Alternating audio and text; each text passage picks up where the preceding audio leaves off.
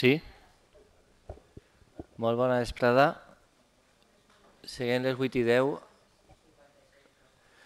anem a començar el plenari. Bueno, antes de començar el plenari, han portat una declaració institucional per a commemorar el dia 25 de novembre, que va ser el dissabte passat, eh, el Dia Internacional per a l'Eliminació de Violència contra les Dones.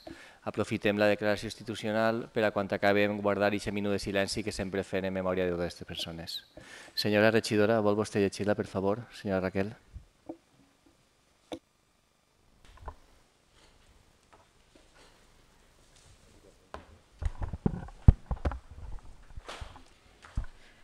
Com cada any, el recompte de dones assassinades i de menors es fa, insuportable. Enguany amb xifres que van de les 50 a les 80 dones segons els criteris utilitzats, o també aquells que no eren parella o diversos vincles familiars, com ara mares o en prostitució, i també de nou menors, a més dels assassinats que encara estan en investigació.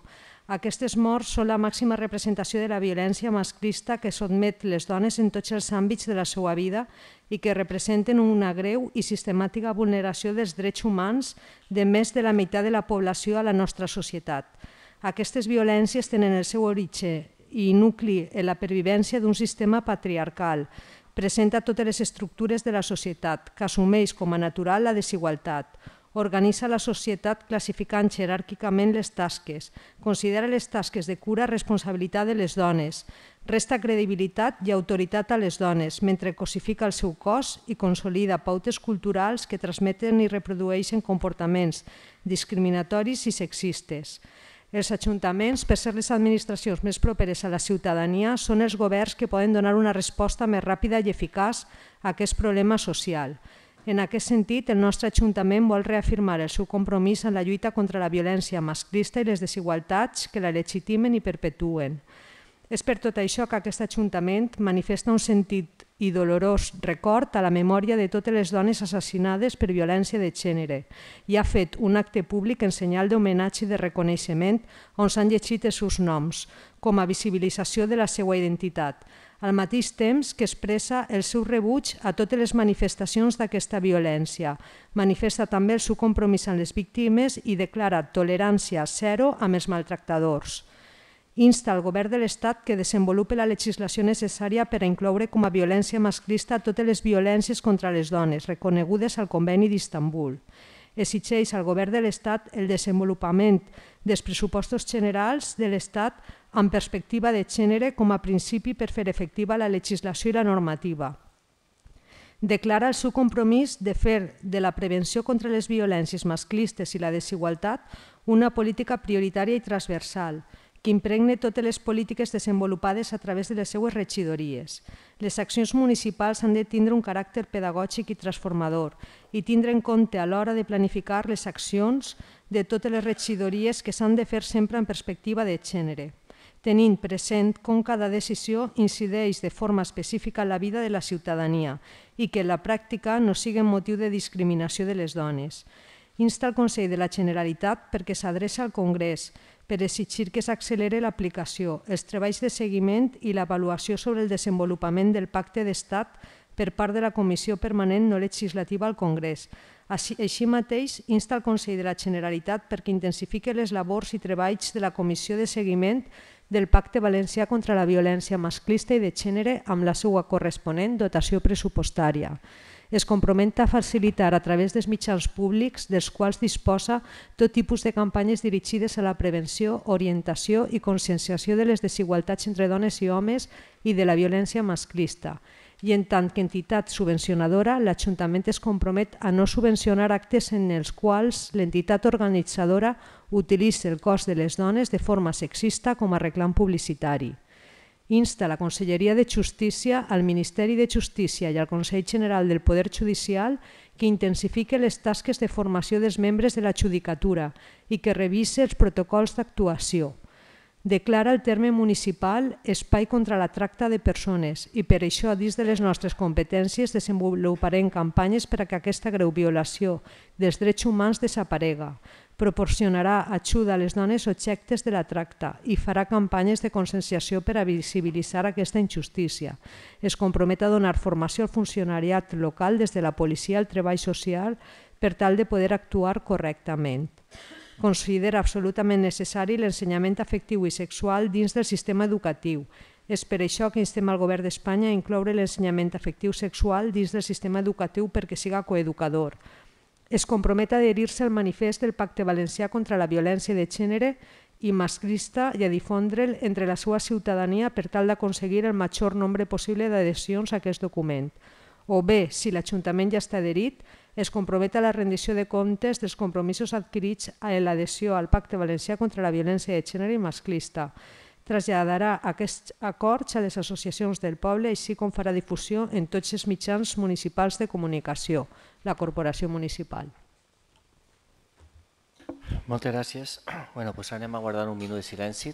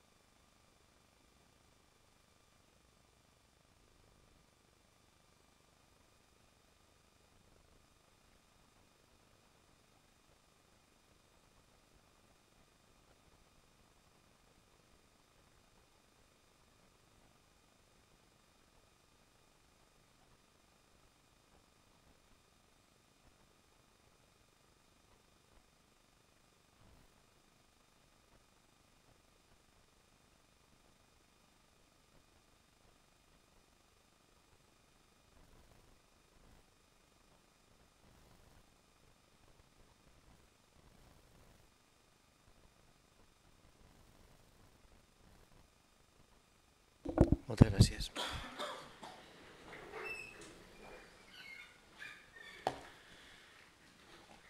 Ara sí, donem per començat el plenari ordinari del mes de novembre. Alguna cosa respecte a l'acte de la sessió anterior, del 30 del 10 del 2018? Senyor Navarro. Sí, és per la, eh, el diferent tractament d'aquest regidor mm, respecte d'altres. És a dir, en els punts 3.4 i 3.5, pàgina 12 i 23, eh, hi ha regidors que apareix que s'abstenen, o, que, que no voten perquè estan ausents, i altres se'ns dona que estem dins i que s'abstenim. Nosaltres no tenim res en compte de que s'abstengan, però no bé. Per tant, és, la, és el punt 3.4 sobre la policia i el punt 3.5, o al revés, sobre el personal tècnic. És a dir, que si, ha, si algú se, se posa la coletilla de que estava absent, doncs nosaltres també. Si no se posa, doncs no se posa. Però Alguna cosa més? si se posa, doncs volem estar absent també, perquè no estàvem. I per això no poguem participar. Pa a veure, és la pàgina 12. 12, no, 17, espera, collons. Les ulleres.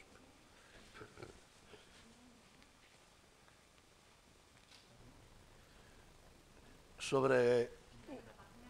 No, la pàgina 12 no, espera. Eh, és que ja necessitem ulleres i ja no... A la millor és un 7 i no és un 2 i aquestes coses. Espera. A veure. A la pàgina 19.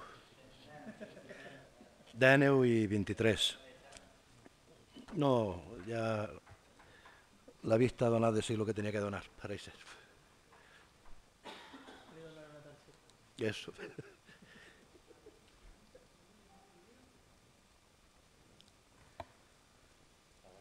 Vale. El regidor Antonio Navarro es reincorpora a la sessió. Però ja s'havia votat, ja s'havia fet tot.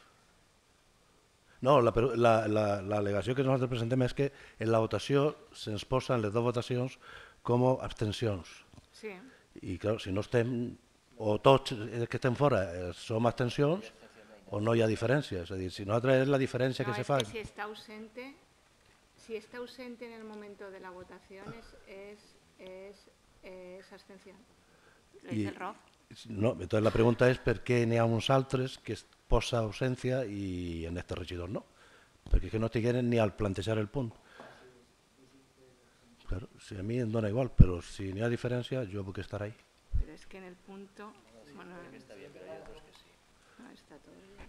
En la votació. En la votación, eh, dos compromís, I, mm, pues seis abstenciones, dos compromís, uno del PP y uno... Y ya está. Dos compromís. Raquel Sánchez i José Luis Melero per absència. absència. Una visitació en Carrión per Per absència. absència.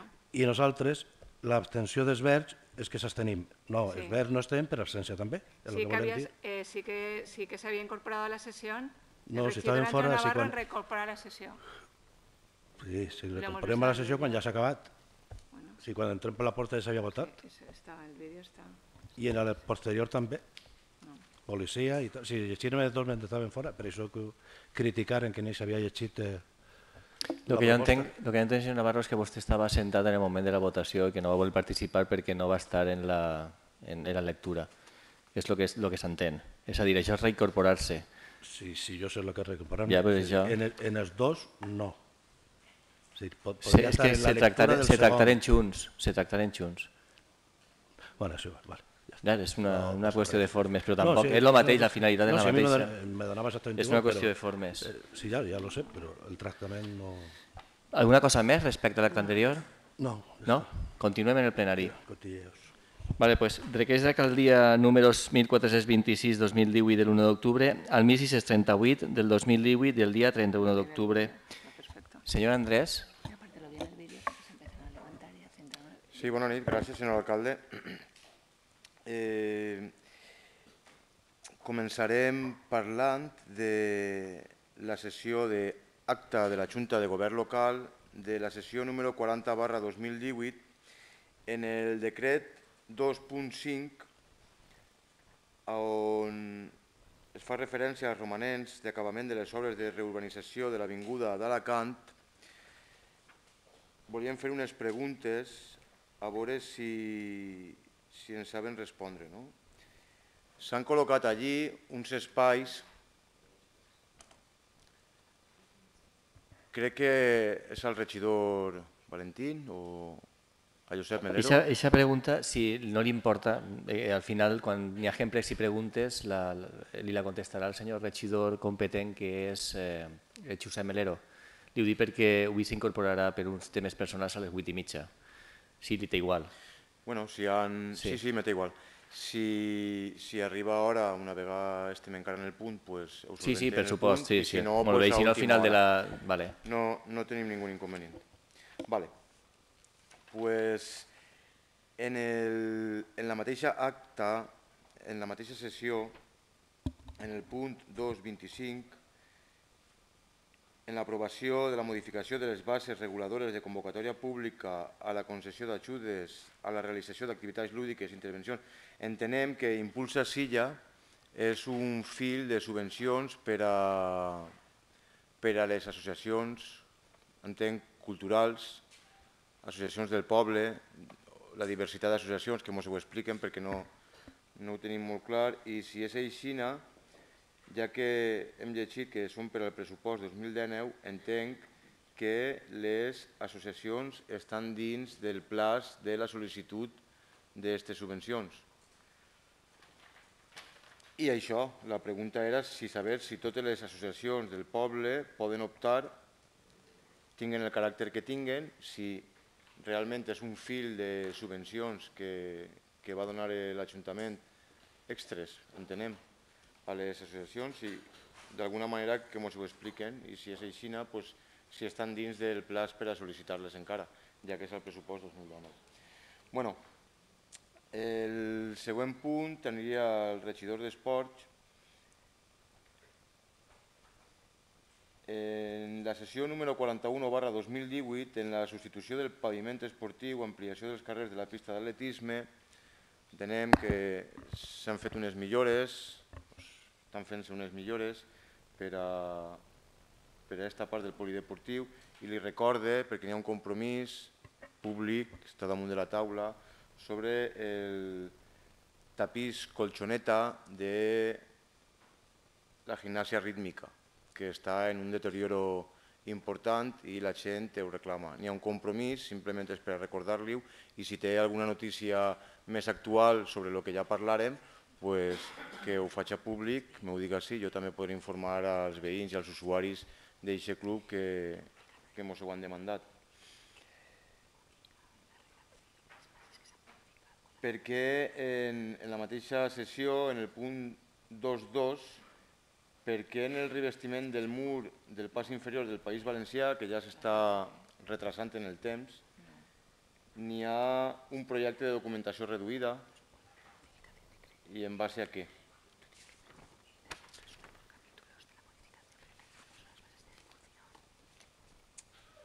Hem llegit, en aquest cas, en la sessió 43 barra 2018, eh, però ho hem llegit també en altres actes, que va haver una substitució per part de la subvenció Som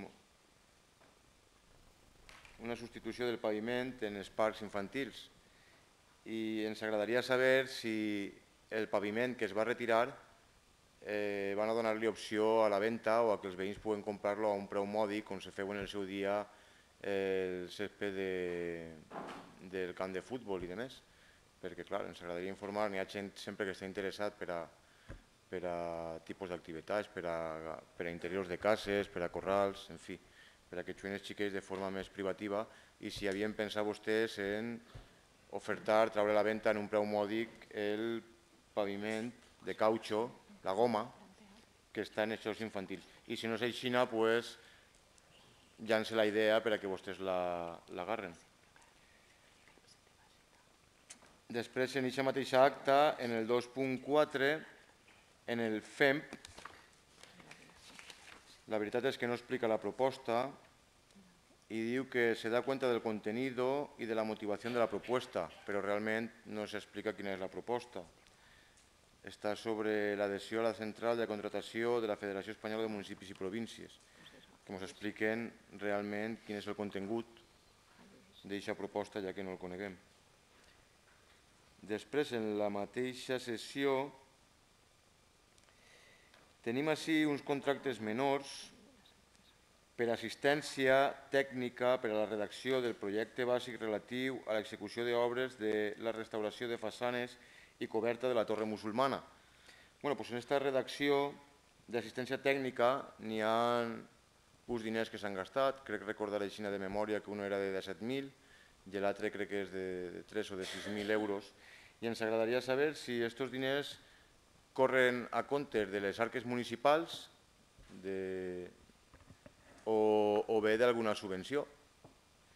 Perquè, clar, 20.000 euros per a redactar projectes, pues, volem saber si, si venen per, car per càrrec de, de les arques municipals o és una subvenció.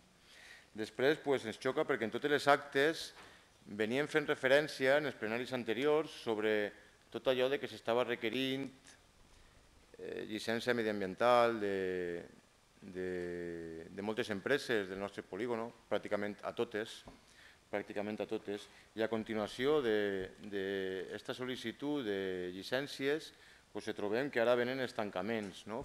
i alguns forçosos. I clar, què passa? Que teníem el polígono carent de llicències i de sol·licitar-ho, clar, això passa,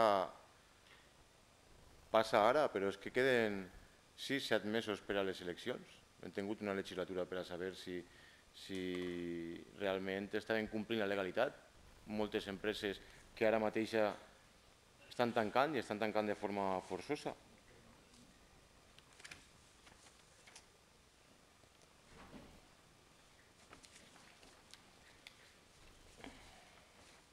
I per el moment ja està. Si arribem a temps, doncs li farem la pregunta al regidor competent i si no, doncs la guardarem per a pregs i preguntes. Gràcies. Moltes gràcies, senyor regidor. Comencem per vostè, senyor Mateo, que te respon de les tres últimes. Sí, le agradezco las preguntas, señor Andrés. Eh, la primera era respecto al muro del paso inferior, en este caso ubicado en la Guardia Civil. Eh, ¿Por qué presentamos un proyecto de documentación reducida? no es más que lo que hemos conocido siempre como una memoria valorada. Son eh, las propias instrucciones de la Diputación lo que nos exige en función de la envergadura del proyecto, pues eh, qué documentación es la que tenemos que aportar. O sea, lo que evidencia es que la actuación en sí es sencilla, pero bueno, en cuanto a documentación administrativa, Desde el punto de vista técnico, pues bueno, tiene la complejidad cuando tenemos que intentar compatibilizar el trabajo con la gestión del tráfico que hace que pues vayamos un poco más lento de lo que a lo mejor nos gustaría, pero en este caso prima la seguridad de las personas. Luego, con respecto del caucho, decirle que nosotros no podemos coger y ponernos a la venta el caucho que estamos retirando, porque tenemos necesidades muchas veces en los propios colegios, pero también en propuestas con las cuales queremos actuar. Y una de ellas es en la zona de los payeros, que se está planteando la posibilidad de ver si podemos ubicar pues alguna zona de juegos y ver en qué medida se puede reciclar. No es seguro porque también dependerá del estado en el cual se encuentre el pavimento, que muchas veces por el propio tiempo que lleva pues es difícil. Y luego la tercera y la última sería respecto a la torre musulmana, decirle que sí, que es cierto que hay unos proyectos que se han adjudicado para la redacción, eh, motivado por la especificidad de la actuación en cuanto a la rehabilitación de la propia torre y el propio entorno, con los propios estudios arqueológicos. Y sí, al ayuntamiento no le cuesta ni un euro porque formamos parte de ese proyecto FEDER a nivel europeo, donde este ayuntamiento, junto con el plan de movilidad, pues ha obtenido la financiación del 50%. Y era ya unas partidas que estaban ya previstas en la zona del ámbito de la Torre Musulmana y lo que hemos hecho con la gestión ha sido obtener 300.000 euros más para invertir y dignificar la Torre Musulmana. Muchas gracias. Muchas gracias, señor regidor. Señor Felipe García.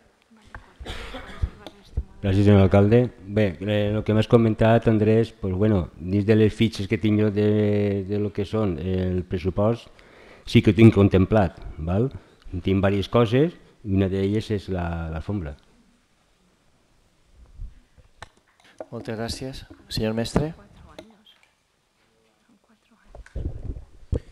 Gracias, señor alcalde. Ahora el representante de España 2000 em pregunta sobre el projecte Impulsa Silla i m'ha fet diverses preguntes. Vaig a intentar contestar-les totes i aclarir-ho bé. Si me n'oblide alguna, m'ho recordar, d'acord?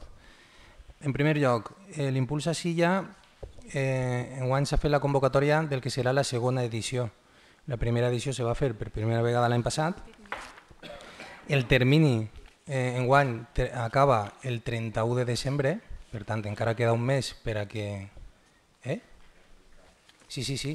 El termini per a, per a sol·licitar aquesta subvenció és fins el 31 de desembre, o sigui que encara n'hi ha un mes.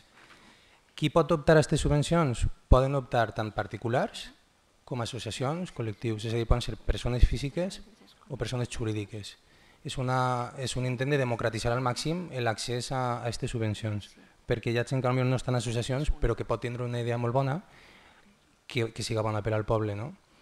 Perquè l'objectiu d'això és que la, és una innovació en participació ciutadana, és ampliar la participació ciutadana també a la proposta d'iniciatives i de projectes d'animació sociocultural.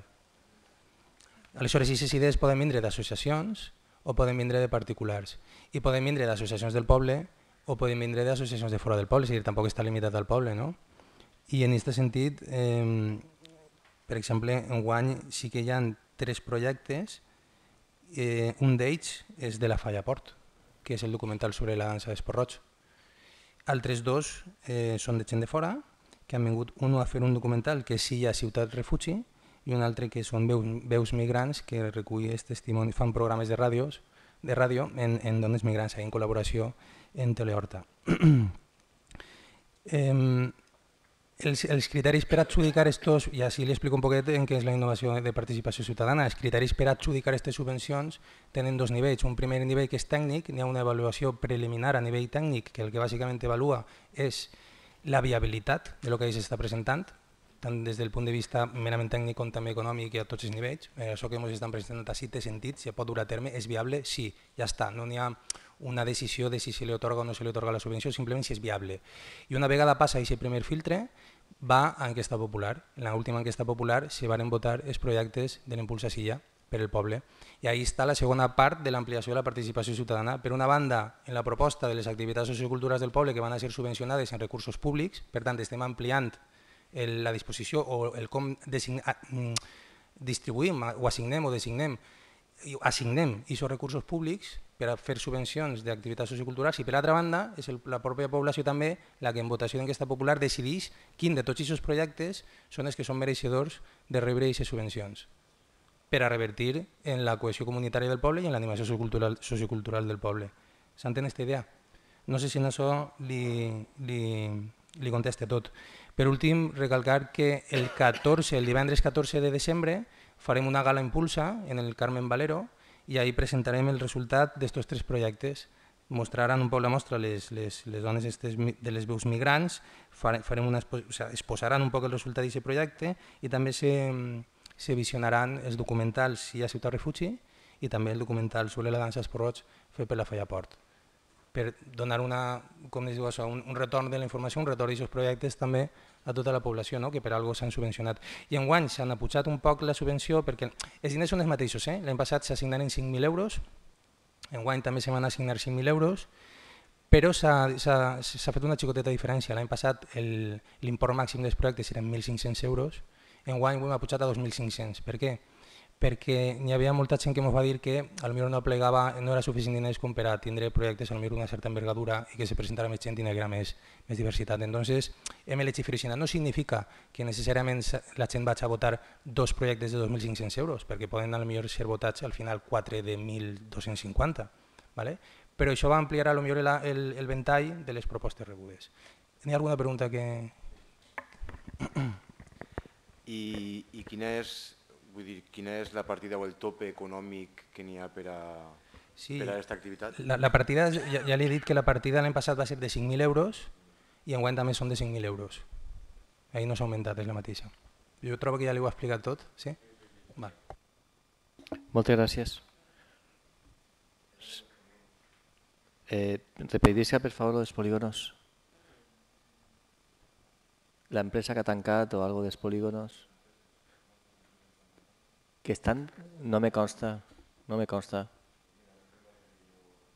Això no és que tanquen, això són informes que se donen per executats perquè no aportar la documentació. Això no és que se tanquen. Incoació, procediment, tancament de l'activitat. Claro. De l'expedient.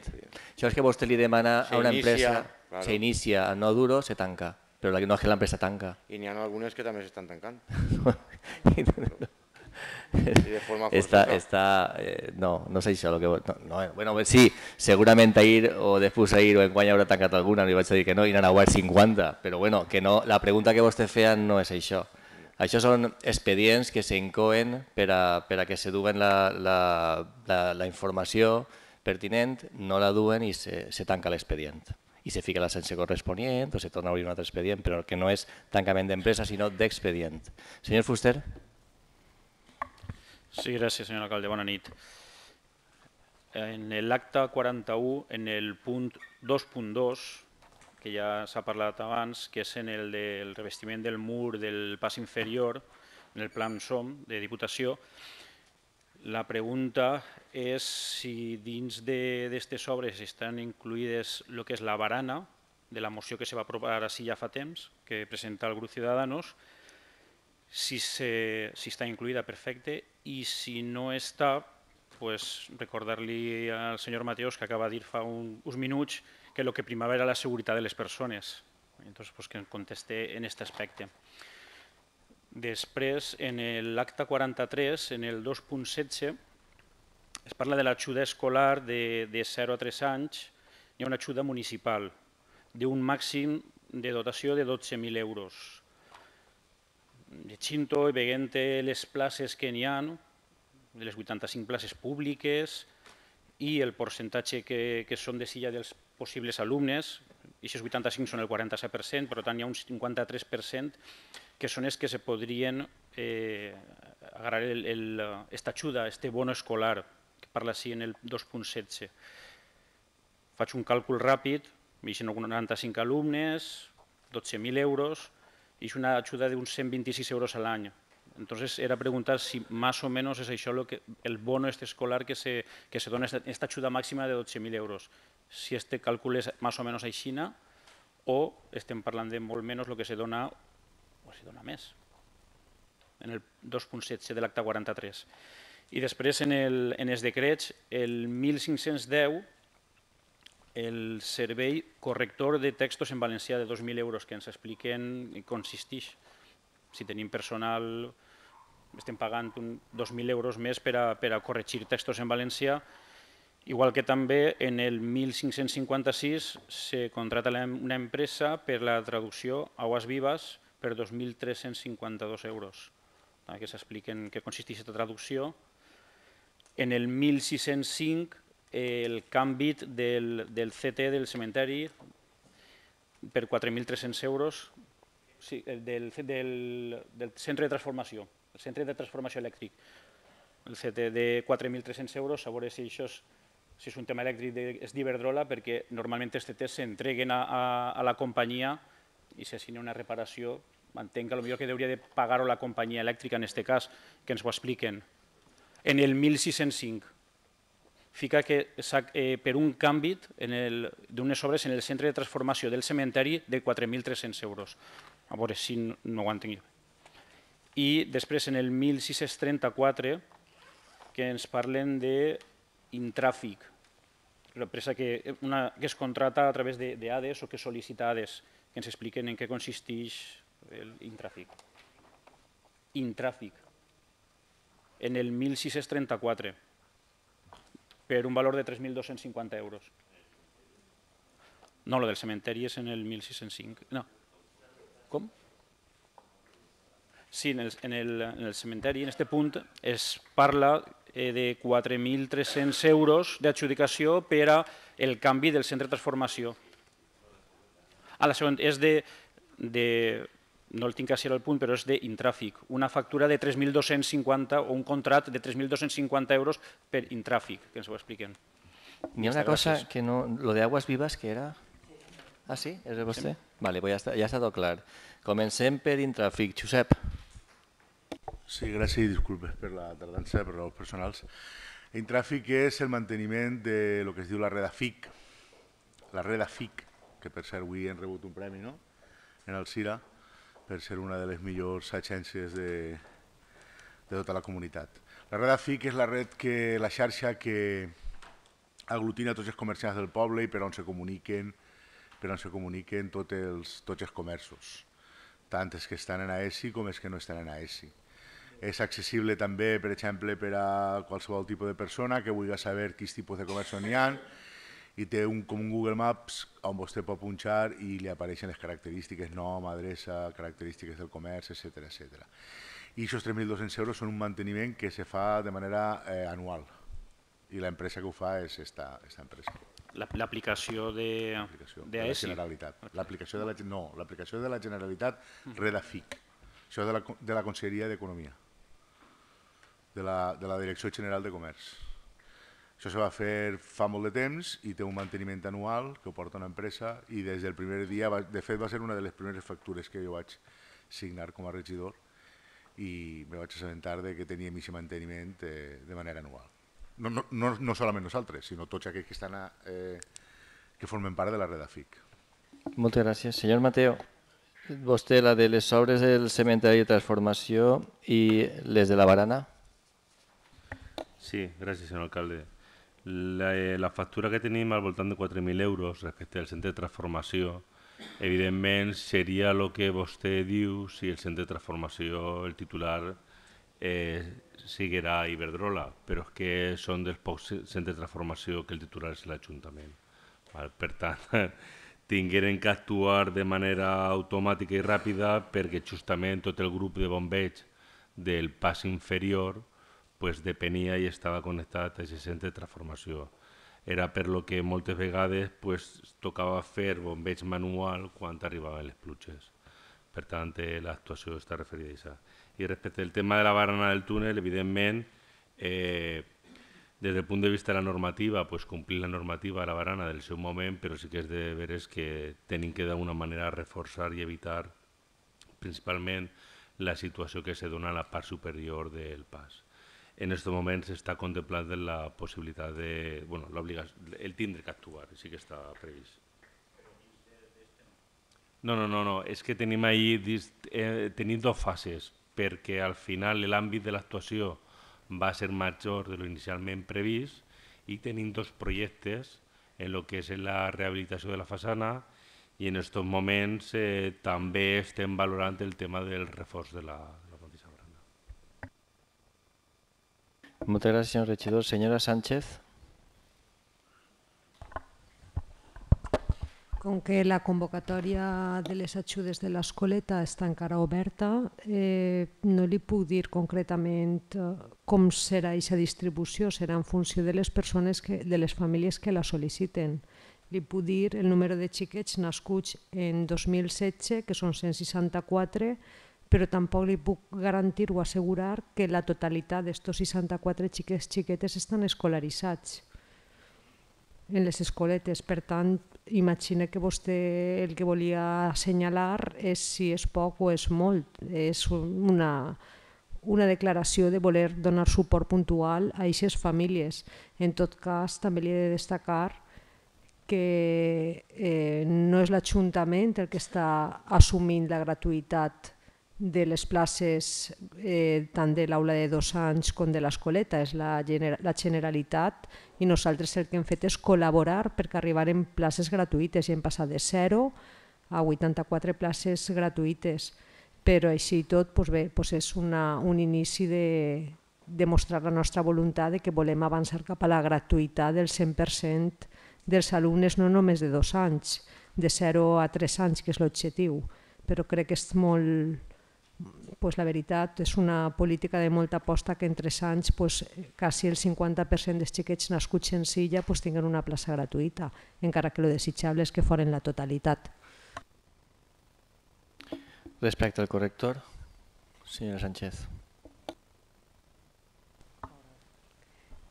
Sempre quan arriben estos mesos de l'any aprofitant que tenim la subvenció de València i que n'hi ha una càrrega elevada de treball de correcció arran de, de llibrets de falla que estan escrits en valencià normatiu i com assistís a subvenció que ens permet poder tindre un major suport i cada vegada pues, són més els textos que passen per el servei de normalització lingüística pues, se contracta a través d'una empresa eh, serveis de correcció de, de llibrets i se contracta pues, a una persona imagina que l'empresa considera eh, òptima per a poder donar aquest suport lingüístic.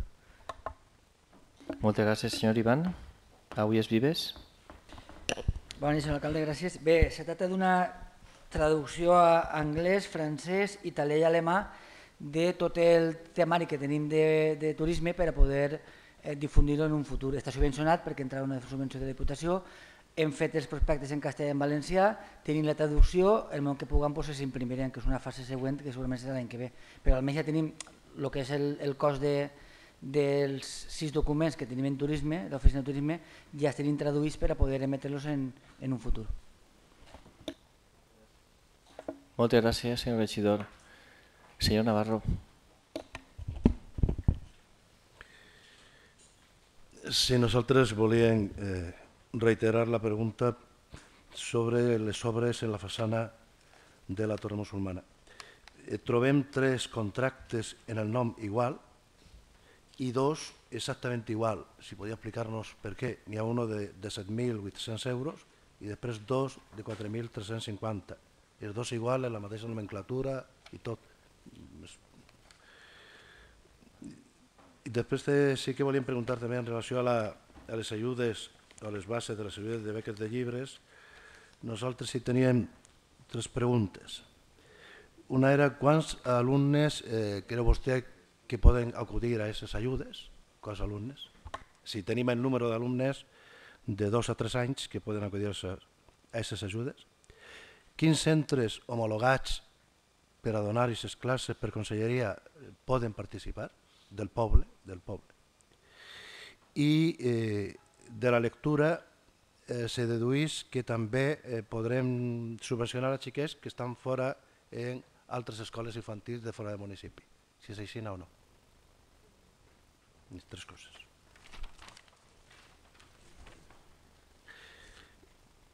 Eh, entenem que estem en campanya electoral ja, que bueno, vostès ja estan en campanya electoral i utilitzen diners públics per a aquestes coses, i per això preguntava en, eh, en lo de l'impuls, a nosaltres sí ens agradaria que vostè ens explicara per què ho avança a 31 de desembre no espera a que estiguen els pressupostos aprovats, salvo que, i, no, i així li diguem, la nostra intenció és que com vostè s'ho munta, vostè vol eixir la foto i que no se retrasa el temps per a aquestes campanyes electorals. És a dir, si no tenim la partida pressupostària i d'ací un mes vostès portaran, se suposa, els pressupostos, com és que ja en l'any 2018 vostè posa la marca de 2018 i encara uns pressupostos de 2019 per a donar aquestes subvencions a aquests projectes. En l'IBACE eh, venien unes subvencions de l'IBACE i en una de les partides dels pressupostos que vostès aprovaren i que després reduïren de 150.000 euros per a polígons a 42.000, ens trobem en una transferència de crèdits, que voldríem que l'explicara, que és el decret 1462, en el qual se fa una transferència de crèdits d'emergències socials per vora 23.574 euros per als polígons de l'Aliaga i de l'Alteró, que són els que van a rebre l'IBACE. Si podia explicar-nos per què és. És el decret 1462 de subministraments. Eh, se suposa que aquestes tres partides, subministrament i d'emergència social, anaven per a la promoció i per a la bolsa d'ocupació d'emergència social creada per, en pressupostos per al nostre poble, és a dir, creada des d'ací. Sin embargo, veiem que se desvia este subministrament que hauria d'anar a un altre lloc a altres partides que en teoria estan subvencionades. Si la subvenció ja estava de 42.000 euros, si és que fa falta més diners o no fa falta o per què se lleven d'ahí. Després trobem que també pareix que els veïns del nostre poble paguen suficientment el clavegueram perquè a vostès li sobren. O sigui, hi ha una partida de 4.900 euros de clavegueram que vostès, en lloc de destinar-lo a neteja de clavegueram, pareix que està tot bé, ho desvien per a cementeris, reparació i obres en el cementeri. Si podien explicar-nos si és que la partida és la 160, 1.600, 210 i el decret és el 1.602. Sobren 4.800 euros de la neteja o de l'arreglo del clavegueram en el nostre poble i ho dediquem al cementeri. Trobem que comencen a aparèixer, i menys mal, d'algunes ja anem enterant, partides sobre publicitat a dues empreses per vora del poble. Eh, si podrien explicar-nos de què tipus de material publicitari se tracta. Són el decret 1556 per valor de 2.350 euros i altre de 1.558 de, per valor de 1.875 euros per a disseny i elaboració de material de difusió i l'altre el titulen vostès traducció de material suport per a l'elaboració i difusió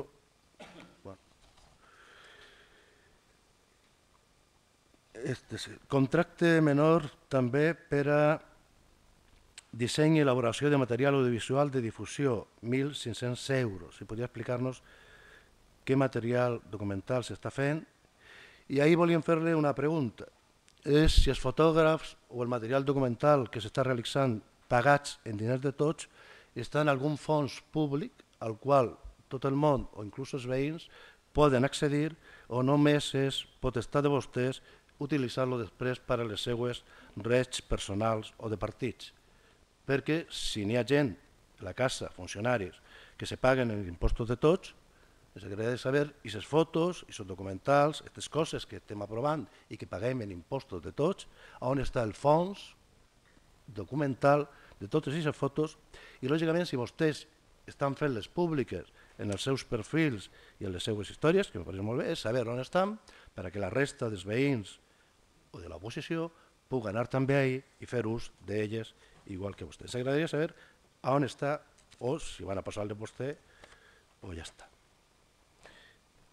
I ens agradaria preguntar si vostès creuen que la festa, és veritat que estem en campanya, però els diners són de tot el municipi. Contracte per a la segona festa de l'encesa. I se parla de que la broma va costar-li al municipi només en aquest tipus de contractació per a una empresa, a l'empresa, contractació a favor d'una empresa per a que porta la segona festa de l'ascensa, 5.000 300 euros. Si el poble està per aquest tipus de festes i si després hem de dir-li als veïns que hem d'apretar-nos, que estem per damunt de les possibilitats i vostès en els diners de tots vinga foc i vinga llum, que no n'hi ha problemes. Contracte de subministrament de cartell i exposició dansa d'Esport Roig, 1.300 euros. És a dir, si a vostès les pareix que tot això té que veure en la vida real del nostre poble, en els impostos que paga, o en les festes, o estem ja directament en campanya de festa, abans eren bous i futbol, ara no sé què serà, perquè se malgastem, a nostre entendre, els diners d'esta manera. No, jo, jo... Respecte a lo de la festa de l'Ancestar de Juli vaig a contestar jo, si són molt o pocs no ho sé, sinó que quan governa cadascú es pensa que té que gastar els diners com crea que va disfrutar més i va gaudir més la gent d'este poble, que vinguen 2.000 xiquets o 2.500 xiquets a gaudir d'una festa per valor de 5.000 euros a mi no em pareix car. A mi, a vostè potser li pareixerà car, a mi no. Igual me pareix a mi més car, potser contratar un grup de música que costa 2.000 o 3.000 o 4.000, per tant, jo crec que eh, en aquestes fetges tan senyalades i que la gent a més té també l'oportunitat de poder eixir al carrer, de poder gaudir, de poder mesclar-se en els xiquets i poder disfrutar de, de lo que és la festa de Nadal. És molt relatiu, si és molt és poc. Este equip de govern creu convenient que es té que fer una, es té que fer una festa per a tots els xiquets i xiquetes d'este poble i el preu pues, tampoc ens pareix molt excessiu. Quan vostè estigui governant, gasta els diners en el que crea convenient i nosaltres els gastarem en el que crea convenient. Senyor Navarro? Cuenca. Sempre li dic Navarro. Cuenca Navarro. És que des que t'has deixat barba... Sí, confon, veritat. Confon un poquetet, no? Bé, moltes gràcies, senyor alcalde. Bé, eh, no estem en campanya electoral, estem funcionant perquè eh, acaba de pegar capotades que pareix un manso, senyor Navarro, per favor. Vale. Anem a veure. Llévelo de manso, per favor, siga un poc de... més educat. Siga més educat. Sí, bé. Siga més educat. Llévelo de manso, no es preocupe. ¿vale? Puc callar i si no continuo jo? Sí, però no insulte. Vale, de acuerdo. Pero ¿puc callar y deixar de vostè d'interrompir? Sí, cuando no insulte. Bueno, vale. Bé, mire, per a començar, mire si està obsessionat que el decret 1556 és el que ha preguntat el senyor Fuster. Traducció. He pot tornar a preguntar, a veure què passa i de més. El 1558, eh, Gràfiques Fortuny, és la impressió dels fullets de promoció turística. ¿vale? ¿Vale?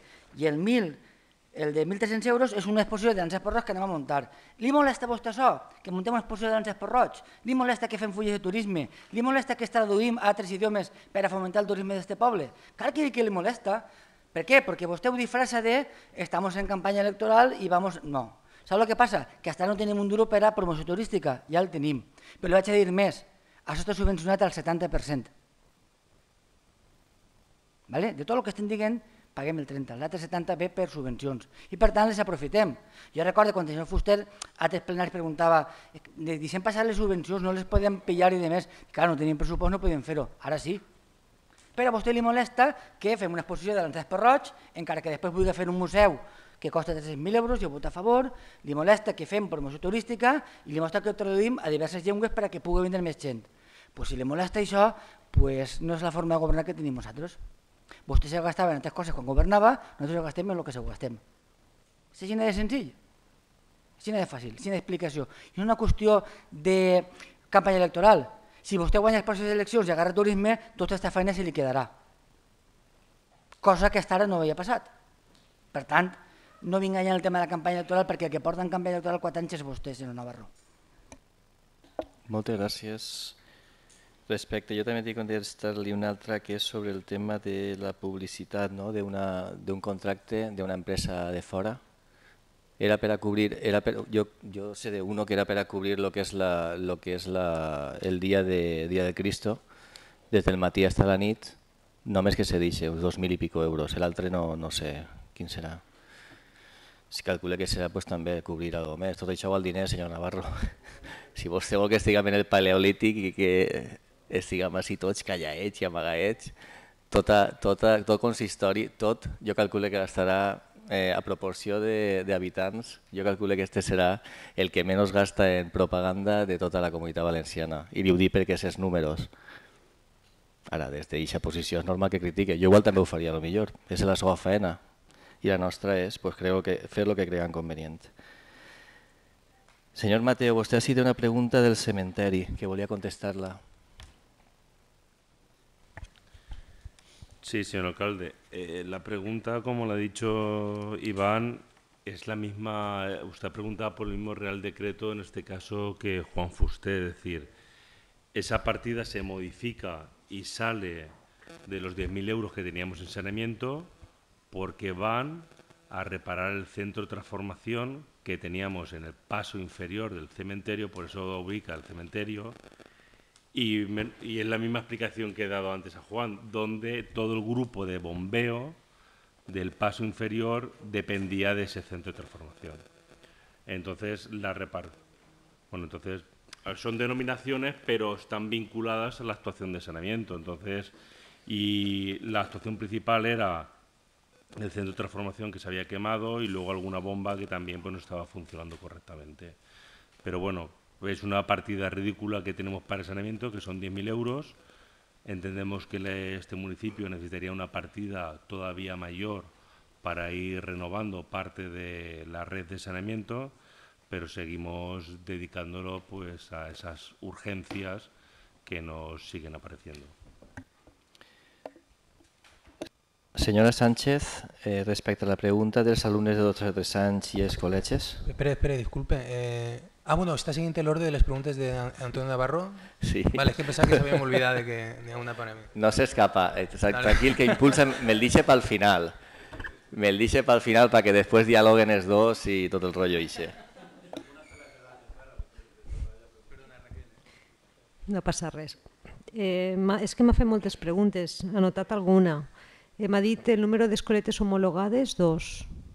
Li dic el nom, és Menucci la llimera, la petita llimera. Eh, què més m'ha preguntat? El número d'alumnes, li l'he dit abans, eh, bueno, jo li puc dir el número de xiquets xiquetes nascuts l'any 2016, són 164. Eh, el número, no, no sé si tots estan escolaritzats, ni si van a demanar tots l'ajuda. Mm, també hem ficat, crec, com a requisit que hagin sol·licitat el bo infantil de Conselleria d'Educació per a veure fins a quin límit ha de cobrir l'Ajuntament, perquè el que, el que no poden superar és el cost d'escolaritat. I després, respecte a la pregunta de les escoletes de fora del poble, s'ha introduït eh, un aspecte de conciliació laboral i familiar, que és aquella família eh, que tinga un menú menuda de dos anys que per motius laborals i de conciliació tinga que escolaritzar-lo a prop del seu treball, acreditant un certificat laboral, al igual que passa amb l'admissió en el cas de xiquets i xiquetes que són fills i filles de mestres i tenen accés dos punts al seu col·le en el sistema ordinari, doncs hem volgut també afavorir a aquestes famílies que no tenen més remei que, que portar-se seus fills però són veïnes de Silla, estan empadronades en el municipi. També en els xecs de material escolar s'ha donat també aquesta circumstància, que n'hi ha famílies que per motius de conciliació tenen que portar els fills a l'escola on exerceixen la seva professió però no tenen dret a les ajudes del poble on estan escolaritzats perquè no estan censats i al mateix temps no, tenen no tenien dret segons les nostres bases a les ajudes de silla i se quedaven com en un buit, que no podien optar ni a les ajudes del seu poble ni a les del poble on estan escolaritzats per motius laborals de la família. I crec que li he contestat a les tres. Sols volia fer una puntualització a, a unes paraules que crec que, que no se poden demostrar i que ha, ha manifestat o expressat de manera taxativa i afirmativa el senyor Antonio Navarro Vostè ha dit que nosaltres, com a regidores i regidors, estem emprant fotos eh, de l'Ajuntament de Silla per als nostres perfils personals. Jo crec que això no ho pot demostrar vostè. Jo crec que no ho pot demostrar vostè. Eh, em sembla greu que estiga fent aquestes manifestacions de manera pública i sí que li pregaria que, que no fera manifestacions que poden incórrer pues, en la mentira i en la demagògia. Moltes gràcies, senyora regidora. Respecte a l'última pregunta, eh, antes de passar a Impulsa, n'hi ha una pregunta que vostè pregunta, eh, és de l'IBACE. De la torre també, correcte. Bueno, pero yo le iba a contestar lo de y, y del fondo para poder utilizar las fotos que ustedes utilizan y nosotros no podemos. Sí, pero eso creo que voy en la misma línea que le contestaba a mi compañero, que, sí, que lo mismo. Sí. Es decir, eh, mire, ¿sabe de dónde lo, le voy a decir mi procedimiento? Vale, vale, vale. Le voy a decir mi procedimiento que yo soy una persona que publica mucho por las redes en mi perfil personal. Lo que yo hago siempre es entrar al perfil del ayuntamiento y coger las fotos de allí o coger los vídeos de allí y ponerlos en el mío. Usted puede hacer exactamente lo mismo. Ahora, yo soy alcalde y seguramente saldré pues alguna vez más que usted. Es normal, lo entenderá, ¿no? Eso lo entiende, ¿verdad? Pero es que yo no le pregunto si pues usted entonces... sale o no, estoy preguntándole si los reportajes fotográficos que hacen el personal que trabaja para la casa están en algún fondo documental al que usted accede. No, no, no. Ni yo ni ningún compañero, ya le digo que no que si hay algún fondo documental del, de, los, de, los, trabajadores de la casa, porque luego alguien decide sí. qué foto sale o qué foto no sale, luego tiene que haber un fondo documental. Entonces, bueno, si sí, pero señor Navarro, déjeme que le conteste, por favor.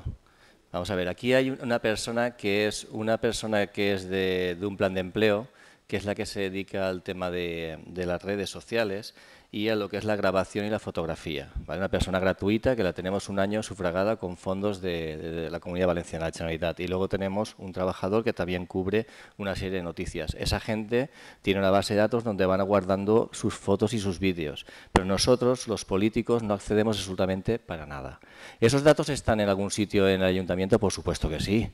Claro que sí, que están, por supuestísimo que sí. Pero ya le digo, yo como alcalde, como político, y al igual que todos mis compañeros, cuando quieren algo, entramos y copiamos desde la web o desde el Face del ayuntamiento. Es solo, por eso, por eso lo que le comentaba a mi compañera, yo estoy con ella, si alguna vez detecta que hay alguien que está beneficiando de los servicios públicos, denúncielo. Yo seré el primero en, en denunciarlo también con usted, si lo ve. Pregunta que era, hay un fondo documental de todo el trabajo que están haciendo los funcionarios en la casa, sea público o no sea público. Claro, es que es muy sencillo. Es decir, bueno, no, no o, o, es el técnico el que decide qué fotos pasa. Es decir, porque la pregunta no es tan es obvia. Es decir, si yo soy funcionario de la casa y estoy cobrando en esas horas por hacer ese trabajo, ese trabajo que haga, haga 10, 20 o 50 fotografías, sube un vídeo, dos o tres o cuatro graves, estoy trabajando para el ayuntamiento. Ese documental que soy trabajador de la casa tendrá que estar en algún sitio. Pues la pregunta es si eso ustedes tienen controlado, que ese fondo documental está ahí, que después el que hace público es ese que usted dice y que son los técnicos los que deciden qué fotos sacan. Pues vale, yo me lo creo, eso está para y ya está. Pero yo la pregunta es si ese fondo documental de personal que estamos pagando para que haga eso está y luego que se puede utilizar no hoy políticamente, pero mañana históricamente sí.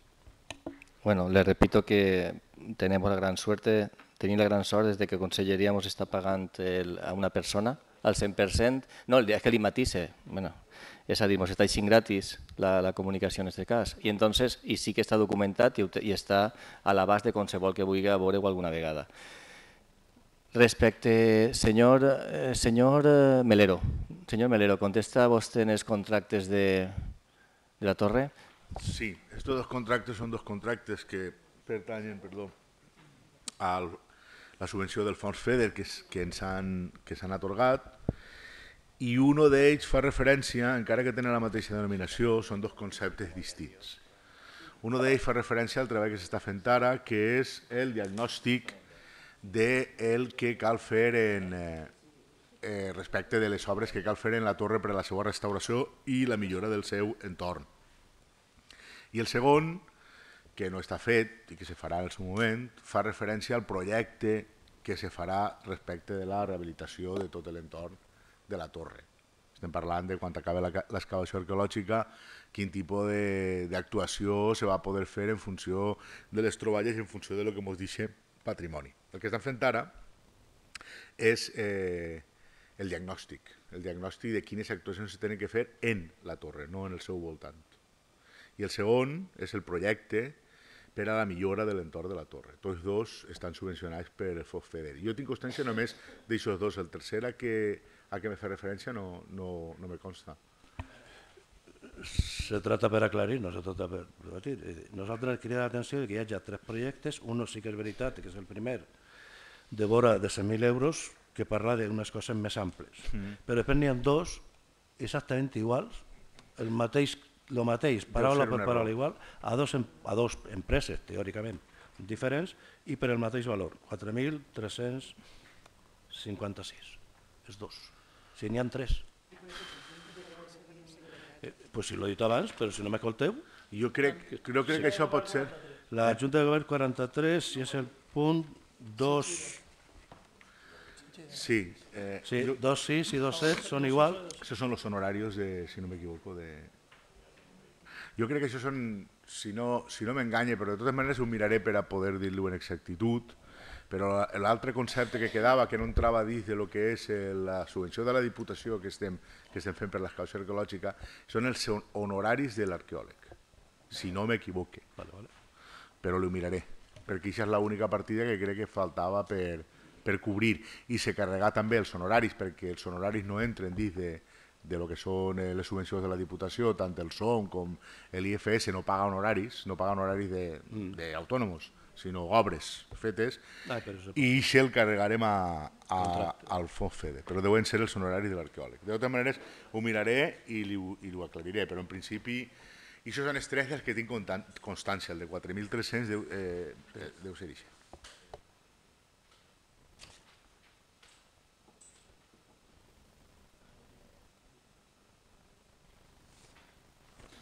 Moltes gràcies. Sí, senyor mestre. Gràcies, senyor alcalde.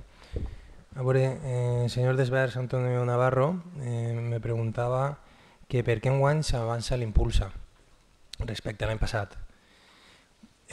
jo trobo que qui està en campanya és vostè, perquè des de que he començat a fer preguntes avui així, ha estat acusant-nos a tots d'estar fent campanyes i quan vostè vol remenejar l'avisper sempre trau lo de les fotos, que si volen fer-me fotos i vostè me diu a mi que si estic avançant l'impulsa perquè pot ser vull fer-me la foto, mm, no deixar-ho de cara a eleccions i poder fer-ho abans.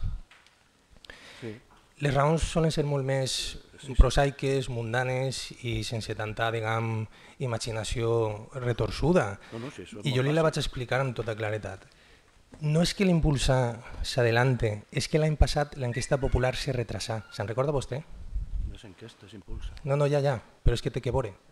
Perquè l'any passat, normalment, les dues primeres enquestes populars se van celebrar en febrer i l'any passat se va fer celebrar en maig. Per què se va celebrar en maig?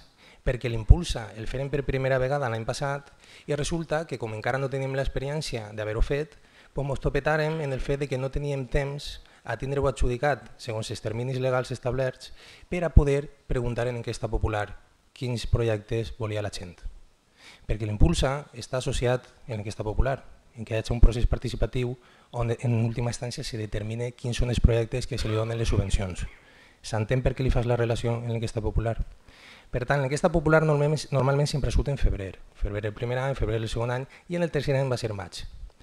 Enguany el que hem intentat, com vostè comprendrà, és, ja hem après la lliçó i hem, intentat, hem avançat, hem impulsat tot el possible per a poder eh, quadrar-ho en la, diguem, la data que havíem establit com a natural de l'enquesta popular, que és febrer. A més d'això, enguany, l'any que ve n'hi ha un factor afegit per a no fer l'enquesta popular en maig, i és que les eleccions són en maig. I per tant seria, crec que inclús és il·legal, fer coincidir un procés de participació com aquest un mes abans de lo que serien les eleccions. Per tant, no és que estem adelantant l'impulsa, és que l'altra vegada se mos va retrasar l'enquesta popular i per a tindre-ho tot en temps adequat n'hi ha que avançar-ho. No n'hi ha ninguna raó aixina retorçuda per la qual este regidor vulgui acaparar una atenció que no li pertoque. Estem intentant fer faena i innovar. Com vostè comprendrà, l'impuls és una innovació. Pues la primera vegada que se fa no és mai perfecte, va dir prou bé, però després se van ajustant les coses. Diu vostè que no n'hi ha pressupost. No, no, no se preocupe vostè per això, que tècnicament està solventant. No, és que vostè ha dit que com és que ho van a fer-ho ara en 2018 si no té pressupost, no, no.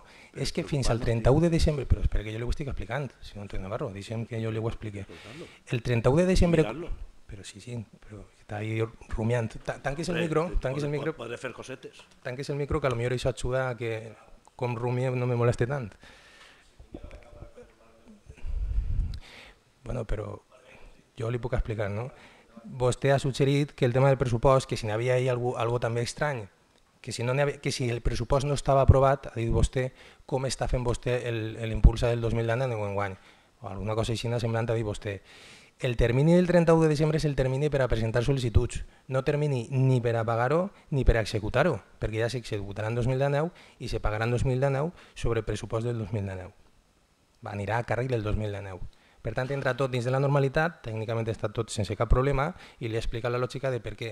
Com l'impuls va associat en el procés de participació de l'enquesta popular, ja vull que adelantar-ho. I ja està, donem més misteri. Per molt que vostè moltes vegades li vulgui trobar tres pates al gat, com el tema de les fotos, etc etc que vostè sí que està en campanya, però la gent encara no ho està, eh? la gent fins a abril o això encara no està en aquesta mentalitat. Eh? Dic perquè potser vostè està ahí avançant un poquet a, a, a remenejar l'avisper, com a vostè li agrada de vegades. Moltes gràcies. Senyor Simeón. Moltes gràcies, senyor alcalde. Jo una pregunta simplement. Eh, fa un parell de mesos, eh, si recordaran, el senyor Andrés preguntar per el tancament d'una empresa de Leonardo, de, de tema de reciclatge. L'altre dia van eixir el diari dient que l'anaven a denunciar i tal. Hi havia un bar del costat que, que estava reclamant i tot això. Era simplement preguntar com estava el, el tema això perquè sé que les visites així a l'Ajuntament són contínues per part d'esta persona que està desesperada perquè veu que se li va la clientela i, i, i el negoci se li va a pique. Simplement era per això. Pues mire, és, és, és una cosa prou, prou curiosa. Jo vaig intentar explicar-la, perquè el bar és de Beniparrell, però està pegat a una nau de silla. És una cosa curiosa perquè la reclamació la té que fer en Beniparrell i al mateix té que denunciar així. No? Esta senyora, segons m'explica a mi, perquè això jo m'assabente en, en juliol, segons m'explica a mi, estava farta d'anar a Beniparrell, pues, que no li fen un poc de, de cas i entonces ve a tocar la porta de Silla, quan s'assabenta de que això perteneixia a Silla. I aquest mateix dia dona la casualitat que els dos o tres dies es pega foc en l'avinguda Espioca les bales que n'hi havia allí i més o menys es dedicaven a lo mateix les empreses. No?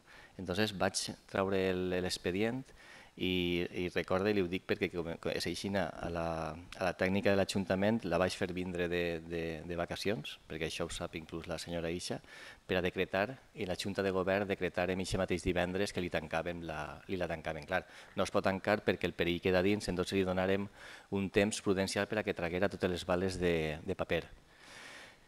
I ara ja entrem així. Eh, el temps s'acaba el dia 16 de novembre, d'acord? En la que l'empresa, tres dies abans, diu que per el volumen que n'hi havia li havia sigut impossible, que havia tret més d'un 50%, però que li tenien que donar un mes més per a treure la resta. Entonces, nosaltres, pues, lo que sempre volem pues, és no, bueno, pues, treballar per a tots, d'acord? El que varen dir, en vez de donar-te un mes, que el que ens demana és te donen 15 dies. Te donen 15 dies i vostè ho trau, i si no ho trau, diu anem a fer nosaltres. La broma són 270.000 euros, eh? la broma jo crec que es traurà en 15 dies. Ja li ho dic jo que no ho traurà en 15, ho traurà en 10, perquè 270.000 euros és el que nosaltres li cobrarem d'una forma, de forma subsidiària, molt bé, una multa coercitiva, que seran 270 de multa i 270 per traure-ho. Per tant, quan li arribaria a aquesta empresa, aquesta notificació jo calculo que estarà treballant matí, nit, dissabtes i diumenges. En això estem, però bueno, que no mos tembla el pols. No me tembla el pols el dia que la varen tancar, no tan clar, se diu clausurar, perquè tancar és no fer ninguna activitat. És una part, són dos naus que una està legalitzada i l'altra que té que treure el permís. Però en ixa, en ixa, en la que nosaltres li han dit que, no pot, que està clausurada, ahir no pot fer ninguna activitat només que traure material. I després, quan demane la llicència, de, de seguridad, la llicència, entonces nosaltres anirem a revisar i a inspeccionar si eh, reunís totes les mesures de seguretat. Sols Aixina podrà. És de veres que la veïna està patint molt perquè, clar, ella allí no tenia antes ningú almacent, no tenia ninguna activitat i de cop i repente ve una activitat. També, igual que li dic una cosa, li dic una altra. Si aquesta empresa regularitza i ho fa tot legal i trau el permís, el que li vaig dir a la senyora seguirà treballant exactament igual. Alguna cosa més? ¿Vale? Comencem el plenari. Ah, sí, té tota la raó, senyor regidor. Eh, senyor eh, Josep Melero, el senyor regidor d'Espanya 2000, eh, volia fer una pregunta abans que li correspon a vostè contestar-la. I la farà ara i la contesta, per favor. Bona nit, senyor Melero. Eh, per a que se situe, estàvem parlant de la sessió número 40 barra 2018 de l'acte de Junta de Govern Local. En el punt 2.5, decret que fa referència als romanents d'acabament per a les obres de reurbanització de l'Avinguda d'Alacant, aprovació i rectificació del projecte. Me pregunten alguns veïns si la cera es va quedar de terra o va asfaltar en algun tipus d'asfalt o porta algun tipus de taulell. I després preguntar-li també, vostè se'n recorda de la, de la cera o la vorera anterior? Quines eren les deficiències que patia, no? Les deficiències era que s'havien plantat arbres en la mateixa vorera i les arrels havien, havien alçat i havien arrencat el que era la pedra del, de lo que era el paviment, no? ho, havien, ho havien trencat, vamos, ho havien desfet. I detectem que allí també, en el projecte, n'hi ha uns espais ja determinats per a tornar a plantar arbres. arbres. Jo pues, no sé si hauran tingut en consideració, m'agradaria que ens informara, i si no, per a que ho tinguin en compte de què tipus d'arbres van a plantar, per a que tinguin en compte que no siguin dels que fan molta arrel, per a que no es vegin en, en els mateixos problemes, perquè l'arbre que fa arrel en un any o un any i mig va tindre el mateix problema i va tornar a alçar el paviment, va tornar a alçar la cera i demés. I saber què tipus d'arbre o què tipus de vegetació pensem posar allí i en, en la situació que es troba ara mateix a la vorera, si va haver algun tipus de millora, ja que n'hi ha un rectificat, i això era, era per a que ens aclarara i per a que tinguera en compte aquest punt si no l'havien tingut fins al moment. Moltes gràcies, senyor regidor. Sí, moltes gràcies. Sí, ahí pues, eh, mm, a pesar de que vols que sempre les obres acaben el més aviat possible i acabar-ho tot, pues, han passat dues coses. Una, estava previst posar algun tipus de paviment, no és exactament la cera, el que vostè diu, sinó la mitgera que reparteix els cotxes els cotxes eh, aparcats en bateria.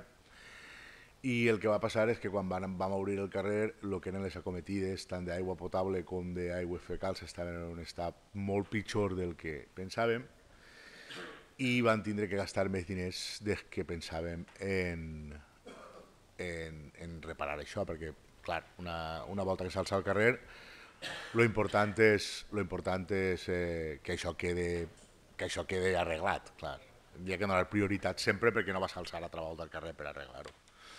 I sí que és de veres que el paviment de la mitgera, pues, el que estava previst, que era un paviment normal, com el d'una cera normal, pues, això el vam llevar.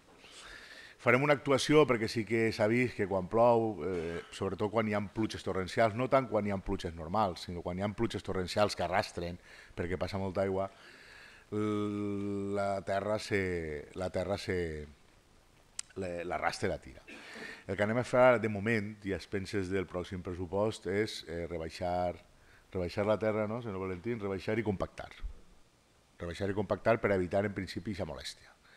I en un futur eh, ficarem el paviment. Sí, la... No, però no deixen el compactar ara. Bueno, no ho sé si n'hi ha o no, però bueno. Però en qualsevol cas, anem a si vostè dona compte, la terra la posarem molta ran de la, de, la, de la vorera, el que anem a fer és eh, tirar-la un parell de dits cavall i compactar per a que no passe per almenys les molèsties de que se, de que se perda la terra per ahí. I en un futur arreglar-ho. I respecte dels arbres, sí, els arbres eh, mm, li peguem moltes voltes al nano, moltíssimes. A més, els tècnics de l'Ajuntament, el tècnic del taller del Cervef, que és qui eh, en les pràctiques farà la plantació, i finalment hem decidit plantar tres magnolis en els tres alcorques més grans, els dos que estan a la punta i un que n'hi ha al costat de la, al costat de la pista mateixa. Magnolis són arbres de fulla perenne, per la qual cosa no cauen fulles i no necessiten d'un manteniment eh, especialment eh, eh, constant, com és de la fulla perenne, sobretot a granar, i que no alcen el paviment. I en el centre perquè les arrels van cap avall, no com els ficus, per exemple, o com els bitxitxos, uns altres que n'hi ha per ahir, que les, les, les arrels tiren cap amunt. I en el centre un arbre, un arbre australià que es diu Gravilea. Aquest arbre ja està en, en, per on està la, el quartel de la policia i ja tenim comprovat que és un arbre que no és agressiu en el que són les voreres. Les voreres ni les, ni les instal·lacions, encara que hi en el centre no hi ha instal·lacions, però sobretot no alça les voreres, i ja ho tenim testat. I per tant, això són les dues espècies que plantarem, que siguin de, de fulla perenne per a que tinguin ombra tot l'any, els cotxes, i que eviten eh, l'alçament del paviment en un futur. O sigui que sí que ho tenim en compte. Moltes gràcies. Ara sí, passem a, passem a assumptes a tractar i debatre. 3.1. Donar compte, rendició de la morositat i el període mitjà de pagament tercer trimestre 2018, rendició de l'execució del pressupost 2017, tercer trimestre 2018 i seguiment del pla d'ajust tercer trimestre 2018. Senyora interventora, per favor.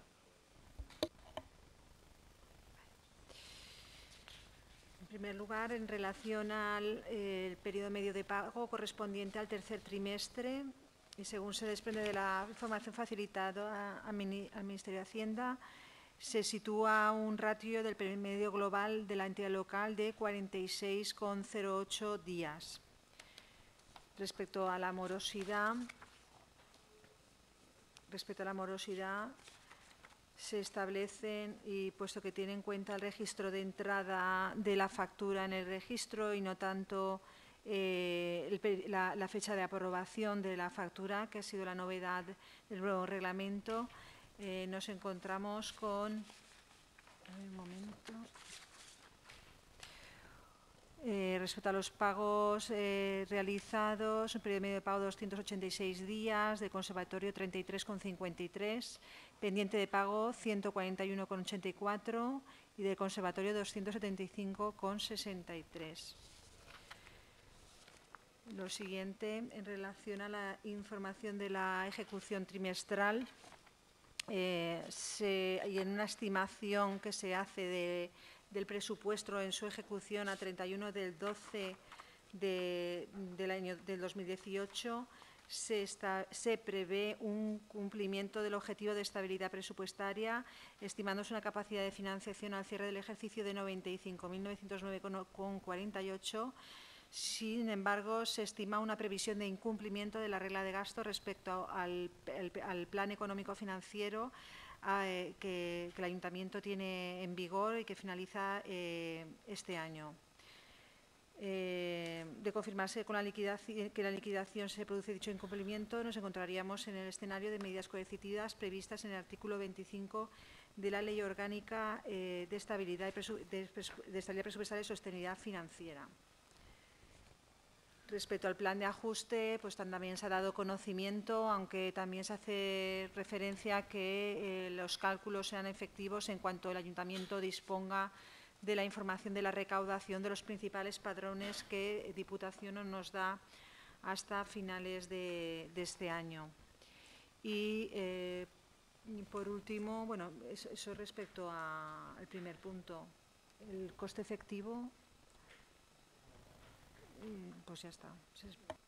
Señor regidor, señor Cuenca, ¿va a comentar algo al respecto? Bueno, sí, les magnituds que ha dit la interventora eh, anem millorant en el període de mitjà de pagament, estem a 7 dies dels 30 que marca la llei, conservem l'estabilitat pressupostària, tenim problemes en la regla de gasto, també és de veres que s'ha de permetre ja modificar la llei orgànica del 2012 que bloqueja la regla de despesa perquè està ja eh, desbloquejada en el Senat, que són, podria tindre conseqüències, i també afegir que estem en contacte ja en el Ministeri per intentar liquidar el pagament diferit que tenim el 2021 este que impedia o que ens obliga a tenir que estar donant compte trimestralment d'aquestes coses. Si no passa res, anem a contactar, som els ajuntaments que van a, a fer-ho i anem a liquidar aquest problema de tesoreria que impedia altres qüestions i que un costament tenia que estar fent plans de, de previsió d'ingressos financers, donar compte trimestral i demés. Per tant, eh, trobem que hi ha una milloria. Mm, no sabem què va passar la regla de gasto, si torna a passar com l'any passat, que la liquidació és negativa, doncs tenen que tornar a, a reduir despeses, esperen que no, i si s'aixina, pues, bueno, prenen les mesures necessàries. Moltes gràcies. Es donen per assabentats tots, sí. Gràcies, bona nit. Eh, res, respecto, una pregunta para, para la interventora. Respecto a la- al incumplimiento de la regla de gasto, estamos sobre un- la previsión de 1.200.000 y pico mil euros. Eh, las medidas coercitivas que en principio se tendrían que aplicar, ¿se tendrían que aplicar ya en el cuarto trimestre de, de este ejercicio o ya sería para el año que viene? Para el presupuesto del año que viene. Es una previsión en la que se, pre- se- estima como más prudente pues, eh, no ejecutar gasto en la medida posible el 71 del 12, pero se verá efectivamente la liquidación que, y es cuando entrarán en escenario esas medidas coercitivas con acuerdos de no disponibilidad. Pero ya respecto a la magnitud resultante de la efectiva liquidación, porque al hacer esa estimación, la estimación nos hemos puesto en el peor escenario, o sea, que, eh, que todos los créditos definitivos del presupuesto eh, lleguen a obligaciones reconocidas. Entendemos que hay un procedimiento de inejecución, pero no, no lo podemos prever ahora. Entonces, esa se estima que es la cantidad en el peor de los casos, pero habrá que estar a la liquidación. Eh, Tendremos que tenerlo en cuenta para el presupuesto 2019. En el presupuesto del 2019 se puede aprobar con incumplimiento de la regla de gasto. No te exigen, eh, si bien es recomendable y desde intervención se hacen los cálculos, porque toda de- desviación que se produzca en la aprobación de presupuestos, si no hay cambio de tendencia, se convierte al final en un incumplimiento de la regla de gasto con las consecuencias de las medidas coercitivas. Es recomendable aprobar el presupuesto 2000, pero no es requisito para no aprobarlo. Tiene que estar nivelado, tiene que cumplir estabilidad presupuestaria, pero la regla de gasto no és un requisito. Moltes gràcies. Senyor regidor, vol vostè respondre? Sí, eh, bueno, eh, aclarir lo que és la demonizada regla de gasto, que és una qüestió que és molt en este plenari, que pareix que siga eh, un impediment perquè l'Ajuntament tinga problemes econòmics, és tot el contrari. La regla de gasto d'un Ajuntament, d'una corporació local, és eh, que tu tens uns ingressos determinats, en aquest cas són 12 milions i mig per l'Ajuntament de Silla, i tu ingresses 13 milions i mig i vol dir que no te pots gastar un milió de d'euros perquè t'ho impedís una llei de fa set anys que tenia una vigència i una mm, transcendència en aquell moment, però que ara ha perdut aquesta transcendència. No t'estàs gastant més diners des que tens el pressupost, al contrari, tens que deixar de gastar més diners des que tens el pressupost. Què genera això? Pues que tinguis que anar a liquidar deute bancari a un pas més accelerat del que te correspon el que ha signat en els convenis en els bancs. I estem deixant de portar diners al carrer, que se'n fa falta a la gent, per aportar-los a altres que tenen recursos assegurats. A més, per, per tema co- constitucional, per 135 de la Constitució. Per tant, mm, no és que l'Ajuntament marxa mal. Quan tu no incomplis la regla de gasto, que estàs gastant els diners en vez de en lo que una cosa, en altra. És una decisió política. Que a partir d'ahir decidim eh, les medides coercitives, pues, evidentment, en ho han fet, han reduït 300.000 euros de, del- de la liquidació perquè han considerat necessari. Què va passar l'any que ve? No tinc ni idea. Aprovarem el pressupost la regla de gasto la, millor, la menor que puguem, però tampoc hem de donar serveis al poble perquè entenem que és una de les regles absurdes. O sigui, no te pots empenyar més de tant, tants diners, tens que pagar en 30 dies, però claro, el dir no puc gastar-me un milió d'euros que tinc perquè m'impedís una llei orgànica de fa 6 anys, pues em pareix absurd. No a mi, sinó a tots els regidors d'Hisenda d'aquest país, siguin del partit que, que siguin, perquè és mm, amortitzar deute quan no te fa falta, te fa falta diners per altres qüestions. Per tant, l'any passat a votar en ben votar, no sé què passarà a la liquidació, suposo que seguirà alta. Si venen medides coercitives, pues, veurem què fem, segurament les tenen que acatar, però no tal, o de ser ja pot ser que estiga ja eliminat aquesta regla de gasto, perquè estan sol·licitant els ajuntaments, les diputacions, les mancomunitats, la Federació Espanyola de Municipis i Províncies, tot el món, tot l'àmbit local, perquè és una regla absurda. Moltes gràcies. Passem al següent punt. 3.2. Donar compte de la rendició de cost dels serveis municipals 2017. Senyora interventora. Nada, simplemente se ha dado traslado del informe que resume o que adjunta más bien la información que se ha remitido al Ministerio de Hacienda en relación al coste efectivo de los servicios municipales, eh, de acuerdo con la liquidación del ejercicio 2017, desglosando los que son, por una parte, servicios de carácter obligatorio, de los que eh, también son de competencia propia, pero no obligatoria. Y simplemente, bueno, expresa conocimiento. Senyor regidor, vol dir alguna cosa? Sí, bueno, això és la, la mateixa història de tots els anys, no? És a dir, quan quan ve aquesta època de l'any n'hi ha que donar compte dels servicis impropis que té un ajuntament, que es té tots, evidentment, perquè bàsicament un ajuntament, segons la llei bàsica de règim local, té que cementeri, replegada de FEM i quatre qüestions més. No? Què és el que així mm, se decreta com a que no hauria de prestar si se presta? Pues coses com el conservatori, assistència domiciliària, ajuda de dependència, escoles taller, promoció d'ocupació, bolsa d'ocupació, servei mèdic, escola per d'adults, beques d'estudis, beques de menjador, escola d'infantil, promoció econòmica, festes, consell agrari, vida de casa, camí rural, somic, és a dir, la vida d'un ajuntament. Mm, quin és el problema? Pues que és una llei molt antiga, que ja té ja 30 anys, s'hauria d'adequar, però no només la llei per a prestar aquests serveis de proximitat que fa un ajuntament, sinó també perquè se financiaren com toca. Per què? Perquè les entitats locals tenien la mateixa finançació que fa molts anys i en canvi tenim molt més compromisos en els nostres veïns. L'ideal seria assumir les competències i que les administracions que se deixen les competències estatal i autonòmica es passaran el pressupost per a poder prestar-les sin que li costarà més cost al, al, al veí. Què és el que passa? Que com això no succeís, eh, els ajuntaments anem com anem, sempre repetats, sempre repelats. Per tant, és la mateixa dinàmica de sempre, això se tenia que canviar des del cap a baix i és una reivindicació històrica dels ajuntaments perquè evidentment donen més serveis que necessitem però són tots necessaris per a que el poble i tots els pobles d'Espanya pues, vagin millor evidentment.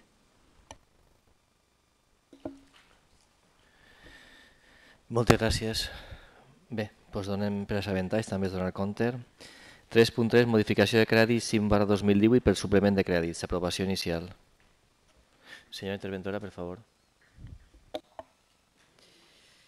Vale, se, eh, la propuesta de acuerdo eh, se, se, formula a raíz de, la, er, de, de, de, tener que pagar unas cuotas de urbanización en referente a unas cuotas correspondientes a una parcela eh, de patrimonio precedente al patrimonio municipal del suelo eh, de la agrupación de interés urbanístico El Rayolar por un importe total de 90.570,04 euros.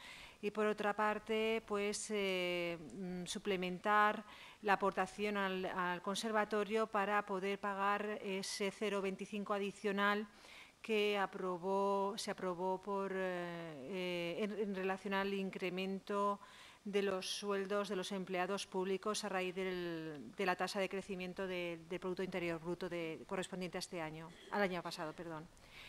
Eh, se financia con el remanente de tesorería para gastos con financiación afectada procedentes del PMS por el importe de los 90.570,04 que produce inestabilidad presupuestaria al ser un, un ingreso financiero y eh, por otra parte pues baja la, diferencia por una baja en, una partida de, perteneciente al capítulo, al capítulo 1 de personal. Muchas gracias, señor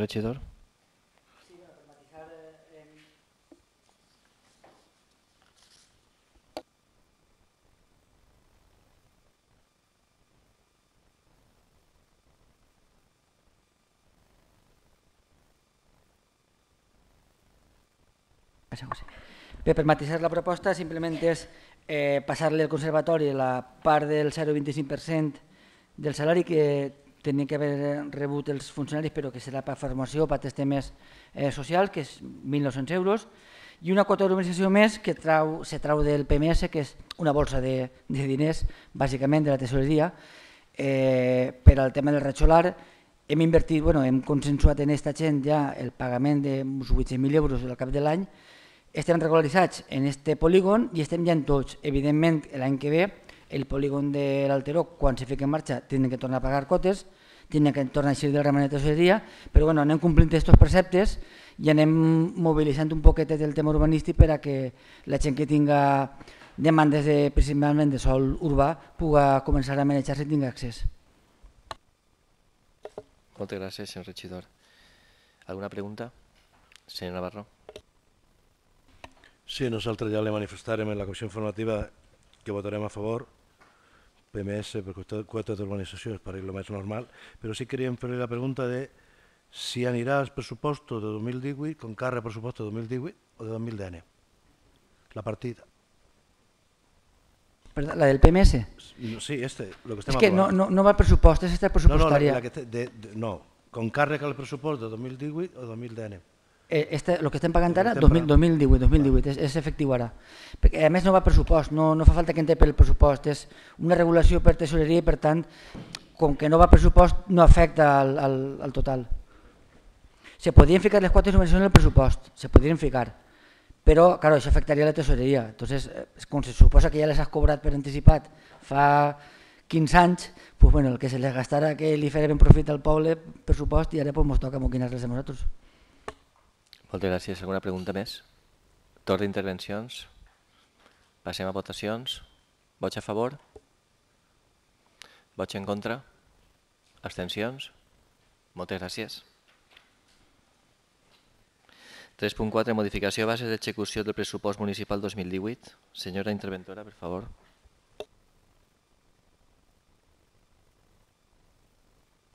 La presente propuesta de acuerdo eh, se motiva eh, por dos motivos.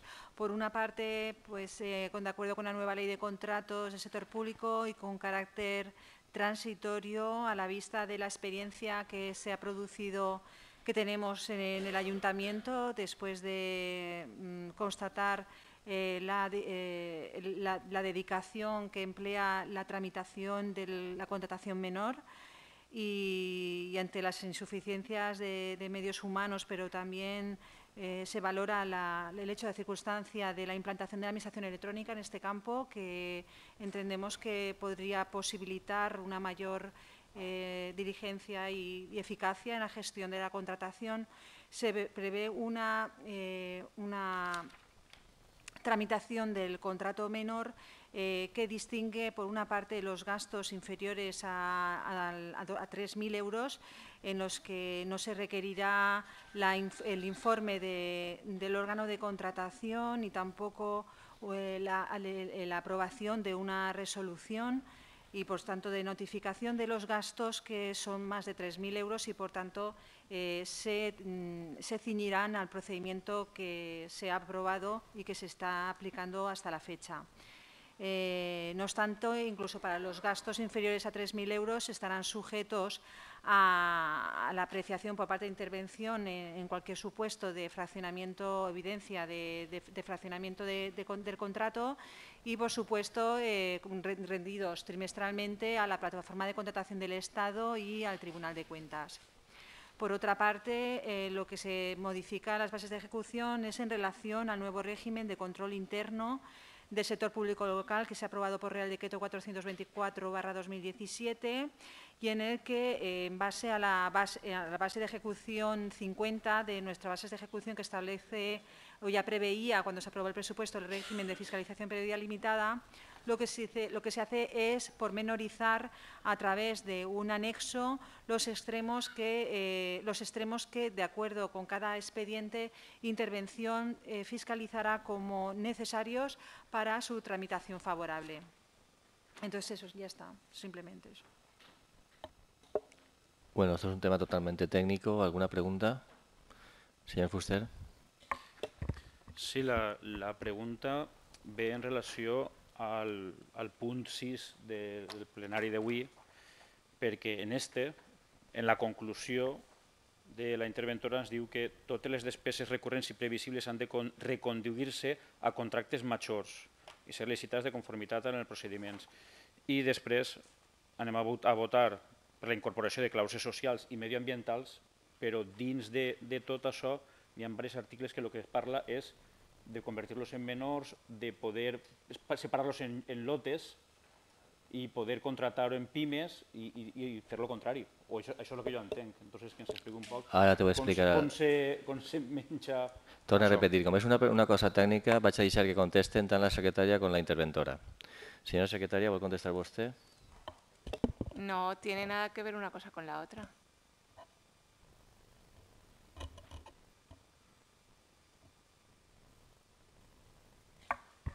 En el siguiente punto explicaré exactamente lo que yo entiendo que sí que tiene que ver. Vale, eh, alguna intervenció? Passem a votacions. Vots a favor? Vots en contra? Abstencions? Bé, tinc que dir, tinc que, dir que aquest punt eh, més o menys és, és demandat per l'administració, per els tècnics, per a que sigui un poc més fluid el que és la faena. Perquè la nova llei de contractes el que passa és que ens fa un tapó en tots els departaments. Però bueno, eh, així el, el, punt així eh, endavant. 3.5. Reconeixement de la policia local. Sol·licitud creu al mèrit policial en distintiu blanc.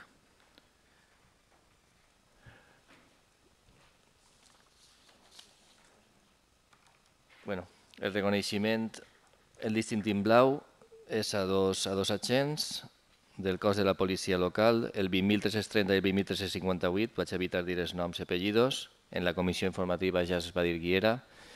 Si tenen alguna pregunta, passen a votacions. Vots a favor? Senyor, senyor Andrés, pregunta antes. No, una intervenció. Intervenció, intervinga vostè. Felicitar als dos agents que van a ser galardonats per la seva trajectòria com a professionals del servei públic en la seguretat ciutadana, únicament, ja que no queda reflectit simplement que van a decorar, pues, felicitar-los des d'ací, des d'aquest grup, i imagine que se fa extensible a, a tots els grups. I això només, i votarem a favor. Bueno, exactament, ho fem extensible a tots, a no ser que algú renegue. D'acord, vots a favor? Molt bé, per unanimitat, moltes gràcies. 3.6. Instrucció 1 barra 2018 relativa a la incorporació de clàusules socials i mediambientals en els contractes celebrats per l'Ajuntament de Silla. Aprovació.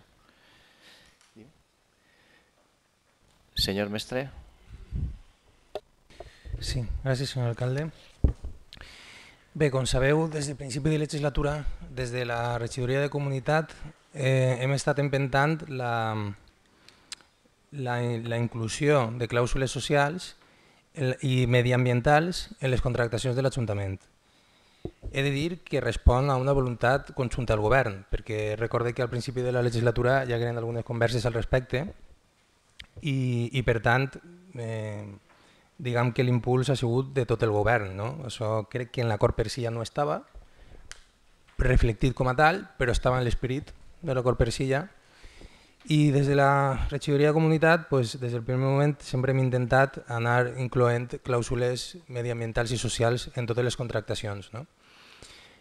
Se tirava de més des de fa temps, també des, de, des dels tècnics de l'Ajuntament, des de secretaria, de la necessitat de fer una instrucció que arreplegara diguem, un poc les bases eh, que enfocaren eh, però diguem ja sòlidament juridificat, per així, que enfocaren sempre la contractació, de forma sistematitzada, la contractació de l'Ajuntament sempre encaradament a, a incloure aquest tipus de clàusules, perquè fins al moment pues, el que fèiem era pues, que cada clàusula, perdó, cada contracte que hi havia ens plantejàvem específicament què fer ahir.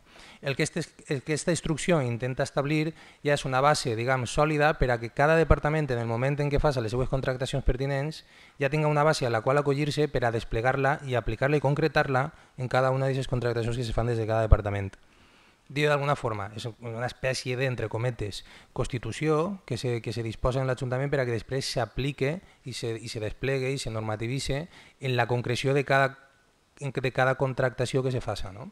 I aquest és el, el sentit mm, bàsic de la qüestió, per això veureu que no s'entra en concreció d'exactament com tenen que ser eh, redactades les clàusules, però sí que estableix principis i, esta, i estableix directrius de com enfocar-les. No?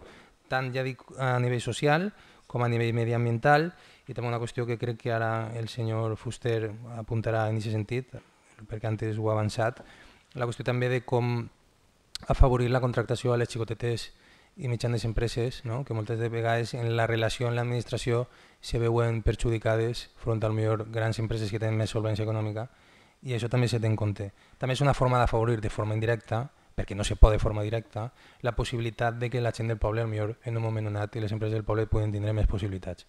Però ja dic que això seria una forma indirecta. No? I bé, bàsicament res més, eh, perquè tampoc caldria entrar massa en detalls i sap que algú de vostès tingui alguna, alguna qüestió al respecte. Alguna pregunta? A intervenció, senyor Andrés?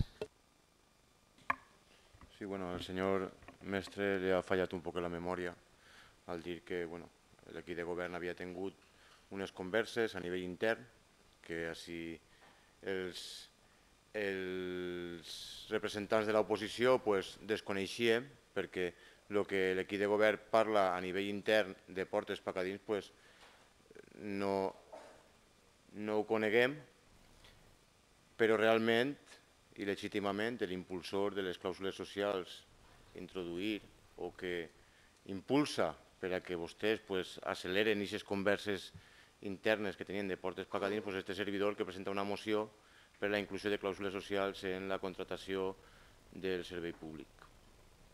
La contratació del servei públic.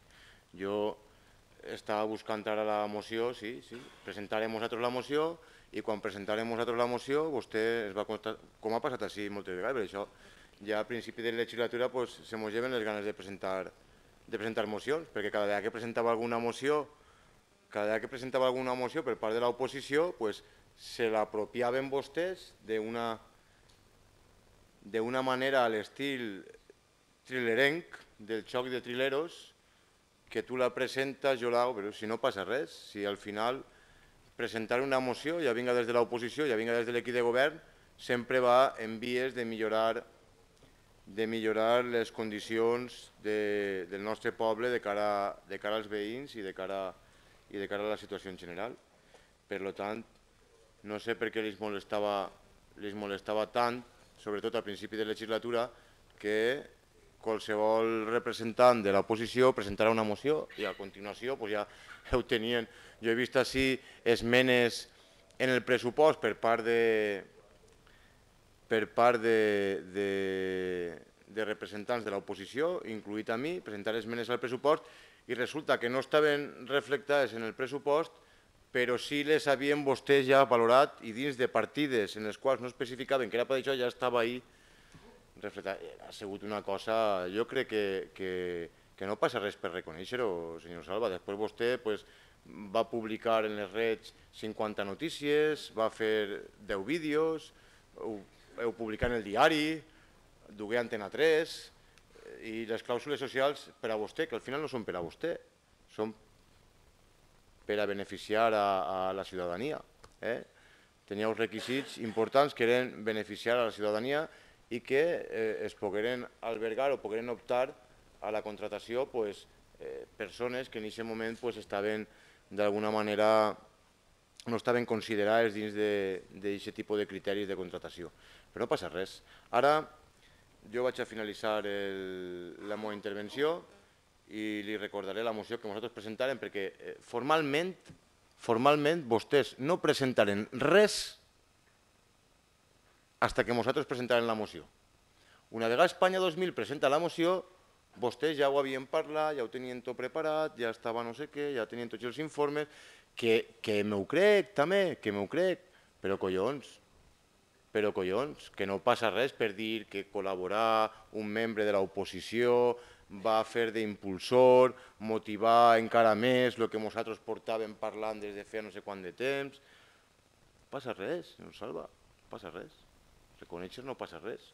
En fi, això li volia dir, que no sé no s'apodere sempre de, de, de tota la valentia i de, i de tot el saber fer per l'Ajuntament i que, i que reconega que aquesta moció formalment la presenta este representant d'Espanya 2000 antes de que vostès feren un manifest públic de lo que és la inclusió de clàusules socials a la contratació pública. Moltes gràcies. Senyor Fuster.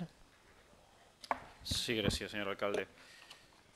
Bé, doncs, tornant a el que havia començat a, a dir abans, recorde la, la conclusió del punt anterior, bueno, la conclusió de, de la interventora diu que totes les despeses recurrents i previsibles han de reconduir-se a contractes majors i ser licitats de conformitat amb els procediments descrits. Jo sí entenc que se busquen contractes majors i així en el punt, en l'article 4, adaptar la grandària dels contractes per facilitar-hi la participació de les pimes, vol dir reduir-los pense que és el contrari.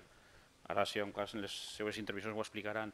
De conformitat amb l'article 99 de la llei de contractes del sector públic, sempre que la naturalesa i l'objecte del contracte ho permeten, haurà de preveure's la realització independent de cadascuna de les seues parts mitjançant la divisió de lots, en lots, partir-ho.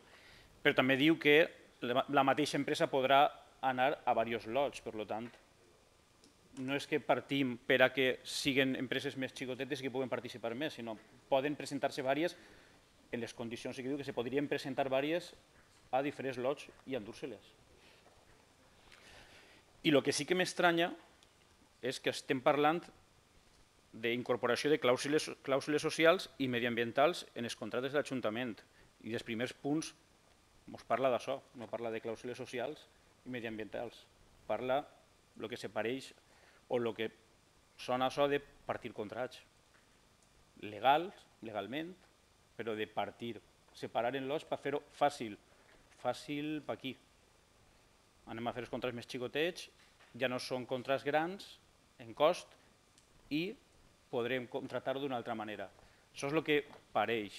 Ara ens ho explicaran i, i ens ho aclariran. Després, en l'article 5, diu facilitar en els documents a presentar en els contractes menors i no farà falta presentar informes de solvència a les pimes o autònomos. Serà fer-ho més fàcil, però creuen de veres que és correcte el, el no presentar informes de solvència que puga una empresa que, no siga solvent o que no ho demostre el contratar en un ajuntament? Després hi ha l'article 7, adoptació de mesures per assegurar el pagament en termini per part del adjudicatari als subcontratistes. Està molt bé, perfecte, que els subcontratistes cobren quan toca, però millorem nosaltres, que nosaltres no estem pagant com toca. Ja hi ha una llei, la llei diu que n'hi ha que pagar a 30 dies, així estem dient que anem a assegurar-se, però la llei ja està, la, la llei diu que n'hi ha que pagar a 30 dies i, i els ajuntaments no estem complint-ho. Però, bueno, però la llei ja ho diu i n'hi ha, que assegurar-se. I després ja doncs, parlem de clàusules medioambientals, clàusules socials, que estem d'acord, que me pareix fantàstic, però no sé per què traguem tots aquests articles així que no parlen de clàusules socials ni clàusules mediambientals. Perquè jo estic d'acord que se contraten en pimes, però que siga una pime o que siga una gran no significa que siga millor a nivell social o millor a nivell mediambiental. Hi haurà casos de tot tipus. N'hi ha empreses grans que tenen dins del seu percentatge de contractes a persones en risc d'exclusió de, i, tenen, i, altres xicotetes no ho poden tindre. Per tant, això seria més fàcil que pogueren entrar. Jo me pareix que puguen entrar empreses xicotetes si són del poble millor, però no per això tenen que ser clàusules socials en aquest tipus d'empreses. Per tant, si ves que han intentat cobrar algunes coses que, que no ho entenc. Senyor eh, Navarro.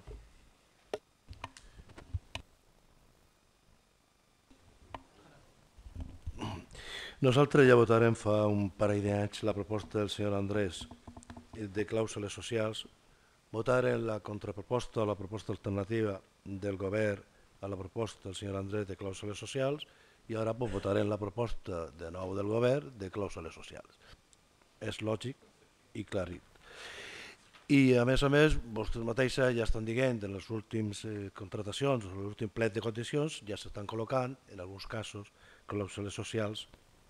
Eh, on està el problema? Pues segurament mm, podríem debatre si podíem anar més enllà calificar el tants per cent i aquest tipus de coses. Nosaltres de partida votarem a favor perquè el problema el trobarem en cada plec de clàusules quan se presente pràcticament i se veja a on s'estan aplicant i on no s'estan aplicant. I veurem si aquestes clàusules mediambiental i socials són reals o simplement pues, estan en la teoria, que està molt bé, que l'aprovem, nosaltres no tenim cap problema i ja està. Per tant, el que sí de, li demanem és que a aquesta comissió que ha de formar la Junta de Govern te tinga sentit social i mediambiental per col·locar aquestes clàusules en tots els plecs. Moltes gràcies, senyor regidor. Senyor Melero. Sí, moltes gràcies, senyor alcalde. Jo és que crec que se crea confusió al respecte d'algunes intervencions i sí que m'agradaria esclarir algunes coses. La primera és que el que li arriba a vostè damunt de la taula no és més que l'adaptació de les bases a la nova llei de contractacions. Hem fet un parell de seminaris de la nova llei de contractacions, sobretot per als comerciants de Silla, perquè evidentment pues, sí, que n'hi ha una confusió. Hi ha una confusió perquè mm, fins i tot en els propis serveis jurídics dels ajuntaments encara no està clara una, una llei de contractació que és més eh, bueno, avançada i per altra banda introdueix tota una sèrie de qüestions que fins ara no existien. Sí que és cert que la nova llei de contractacions és molt restrictiva respecte de la contractació menor i eh, de la, evitar eh, lo que se diu el fraccionament de contractes, no? per, a, per a que se contracte de manera fraudulenta. Però al mateix temps que diu això també diu que eh, n'hi ha que favorir que les empreses xicotetes puguen accedir a contractes en l'administració pública. I què és el que diu? Pues imagina, a vostè li vaig a posar un exemple. En el cas del contracte del multifuncional que se fa, respect, eh, se fa amb la llei de contractacions eh, antiga, la que, no, la que ja no està en vigor. Pues bueno, pues ahí se va quedar una empresa, una empresa que va fer tot. Quan aquesta empresa era una especialista en una determinada cosa. Era molt bona construint, però allí n'hi havia aire condicionat, n'hi havia instal·lacions elèctriques, n'hi havia decoració, n'hi havia tant, moltes coses. Què, què, què, pretén, què pretén la nova llei de contractes? Pues que en compte de eh, adjudicar-li un només a aquesta empresa, que és una especialista en contractació, i que al remat ella va acabar subcontratant a l'especialista en aire condicionat, a l'especialista en, en instal·lacions elèctriques, a l'especialista en decoració o a l'especialista en fer un escenari de teatre, com és el cas de la Carmen Valero, que aquest contracte se pugui traure l'obra per, un, per un lloc, això és un lot, l'aire condicionat per un, altre, per un altre lloc, és un altre lot, les instal·lacions elèctriques per un altre lloc, això és un lot, i l'escenari de la Carmen Valero per un altre lloc. I que a cada una d'elles se puguen presentar empreses realment especialistes en això, que ara el que fan és quedar-se fora, perquè una és molt bona en aire condicionat, però no té ni papa d'obra i per tant no pot presentar-se. I acaba subcontratada per la, que, per la que tu li has adjudicat. I fora del control de l'administració pública. Per això lo del, eh, una de les clàusules de veure que efectivament este que s'ha quedat el contracte li està pagant a l'altre que l'està subcontratant. Això és el que signifiquen els lots. I això és el que l'esperit de la llei que encara estem tots intentant aplicar, estem intentant, eh, pues, bueno, pues, d'una manera o una altra, posar en funcionament, amb tots els entrebancs que suposa des del punt de vista de posar una, una nova manera de treballar, perquè en realitat és una nova manera de treballar, eh, eh, lo, que, lo que se ens especifica. I per altra banda, les clàusules socials.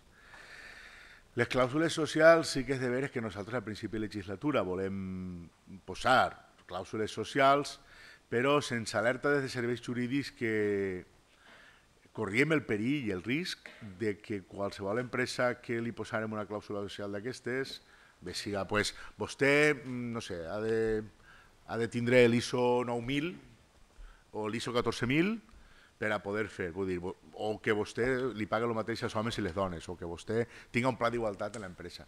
Com ja no estava contemplat en la, en la llei de contractes anterior, corríem el perill de que adjudicàrem una empresa que efectivament tinguera això i una altra que no tinguera però que anara a preu, ens poguera impugnar eh, l'adjudicació. Perquè no s'obligava a tindre aquell tipus de clàusules, tot i que la voluntat ja manifesta eh, moltes administracions era ixa. I van ser prudents, van ser prudents a l'hora d'aplicar aquestes clàusules, sobretot per a que no se mos paralitzara en aquell moment eh, pues, obres que eren vitals. Ara sí que s'expliciten clarament i estudiant anteriorment també Administració Escola Navarra han anat eixint eh, jurisprudència que ha anat aclarint el, el respecte com n'hi ha que aplicar-les, quines n'hi ha que aplicar i fins on podem arribar. Senyor Melero. Per a no ser, per a no ser arbitraris. Acabe, sí. Gràcies, senyor alcalde, que estava passant molt bé. Te donen un micro. eh, sí. Sí. Gràcies, senyor alcalde. Per ser breu i donar-li sentit al vot, votarem a favor de la proposta, tot el que siga millorar eh, els treballadors de les empreses eh, fiquen clàusules socials a les empreses que se presenten o, o temes mediambientals que pues, estarem a favor.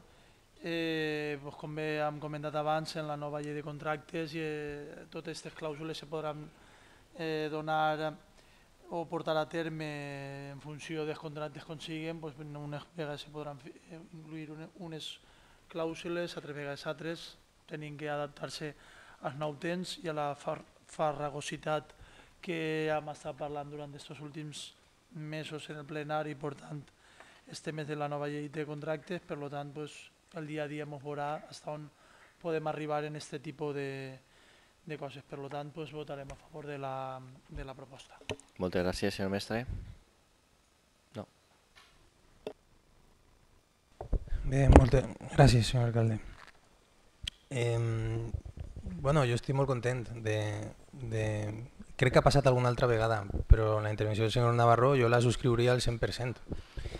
Efectivament, vull dir, si és que este, este tema genera consens, estem tots d'acord en això. I el senyor Melero ha explicat molt bé com al principi de la legislatura es van entopetar en límits que per prudència decidirem no jugar-nos-la. Els, els municipis que se la van enxugar més pues són els grans municipis que són els que tenen que tirar del carro, pues que són Madrid i Barcelona, i van tindre problemes judicials, anaven a xuir, perquè empreses els denunciaven per a lo millor clàusules socials que estaven a lo millor massa mm, en el límit o que a lo millor pot ser fins i tot sobrepassaven el límit legal de lo que se podia fer o de lo que no se podia fer. Sobre aquesta prudència, nosaltres, així i tot, varem aplicar clàusules socials. El que passa que no tot lo ambicioses que millor haguem desitjat. Però ja començarem a trencar ahir el xel, per dir-ho d'alguna forma, d'alguna manera. L'instal·lar ara aquestes instruccions és un passet més, és solidificar-ho, com he comentat abans, i anar més enllà.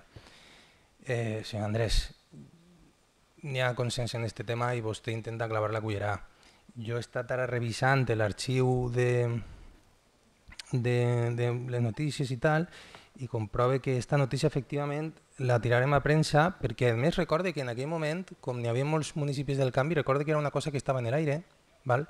i des d'així pues nosaltres decidirem, ostres, és que nosaltres estem en aquesta línia també, estàvem estudiant-ho i ho vam comunicar en premsa.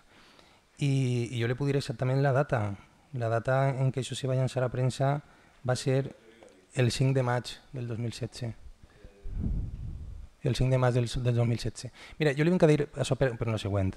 Ens podem ara posar a mirar dates i a mirar quan anar la seva moció. Jo trobo que va ser després. Perquè vostè el que va fer és que va sentir ruïdet i va fer la moció per a adquirir protagonisme. Però jo ahir li conteste el que li ha dit el senyor Navarro. Quan vostè va dur aquesta moció, trobo que no li la votaríem en contra. Veritat que no? En contra li la votarem? Ho dubte molt. Seria... No, no, no. Això, això, això requerirà una explicació. Ah, perquè li presentaríem una esmena per a millorar perquè en alguna qüestió que vostè no estaria aplicant bé. Perquè potser n'hi hauria una qüestió tècnica, però en contra al principi, eh? sí, crec que n'hi havia una qüestió que li, li, que li intentaríem esmenar. Home, clar, home, que si vostè fa una proposta... Però deixi'm acabar, deixi'm acabar, deixi'm acabar, que això no és un debat. Després vostè me contesta. ¿vale? Val.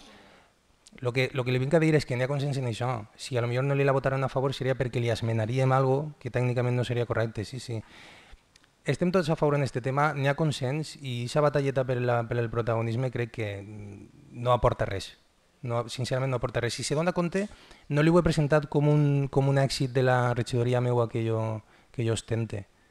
Ja n'hi havia un consens dins de l'equip de govern i com se veu així, tota l'oposició té consens al respecte. Era una cosa que s'estava manejant en la societat, en els nous governs del canvi.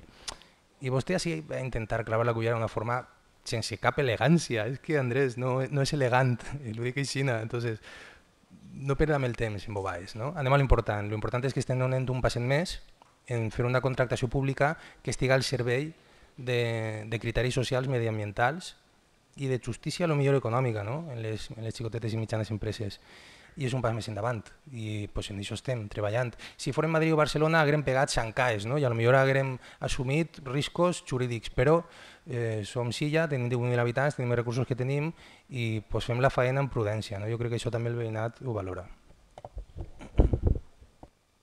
Moltes gràcies, senyor regidor. Passem al segon torn de, de paraula. Senyor sí, Andrés, per favor. estava preparat. Sí, està clar. Vostè ara acaba de reconèixer que en un moment donat vostès no, no inicien eh, l'aplicació d'aquestes clàusules socials en la contratació i deixaven que ciutats, eh, en, sí, sí, que algú porta a la delantera, sí, ho ha dit vostè, ho ha dit vostè, recorde bé, recorde bé el que diu, que anaven en peus de plom, anaven, anaven en prudència perquè volien veure de quina manera s'anava desenrotllant no, eh, la funció d'aplicar aquestes clàusules d'aplicar aquestes clàusules socials. I, i jo li vaig eixir al pas. Jo, la moció que li presentí era quasi un, un còpia i pega d'una ciutat gran de, d'este país, d'Espanya, que ja estava, que ja estava aplicant aquestes clàusules socials en la seva contratació i que estava aplicant-ho de forma exitosa, eh, sense tindre problemes legals. Jo li presento aquesta moció en, en tot tipus de, de, fonda, de fonaments de dret, de l'exposició de motius, de disposicions transitòries, en fi. L'únic que vaig fer va ser pues, posar-les damunt de la taula per a que fluïra de forma més fàcil el que vostès no tingueren eixa por en aplicar les clàusules socials en la contratació. I vostès votaren en contra.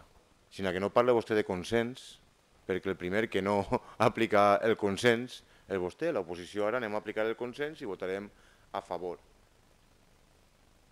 Però és que l'ISAMA el reconeix. Després, vostè en, en, en les 20 vegades de premsa, en els 40 vídeos i les 50 notícies per, per redes socials, pues, eh, podria haver parlat d'una xicoteta aportació per part de l'oposició, ja no d'este servidor, d'Espanya 2000, ja sé que d'Espanya 2000 li rechinen les dents, però, però una aportació per part de l'oposició a millorar aquesta aplicació de les clàusules socials i mediambientals, eh, perquè ja anava, també reflectat ahir, però vostè no ho va fer així. Entonces, jo crec que segué eh, la emoció no, de, de, de l'inici de legislatura, que se deixa portar vostè per, per l'impuls i no li costava de, de, de, de reconèixer, no? un poquet, li costava de reconèixer pues, que així no estava vostè a soles, no? que hi havia més gent, en un mínim d'experiència, que podíem aportar algo positiu per al poble i que d'aquesta manera vostè, pues, eh, vostè i, i els que l'acompanyaven en la votació pues, no feien honor no? a, a allò de la participació ciutadana. Eh? i jo no vull apuntar-me res, perquè presentí diferents mocions i quan vaig veure el caràcter en el que vostè votaven en contra, vostès votaven en contra i s'apropiaven d'aquestes mocions, tant en mi com en el... Sí, ja, ja acaba, senyor alcalde. Com en les diferents propostes que presentava l'oposició, pues, a uno se li lleven les ganes formalment d'aportar res, no? Ho aportem en el carrer i en la gent, però així pues, era inviable. I no li estaria de més ara, per mi, reconèixer un poquet pues, que l'oposició pues, sempre que ha pogut ha portat alguna cosa, eh? que vostè no, no ha volgut agarrar. Moltes gràcies, senyor regidor. Alguna intervenció, senyor Fuster? Sí, gràcies. Mm, bé, com ha, com ha dit abans, estic a favor de les clàusules socials, de les medioambientals, per supost, ho ha recalcat en moltes vegades, està insistint que, que s'havia fet estar a poc, espere que, que això faci que se, se més i que se, se lluite millor per el medi ambient des de Silla, però seguís preguntant-me per què en esta, en esta instrucció de clàusules socials s'han inclòs aquests articles que ja ens ha explicat molt bé el senyor Melero, ens ha dit que per què se fan i per què no, però no sé per què, què tenen que veure en clàusules socials, seguís sense entendre-ho. Però bueno, aunque no ho veig clar així, votaré a favor, votaré a favor perquè el fonament és el que diu el títol, no? que és incorporació de clàusules socials i mediambientals en els contrats de l'Ajuntament. Votaré a favor, però seguís tenint el, el dubte de per què s'ha ficat això. Si és un requeriment legal, si podria haver fet en altre lloc o en altre... No, no ho sé, no ho entenc per què està així. I com a últim detall, en l'article 18 eh, se parla de la creació de la Comissió de Contratació Pública Socialment Responsable i Sostenible. Fa falta crear una comissió? Fa falta o pense que, que, que no deu... Però bueno, si se crea pues, més treball, més feina per, per a fer el que ja se deu de fer, que és controlar els, els contrats, que se facin bé, que totes les clàusules se complisquen i ja està. Però bueno, anem a crear un, un organisme més que és una comissió de contratació pública socialment responsable i sostenible. Moltes gràcies, senyor regidor. Senyor Navarro, vol vostè la paraula. Senyora Raquel Sánchez.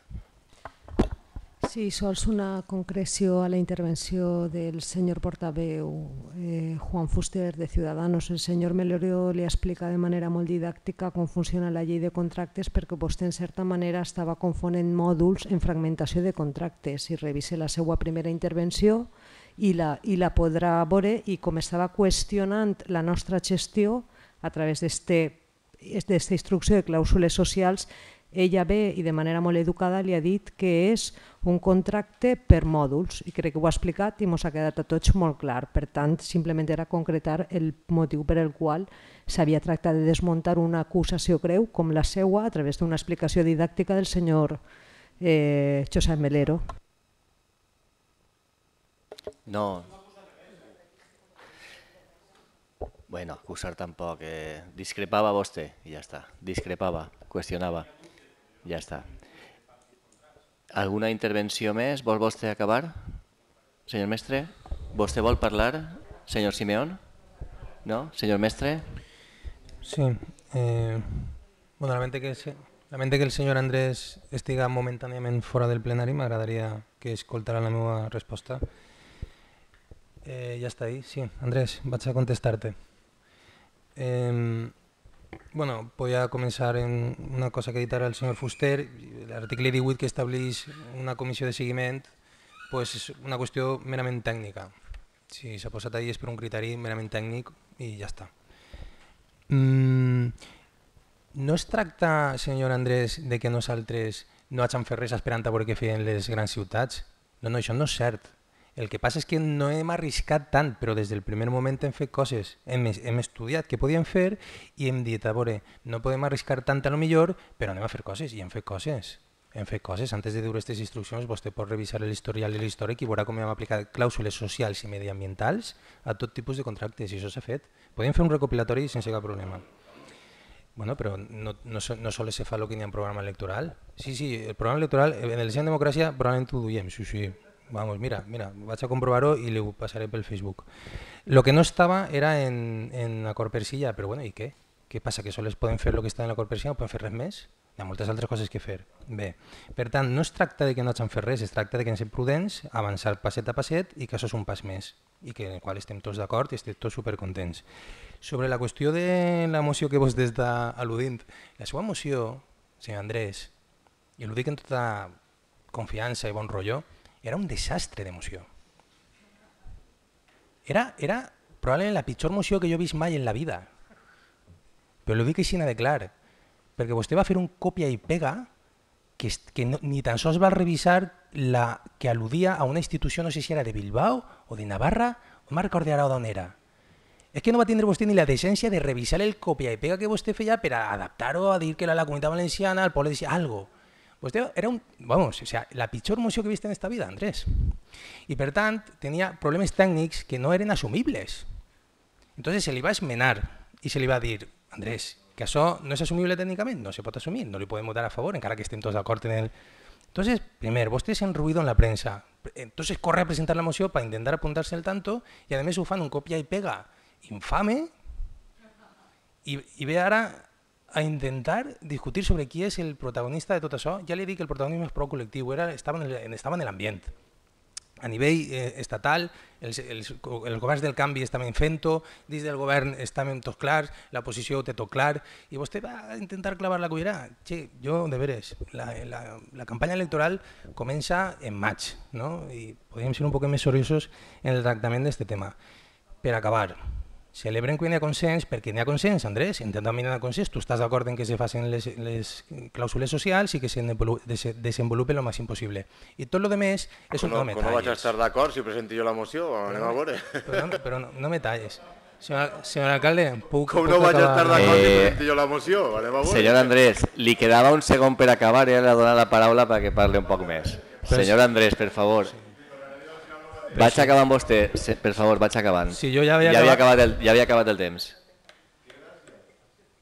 Andrés, vaig no, acabant, senyor Salva. No, no te posis nerviós, no se posi vostè... No, però deixi'm acabar, deixi'm acabar. No se posi nerviós, li estic reconeguent que estem tots d'acord en això. Efectivament, vostè va presentar una moció, però ara el que ve és intentar adoptar un protagonisme que no li correspon en la típica batalleta que a ningú li importa i que no aporta res. Estem tots d'acord? Estem tots d'acord. Pues entonces, menos batalletes. Moltes gràcies. Celebremo, celebremo. Moltes gràcies, senyor regidor. Bé, acabat el punt, anem a votar-lo. Vots a favor? Unanimitat, entenc. Moltes gràcies. 3.7. Proposta de modificació del reglament de funcionament de la xarxa d'intercanvi comunitari El Gallet. Senyor mestre. Gràcies, senyor alcalde. Bé, eh, com bé sabeu, el gallet és la nova, moda, la nova moneda social del poble, és una xarxa d'intercanvi comunitari, la nova moneda social. Eh?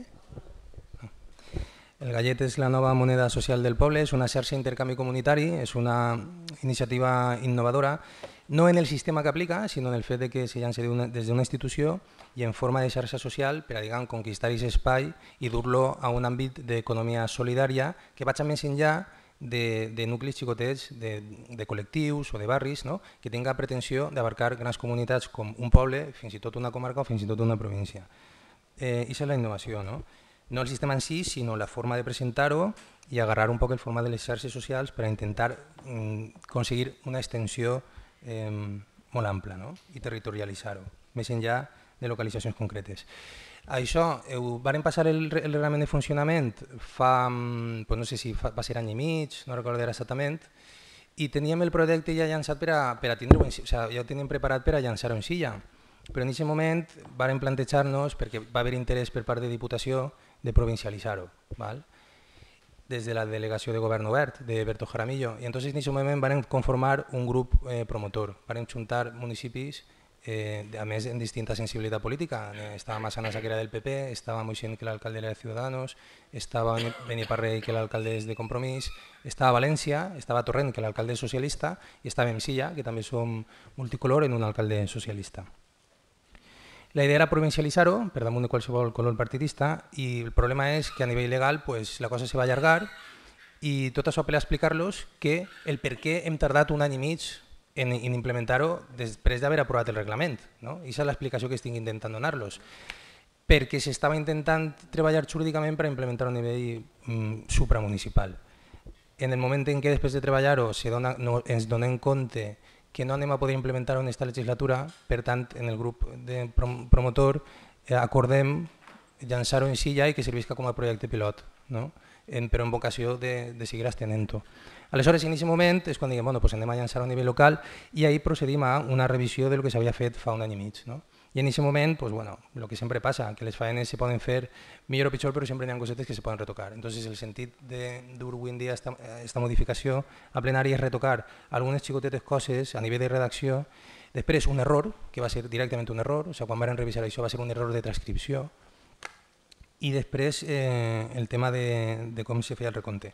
L'error de transcripció era a partir de quina edat se podia uno registrar, perquè ahir quan varen veure que posava major d'edat ens van quedar locos, perquè això no van concebir aixina. De fet, el dubte en aquell moment recordo que va ser si 16 o 14, però mai major d'edat. Entonces no entenem molt bé aquest error com ha sigut, perquè va ser un error, perquè la llei ja ens ho permetia, ens ho seguís permetent. No? El, i per tant, no anàvem a fer un, un, un reglament que fora restrictiu respecte a la llei, no? a lo que permet la llei. I després una altra cosa que, que vull dir, és la més relevant. Després l'altra és de com se fa el recompte, de si quan t'accedixes a la plataforma t'apareix 300 gallets i pots accedir fins màxim 600 o si apareixes en 0 i pots oscil·lar entre menys 300 o 300. Vull dir, és un detall tan nimio com això, però bueno, que té, té la seva rellevància. La gent prefereix entrar en la plataforma i veure que té 300 gallets que no començar en 0 i entendre que si estan menys 300 és perquè és un crèdit comunitari i que si està en més 200 és perquè està rebent crèdit i que si està en menys 200 és perquè està donant crèdit. No? Entonces, per evitar un poc aquesta diguem, perplexitat de que puga registrar si vol que té 0 gallets, pues bueno, anem a posar que quan comencen tinguin 300 gallets el funcionament mecànic és exactament igual. I després xicotets, xicotetes coses de, de redacció, posar de manera més específica que el gallet té una equivalència virtual, virtual, no, no, no, és, no és convertible a euro, però tu una equivalència virtual dins de la plataforma a un euro per a estimar els intercanvis i poques detalls més, no, no, no té més, més qüestió, a no ser que vostès plantegen alguna pregunta concreta. Moltes gràcies, senyor regidor. Alguna pregunta, senyor Fuster? Sí, gràcies. Volia fer dos preguntes. Eh, la primera és que avui anem a votar una modificació d'un reglament però el que està en vigor des d'ahir, segons tota la premsa, que és el reglament anterior, perquè així en tota la premsa, en diaris, teles, ajuntament, tot això diu que des del dia 26 està en marxa. Entonces, lo que, anem a, eh, lo que està en marxa és el reglament anterior, perquè això no està ni votat, ni aprovat, ni, ni res. Entonces, què és el que s'ha ficat, en, que ficat en marxa ahir? I el segon, eh, quan t'ha costat en publicitat tot això? Moltes gràcies. Alguna pregunta més? No? Contesta la pregunta i passem a les intervencions. Sí, gràcies. A veure, eh, efectivament, nosaltres tenim un reglament aprovat. El que ara venim així a canviar són xicotes detalls. Vull dir, el gros del, del reglament no està canviant. El, tot el que és règim sancionador no se toca res. Tot el que és la dinàmica de com funciona no se toca res. Val? L'únic que estem fent és llevar-li aquesta restricció a la llei, que va ser un error de transcripció, i ja està. O sigui, bàsicament tot el que són coses completament superficials. Eh, la publicitat, pues, sincerament, és que això compte ara mateix no el tinc fet. Li puc donar una aproximació, però com jo sé que després vostès eh, poden agarrar en això i començar a fer hogueres, pues, m'agradaria dir lo seu a la coma, com a de vegades he fet, per exemple, en els costos de publicitat de les enquestes populars, que jo he vingut així i els he dit tant, tant, tant, coma 33 euros. No li sé dir, però vamos, li puc dir quan vol que li ho diga, li ho diga, no sé, li, li ho comunique per privat o si vol li ho dic en la pròxima comissió informativa, perquè perquè potser encara no hem acabat, vull dir, el, el gallet és una que que anar sostenint un poc la promoció no? per, a, per a intentar que arranqui al principi, però vamos, no estem parlant de coses desaforades. Eh? Sí, sí. Passem a altres intervencions. Senyor Andrés. Sí, gràcies. En comissions, el senyor Serafín Simeón i este servidor li plantejarem el que podia ser un conflicte d'inconvenients eh, sobre la edat mínima de participació en esta, vostès li diuen xarxa, no? Xarxa, és, jo li dic red social de favors i estàvem esperant, jo crec que s'havien quedat esperant que ens aclarara aquest tipus de, de contravenguda, no? perquè, clar, ve a ser algo perillós a lo que no s'atreviríem ni, ni tan siquiera ni a votar ni a favor ni en contra ni a abstindre's, no? sinó ens, ens aclara molt bé què passa en aquests menors que van a poder participar en una red d'intercanvi de favors, eh? perquè són intercanvi de favors, i menors que poden interactuar en un intercanvi de favors en adults i que no van a tindre per el moment en el seu reglament ningú tipus de vigilància. Ningú tipus de vigilància per a intercanviar favors d'estos menors en adults. Per tant, vostè en la intervenció o en l'explicació del punt doncs tenia que haver resolt aquestes incògnites, no? que queden incògnites que jo crec que serà quasi que el més important saber. No?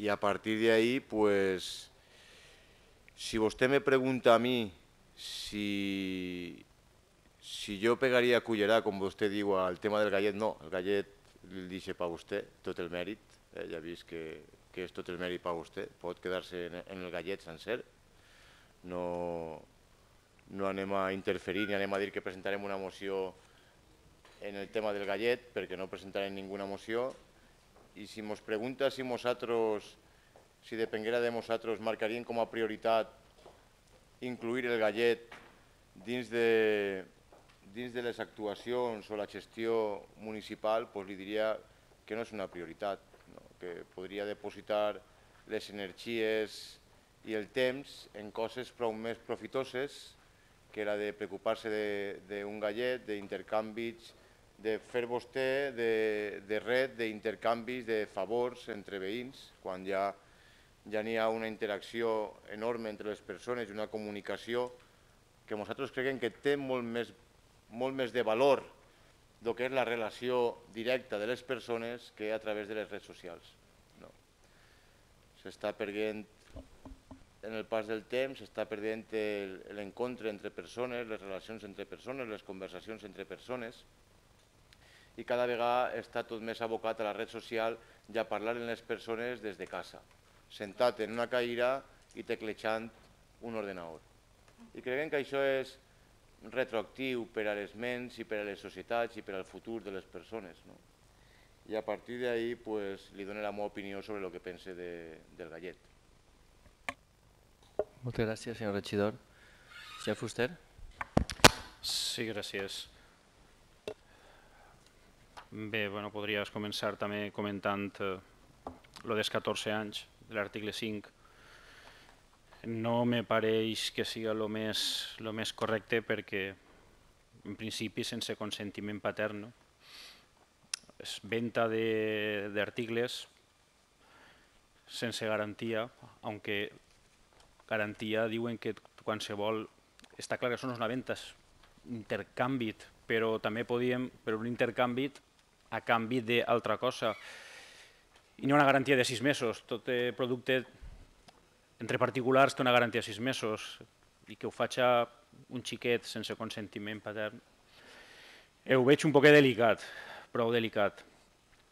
Però bueno, el que sobretot, comentant en lo que, la pregunta que ha fet abans, parlem de que s'ha ficat en marxa, que ja n'hi ha un reglament, però un reglament en el que no estava ben especificat que si 300 gallets, que si 0, que si ara quasi li dona. En el nou reglament la modificació diu que igual no són 300, però s'estudia de, depenent del moment si se'n donen més, 600, 400. Vol dir que no sabem el que se va donar, però ja s'ha ficat en marxa. Ja s'ha ficat en marxa i a lo millor, eh, segons el reglament antic, són 300 gallets, però d'ací un mes o dos mesos pues, se decidís que no són 300, que són 600 o, o són 400. Per tant, crec que és un despropòsit el ja, empresa, tirar avant, ficar-ho ja, publicitar-ho, si anàvem a votar això sí, i ho anàvem a tirar avant el govern, m'imagine. Per tant, tanta pressa, tanta pressa per traure-ho, per què? Avui se vota, se suposa que s'aprova, i si exposició pública 30 dies, si no n'hi ha ninguna al·legació, pues, es fica en vigor, però pot ser que algú al·legui cosa, que se retrasi un mes o dos mesos, i que això se prorrogui. Per tant, doncs, n'hi ha que treure-ho, n'hi ha que treure-ho ja i no podien esperar-se. Aunque això suposa pues, això, que avui a un li donen 300 gallets i, a la, i d'ací un mes a un altre li donen 600 perquè ha canviat la, la, el procediment que diga l'Ajuntament segons el nou reglament, que no tenen clar quan se dona al principi. Però bueno, el que li comentava, el, el més important per a Ciudadanos és que no podem votar a favor que en 14 anys, sense consentiment, se puga ja no sols vendre un producte, sinó també oferir un treball un servei. Si no se pot treballar fins als 16 anys, així no hi ha contrat. Per tant, l'altre dia ja ens va dir, com no hi ha contrat, no estem incomplint la llei de contrat, que no pots contratar un menor de 16 anys, però està, treballant. Si jo entro a una fàbrica i veig un menor de 16 anys treballant, se m'emporten a presó per estar explotant un menor. Però bueno, ja ho diran això els temes legals. Vostès tenen abogats i, i li ho explicaran, però jo a mi m'he creat dubtes, m'he creat molts dubtes al respecte i no puc votar a favor. Aunque, com ja he dit, n'hi ha un ajuntament que està governat per Ciudadanos i li ha interessat i pareix que vol tirar avant. No sé si en aquestes modificacions, perquè en el reglament del principi eren 18 anys. Jo no sé si en el que està ara este Ajuntament eh, va en 14, va en 16, va en 18 o com va? No ho sé. Però en si ja Ciudadanos no està d'acord en això. I com a últim punt que tampoc eh, veig clar, en l'article 5 indica que tot el món podrà veure el que ha realitzat tot el món. Se queda el seu historial de tots els serveis o totes les vendes i això queda registrat i és accessible a tot el món no me pareix correcte que tots puguem veure el que cada un ven o el servei que dona. Quan jo dono un servei, està clar que tinc que oferir-lo i, i que tindran, tindran que saber que sóc jo. Però quan ja s'ha fet, per què té que quedar constància? Si jo he tingut que anar a netejar 20 vegades o he que vendre 30 peces de roba meues, per què? Un moment, venc una xaqueta, se ven, fora. Per què té que quedar constància de tot el que ha tingut jo que fer de compra o de venta. Pensa que no, no té ningú sentit. Aquesta transparència, en aquest cas, crec que, que no té sentit. El que cada un feia, faig és com si vas a una tenda i te ficarà una llista de quantes vegades has comprat el pa. Per què? Jo compro el pa una vegada i punto, no tinc per què ficar si tots els dies el compre o no, a soles és dijous. I en la resta de la setmana no compre el pa. No li veig ningú sentit. i poc més que dir-li que ja li vas votar en el seu moment, no li vas votar a favor i en aquest cas pues, tampoc votar-li a favor menys en lo dels 18 anys, en la baixa dels 18 anys. Moltes gràcies, senyor regidor. Senyor Navarro. Estamos ante una moneda social, ante una propuesta de venta política por parte de usted, sería la, pregunta. La siguiente pregunta sería si ya han estado ustedes de acuerdo y la pelea del señor alcalde con usted ya se ha parado. Aquel enfado de por qué no lo invitara usted a la presentación ya ha pasado de largo y ya son buenos amigos y han compartido galletes. Lo absurdo, además, es que en el periódico la preocupación del señor alcalde era que no estaba el gobierno y él incluido en la foto y no se preocupaba del resto de la oposición, como si los demás no fuéramos ayuntamiento. Usted hace una presentación de un proyecto, su proyecto, que nadie cree en él y que seguramente más allá de usted no tendrá vida. Porque lo que usted presenta no es una moneda social, ni mucho menos, ni siquiera un banco de tiempo, ni siquiera una web de trueque. Es un mezclallo de todo, a falta de información jurídica y donde además hoy parece ser que ustedes van a incluir menores en competencia con gente mayor, adulta. Esa es la preservación o el preservar a los menores de otro tipo de cosas. Claro que si usted ya se ha ido a hacer campaña por los institutos, como demonios, a pesar de que la comisión informativa le dijeran, los demás nos callamos, esperando el pleno, este tipo de cosas se va a tirar usted atrás. Si hemos ido vendiendo un producto y lo hemos tirado en la casa, en la calle. Lo paradójico, además, es que usted nos vendió el producto a este pueblo diciendo que nacía una moneda social, hace ya año y pico, cuyo objetivo era eliminar el dinero real por uno simbólico. Y es curioso que para usted poner en marcha esa moneda de dinero real, euros. Es curioso que usted quería una moneda social, ustedes gobierno, una moneda social, para eliminar el consumismo, y lo que hacen es promover la moneda social con el consumismo. 60 cheques de 50 euros. Que yo ya he pedido desde aquí un informe jurídico de cómo menores pueden participar en un sorteo de dinero público. Me gustaría saberlo legalmente si eso se puede hacer.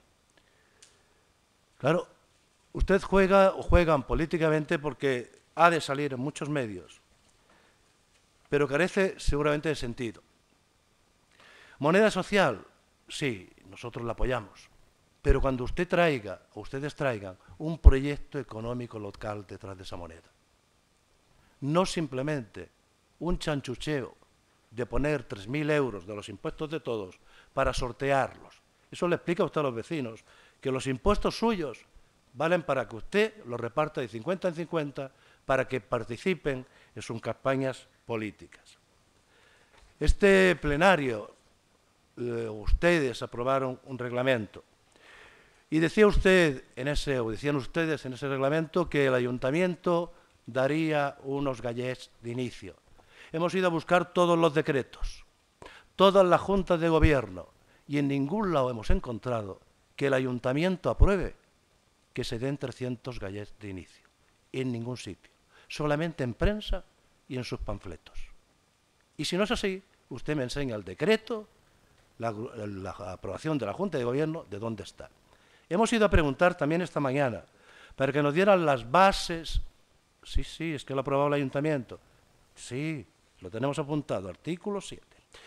Hemos ido esta mañana también a preguntar por las bases de su sorteo, de si se puede sortear, sortear dinero público de los impuestos en cheques de 50 euros. No hay nada todavía, ustedes no han aprobado nada todavía.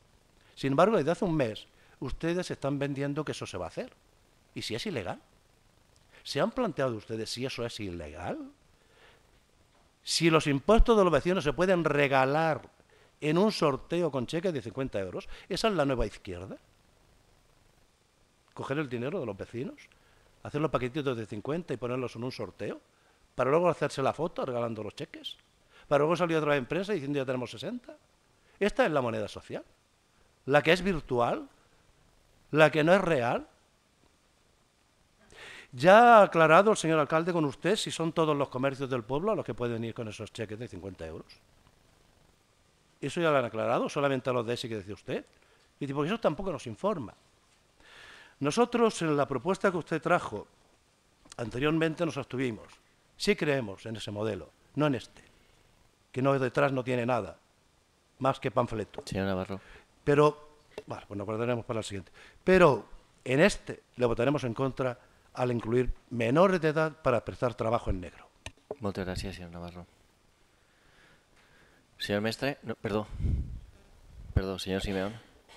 Sí, per donar-li sentit al vot, eh, bé, com bé han comentat els companys, en la comissió informativa que realitzarem abans del ple mostrarem la nostra preocupació per el tema d'incluir menors eh, a partir de 14 anys en, en esta proposta. Eh, no ho veig en clar, no ho veig en clar, així com anteriorment eh, quan s'aprovaren les bases inicials no creguem, no creiem en la proposta ni pense que els seus companys tampoc creuen en ella, però l'estar en un quadripartit implica pues, tragar-se-les eh, ben grans encara que uno no, no ho vulgui. Eh, per a mostra està la desunió que n'hi ha en el, en el govern en aquest tema que vostè no ha sigut capaç de convidar a ningú company de, del, seu, del seu equip de govern. Eh, per tant, eh, inicialment s'astenien, però ara no poden consentir que menors de 14, eh, de 14 anys participen en aquest tipus de coses i que damunt l'Ajuntament tinga la responsabilitat de velar per aquestes coses. Entonces, mmm, directament anem a votar que no a aquesta proposta perquè no ho veig en xec clar.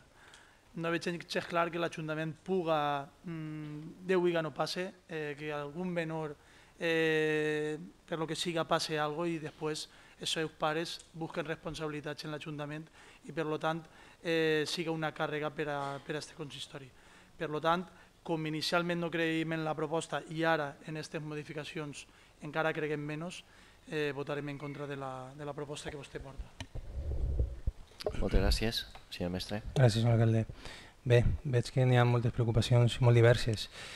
Eh, vas considerar que aquesta presentació no era un acte institucional, que era una roda de premsa on la regidoria simplement comunicava una feina que estava fent. No era un acte institucional, no era una presentació com a tal, era simplement una roda de premsa i les rodes de premsa no se convida a la corporació ni se té per què convidar a ningú a la roda de premsa de lo que informes de lo que estàs fent i ja està.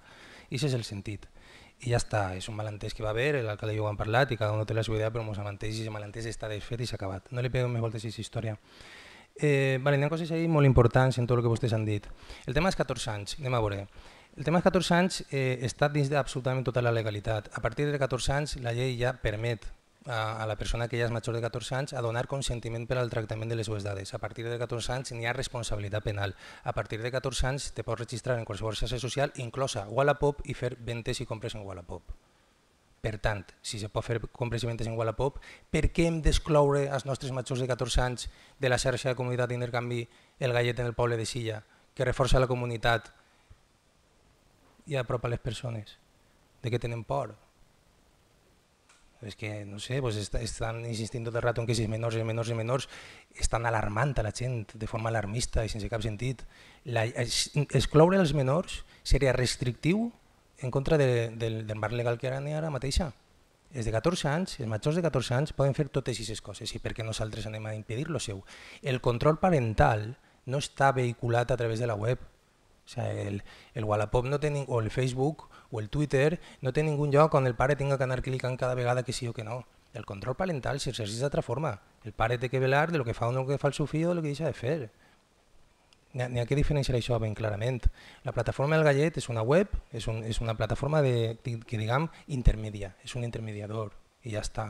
Per tant, això legalment està super treballat, no n'hi ha absolutament ningú problema. Una altra cosa és que vostès vulguin alarmar, alarmar-se, alarmar alarmant-se, no? fent com que es preocupa amb la cosa no veig cap motiu per excloure els, majors, els nostres majors i les nostres majors de 14 anys d'una iniciativa tan innovadora i que ojalà, si funciona o no funciona, pues ja veurem, senyor Navarro, això ja veurem. Eh, senyor Fuster, no són treballs. La definició jurídica de treball va per un altre lloc. és una dedicació habitual, constant, a la que te dediques, val? i que està tot tipo, o sea, tipo, tipificat, bàsicament, a la que tu te dediques. Sobretot, el que definís clarament jurídicament és que siga una dedicació habitual. Val? Una altra cosa és que la teua dedicació habitual, inclús això també és legítim fer-ho, la teua dedicació habitual tu també la vulguis intercanviar per gallets, però fora el teu de treball i perquè tu vulguis donar. Val? Això també és legítim, però no pot ser tipificat com a, com a una relació laboral. Per tant, la imatge que vostè ha posat d'un xiquet d'una fàbrica és que, mare de Déu senyor, o sigui, és una comparació completament demagògica, neix de mare completament. Vostè pensa que a través de gallets anem a tindre xiquets cosint tot el dia o en la fàbrica tot el dia, que no estem parlant d'això, estem parlant d'altra cosa. Per exemple, ofertes que ja s'han posat, pues fer recaus, massatges en els peus, assistència telefònica per a qüestió informàtica, què sé jo, coses així, que si te ven un marc, que si te ven un baúl. Val? Són intercanvis d'aquest tipus. Per què la visibilitat de tot el que s'intercanvia? Home, pues precisament per a que siga tot evident, és una lògica comunitària, transparent. Mm? I també ens permet que no se facin tropelies, vull dir, hi ha un reglament de funcionament i en un règim sancionador. Tot allò que siga il·legal serà manejat, evidentment, i pot, i pot implicar conseqüències eh, vamos, legals, policials, jurídiques, el que siga, depèn de tot un règim sancionador que a més també pot implicar sancions dins de la, dins de la plataforma, però si són ja coses que tras, s'indixen en la, la pròpia plataforma, s'informarà les autoritats competents. Tot això està contemplat. En els instituts, clar que hem anat als instituts a informar d'això, també estem anant a l'EPA, també estem anant en la gent de l'ADES, eh, hem, hem anat a serveis socials perquè intentem que l'aplegui a tots els sectors de la població. És algo que una xarxa d'intercanvi comunitari funciona quan més gent intervenga. No? Les targetes de promoció de regal. Ostres, quina pel·lícula de vampiros s'ha muntat vostè així, senyor Navarro. Jo cada vegada flipe més en la seva imaginació eh, com va ser il·legal que un menor guanyi un sorteig? Com va ser il·legal que un menor guanyi un sorteig? Pues van son pare a replegar els diners i a més està això en les bases que s'aprovaran perquè les bases, per què no estan aprovades? Pues efectivament no estan aprovades perquè durant dues setmanes o, o anem, a, anem a veure, si està treballant, ha anat a la Junta de Govern, n'hi havia que la interventora demana un informe més, no passa res, no passa res, este divendres passarà, no se preocupe, no se preocupe. No, pues jo també estic molt tranquil i és la tranquil·litat que li estic transmitint. No se preocupe, és legal. I és legal que un menor guanyi un sorteig. A veure si no, si no és legal que un menor guanyi un sorteig. És il·legal que un, que un xique compre un testo de Bonoloto i que li toque el sorteig? És il·legal? Senyor regidor, sí. el seu temps... Val, senyor per tant, regidor... acabe, acaben, acaben 10 segons. Ara parlarà, ara parlarà vostè? Senyor no sé regidor, si ja ha acabat de 5 minuts. 10 segons. 10 segons. 10 segons. 10, 10 segons. Per acabar, eh, efectivament, les targetes regals se podran utilitzar en tot el comerç local, perquè això sí que ho hem treballat més. Moltes gràcies. Segon torn d'intervenció, senyor Andrés.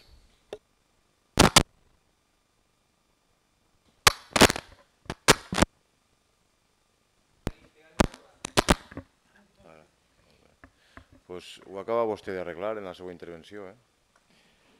Què passa per, perquè se facin, s'intercanvien un massatge dels peus? Doncs pues mire, pues ho acaba vostè d'arreglar. Un menor li fa un massatge dels peus a un adult. Claro, vostè ho ha dit, si ho ha ficat vostè com a exemple. Vostè ho acaba de ficar com a exemple ara mateixa. Vostè, senyor mestre, vostè, estic, estic basant-me només en el que vostè diu. I jo, i jo l'únic que faig és situar-lo en la realitat de lo que pot passar de lo, dels exemples que vostè posa. Vostè ha dit què passa perquè s'intercanvie un massatge en els peus. Què li pareix si aquest massatge en els peus li tinguera que donar un xiquet o una xiqueta de 14 anys a un adult de 50? Claro. I a canvi què? Però anem a veure. És que vostè intenta donar descrèdit a les opinions i les advertències que fa l'oposició i vostè només que, que va traguent tauia de, de la barca que s'enfona i ahí, ahí, i, i remant. Això no pot ser, home. Això no pot ser. Que li toque un, a un sorteig a un menor? Vostè se creu que li pot tocar un sorteig a un menor i el pare no va tutelar els diners? Doncs vostè no ho està ficant en el reglament, que el pare tutele. No ho està posant. No ho està posant. Bueno, però vostè ho ha ficat d'exemple i no ho està posant. Bueno, ara quan li toca a vostè parle vale? que li agrada molt cridar l'atenció de que tenen que guardar el seu torn d'intervenció, però a vostè li agrada també intervindre. Quan a un menor li toca un sorteig, el pare, la mare, pare i la mare tutelen, tutelen el premi. De sempre, si no, anem a fer la, anem a fer la prova. No va per la prova perquè normalment un menor el que, lo que no té són massa diners, un menor de 14 anys no té massa diners per anar gastant-se-los en, en sortejos. Eh? Però, però anem a veure. No pot anar vostè als instituts a contar i a ensenyar xocs de trileros. Això són xocs de trileros. Això no té ningú sentit. És que vostè se, se pensa que en això ha inventat la pólvora. I el que va és a contar històries allí, vostè utilitza la gramàtica, la dialèctica i, i encanta, eh? Encanta els joves, es conta que el gallet és, és el futur i, i després quan van a la realitat i, i, i digue-li al seu president del partit que vaig a comprar-se el xalet de Galapagar en gallets. Claro, a veure, per què no conta la realitat a la gent? Això no és, això és, això és una bobada, de veres. Això és el que fa un consejal de, de govern, això és el que li porta tota la, la legislatura treballant. Una, una red social d'intercanvi de diners virtuals, incluint a menors. Senyor Andrés, ha acabat el seu temps. Això és el que vostè ha fet esta legislatura, perquè porta tota la legislatura intentant-ho. Bueno, pues, pues vaja, què Moltes gràcies, senyor marca, Andrés. Què prioritats que marca vostè? Moltes gràcies, senyor Andrés. Senyor Fuster? Sí, gràcies. Les paraules que jo he dit fa un moment no era que si li pagaren per estar en una fàbrica en gallets, això jo no ho he dit. Jo he dit que què passaria si en una fàbrica n'hi haguera un menor de 14 anys treballant, que el propietari de la fàbrica aniria a la càrcel si el pillaren. Però jo no dic que si li paguen gallets. I quan t'està dient que és que el treball, si no és repetitiu, no és treball, doncs digue-li a tots els jovens que acaben d'estudiar o sense estudiar i es contraten per una hora o dos per fer un treball i no el tornen a contratar hasta de 6, 7 o 8 mesos i en un altre treball. Això no és treball? Perquè a treballar 3 hores per fer una cosa i no l'han tornat a contratar no és treball? Sí, sí que és treball, claro que és treball. El que passa que és un contrat, però és treball. No me diga que perquè siga per una hora, dues hores o tres hores no és treball. No, no val això. No va comptar per hores va per serveis, si se fan o no se fan, retribuïts o no retribuïts, en contrat o sense contrat, però al final és un treball. I per lo que diu de, de l'historial, si és que li agrada canviar el que diguem així, jo li dic que per què té que quedar l'historial?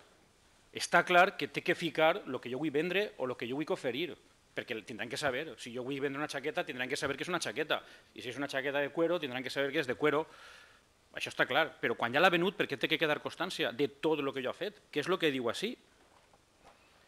En l'article 5, en el punt E, conèixer en tot moment els intercanvis que han realitzat altres persones usuàries, que han realitzat.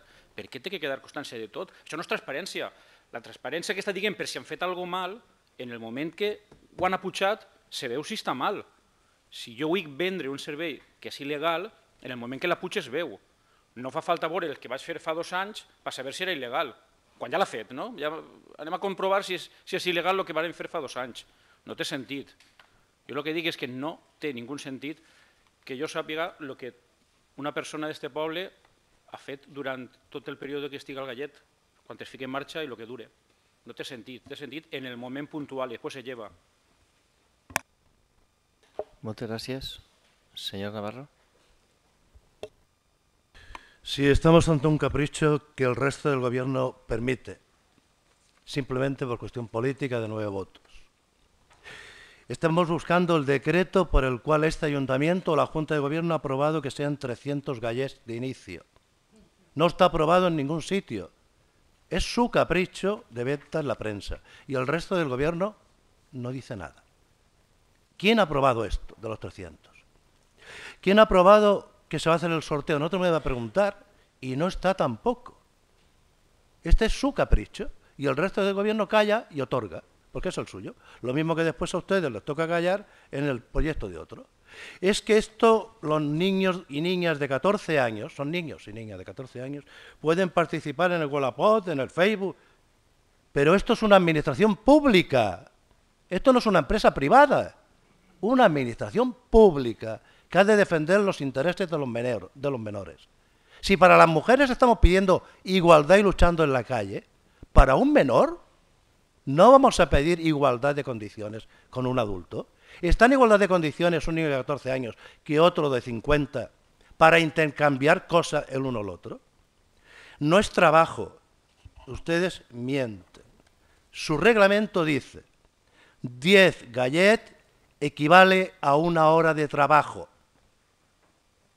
Ya, si él, ay, es que, no, que lo pone aquí, que lo ha aprobado usted. Luego no diga lo que no pone. 10 gallet, una hora de trabajo. En el artículo 7 se habla de servicios. Servicios, llámalo usted como quiera. Trabajo en negro. Y los niños, los niños, nosotros, desde luego, mientras estemos en este ayuntamiento o en este pleno, no permitiremos que se les explote. Muchas gracias. Eh, ¿Alguna intervención? Sí, Simón. Sí, gràcies, senyor alcalde. Remarcar que perquè tots se tiren per un pont, l'Ajuntament no té per què també tirar-se. Com ha dit el senyor Antonio, o a la, i dia vostè, o a la POP, l'altre, l'altre, és que són empreses privades. I aquestes empreses que facin el que es doni la gana dins dels paràmetres legals i si algun pare el que siga denunciarà, pues ja s'apanyarà aquesta empresa. Però l'Ajuntament de Silla que caiga en això, que ens busquen les jusquerelles si passa alguna en un menor, a nosaltres, va, el que no ho entenc jo és com els companys, com vosaltres ho consentiu, la veritat. És que no, no, no puc entendre-ho. No ho puc entendre per, per molt de pacte que n'hi ha. És que eh, una cosa com aquestes no valen nou vots eh, com un, com un, un moll i, i, i llau. Quan així totes les propostes que, que portem en el plenari, eh, el 99,99% ,99 les aproveu. O sea, si s'enfada el vostre company perquè no fica lo dels 14 anys, pues que s'enfade. Però jo pense aquestes coses són molt sèries per anar jugant en tonteries com les que proposa eh, eh, des de Silla en Democràcia, sinó que recapaciten el que vostès van aprovar perquè jo no vaig a participar en una cosa d'estes.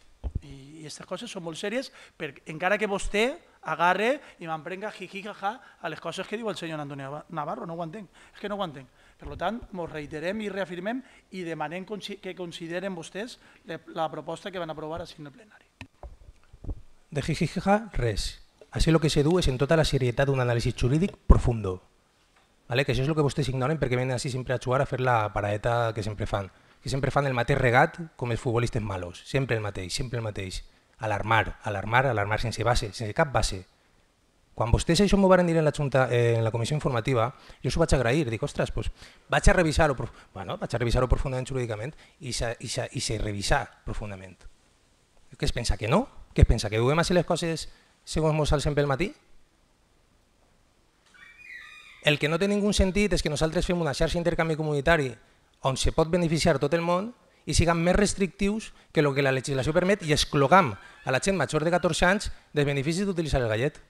I totes les pel·lícules de vampiros que vostès se armen de que si va haver explotació, de que si la relació en un major i un menor, però anem a veure que per què funciona el control parental? El control parental per què funciona? Però és que el control parental no depèn de lo que fas a la web o no fas a la web. Significa de lo que el pare o la mare controle al fill, de lo que li deixa fer o no li deixa fer, ja siga en Facebook, ja siga en el carrer, i ja siga on siga. L'hora que torna, on va, en qui va, el que fa, el que deixa de fer, en quina web entra i què és el que fa en Wallapop o deixa de fer en Wallapop. Això forma part del, del control parental és que no voleu veure, o sigui, vosaltres esteu alarmant a la població en unes pel·lícules de vampiros que no tenen... I el que esteu fent, i el que esteu fent és restar-li drets i ser més restrictius de lo que la llei... És que la llei li permet als majors de 14 moltes coses. Ja són responsables penals, tot el que he dit abans. Entonces, lo que, estem, lo que esteu fent és defendre la idea de que de 14 anys, 15 anys, 16 anys no tenen els mateixos drets que el meu de 18 quan la llei els dona. Punto pelota. Jo no vull excloure als majors de 14 Jo si haguera tingut 14 anys, quan això se farà en el poble, jo, però, però per què no? Però per què no? En control parental que faça falta, però això és una qüestió dels pares. I no n'hi ha més. Antonio Navarro, senyor Antonio Navarro, que al final en les bases del sorteig per lo que fora no s'aproven, no se preocupe, no faríem el sorteig. Si el sorteig resulta que després és il·legal, pues no el farem i ja està. Però vostè està fent l'alarma de que si va ser il·legal va ser il·legal, pues si és il·legal no el farem, que nosaltres coses il·legals no fem. No es preocupe. I si és legal, el farem. I punto. I no se preocupe tant per això. Ara, no és que vostè se preocupe, és que vostè vol clavar por en la gent. El sentit últim d'això és obrir una dimensió d'economia solidària. I així no n'hi ha explotació que valga, ni és un treball com la llei ho tipifica exactament. I gràcies per aquest punt, perquè n'hi haurà que canviar en, la, en, el, en el, el reglament de funcionament lo del treball per a llevar joc a, a, a equívoc, o sigui, que la gent no s'enganye, que ahir no estem utilitzant treball en un sentit jurídic. N'hi ha, ha directives... Si vols ho esmenem ara. Si vols ho esmenem ara. Però és un detall, anem a veure. N'hi ha directives europeus que estan donant cobertura legal a tot el que és l'economia solidària. I, i dins d'aquestes directives europees n'hi ha tota una, legislació espanyola que està donant cobertura a lo que s'està fent així. Entonces, si jurídicament vostès no saben quin és el marc legal en el qual els majors de, de 14 anys del nostre poble poden operar sense cap tipus de problema, des de que el control parental, que ja ho marca la pròpia llei perquè són menors, i això ja ho fa la pròpia llei, no és algo que tinguem que ocupar-nos nosaltres, retallant els drets i possibilitats als majors de 14 anys del nostre poble.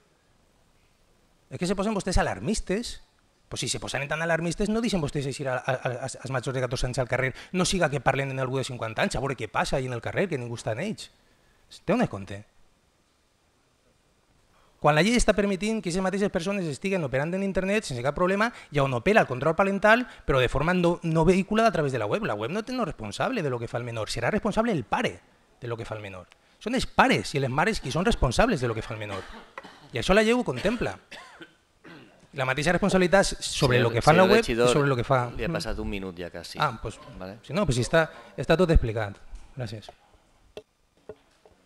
Me deixes l'informe? Bé, jo sí que volia, no, no sol parlar, però, clar, jo tenia els mateixos dubtes que tots vostès tenen, tot, tot els mateixos dubtes, per tant vaig demanar informe a la, a la intervenció, com és normal. L'ortodoxia que sempre, eh, sempre he seguit ha sigut sempre treballar mitjançant informes tècnics, perquè en l'administració pública hi ha polítics i n'hi ha, ha tècnics. Els polítics, cada un pot pensar una cosa i uno pot estar loco, com així han dit, que uno està loco i tots van darrere del loco i així tots fent el que ens dona la gana i això no és així. Se treballa sempre en papers i en informes tècnics. Hi ha un informe tècnic que és el 14 de novembre, perquè el demane jo a la viceinterventora, perquè hi ha un altre que és del de se- de setembre del 2017, que se queda obsolet després d'aplicar això, i entonces en el informe del, 2000, del 2010 i del 14... Señor Navarro, no sé si verixa vostè... Yo tengo una intervención de un minuto para que lo sepa, según el ROM. Y si usted le molesta que, hable, que no tenemos si usted le molesta que hable, pues es su problema. no Yo tengo, yo tengo por derecho una intervención Sí, de un sí. minuto, o no la tengo. Sí, pero está diciendo que si quiere usted no cronometre, si usted quiere me cronometra y luego habla, pero déjeme hablar, por favor, que en toda la noche no ha hablado. Ya ha hablado usted bastante. Déjeme hablar. Ah, Usted puede hablar cuando quiera también, Yo cuando puedo tenga hablar. su turno. Yo tengo mi turno ahora, déjeme hablar, por favor. No sea tan celoso, déjeme hablar. No, no recele tanto, por favor. Déjeme hablar, déjeme hablar. Que es un tema muy importante. Lo que pasa es que le acabo de desmontar toda la paradeta que usted dice, que aquí estamos todos locos y vamos todos detrás de Salva. No es verdad. Aquí trabajamos todos con informes técnicos y jurídicos. ¿El técnico y el jurídico se podrá equivocar? Pues sí, a lo mejor sí. Pues ya veremos. Lo que pasa es que aquí trabajamos de una forma ortodoxa y una forma ordenada. Por lo tanto, lo que yo le digo es que aquí vamos a votar con conciencia y siempre detrás y avalado por un informe técnico jurídico. Usted y el, el resto hagan lo que quieran. Vamos a pasar a la fase de votación. ¿Votos a favor? ¿Votos en contra? ¿Abstenciones? Bien. Yo solicitaría que nos pasara copia del informe que tiene usted y no tenemos los demás del 14 de noviembre, que estaría bien que lo hubiésemos tenido. O del 15. 14. 14 de noviembre. El que ha dicho, que ha dicho 15. Es que ha pasado por comisión informativa y los demás concejales de la oposición no tenemos elementos de juicio que parece ser usted sí tiene. Parece ser que el gobierno tampoco, que solamente los tiene usted. Parece ser que yo sí que lo tengo. Pasamos al 3.8. Moción d'Esquerra Unida al plenari en defensa de la llibertat d'expressió. Senyor Valentín Mateo.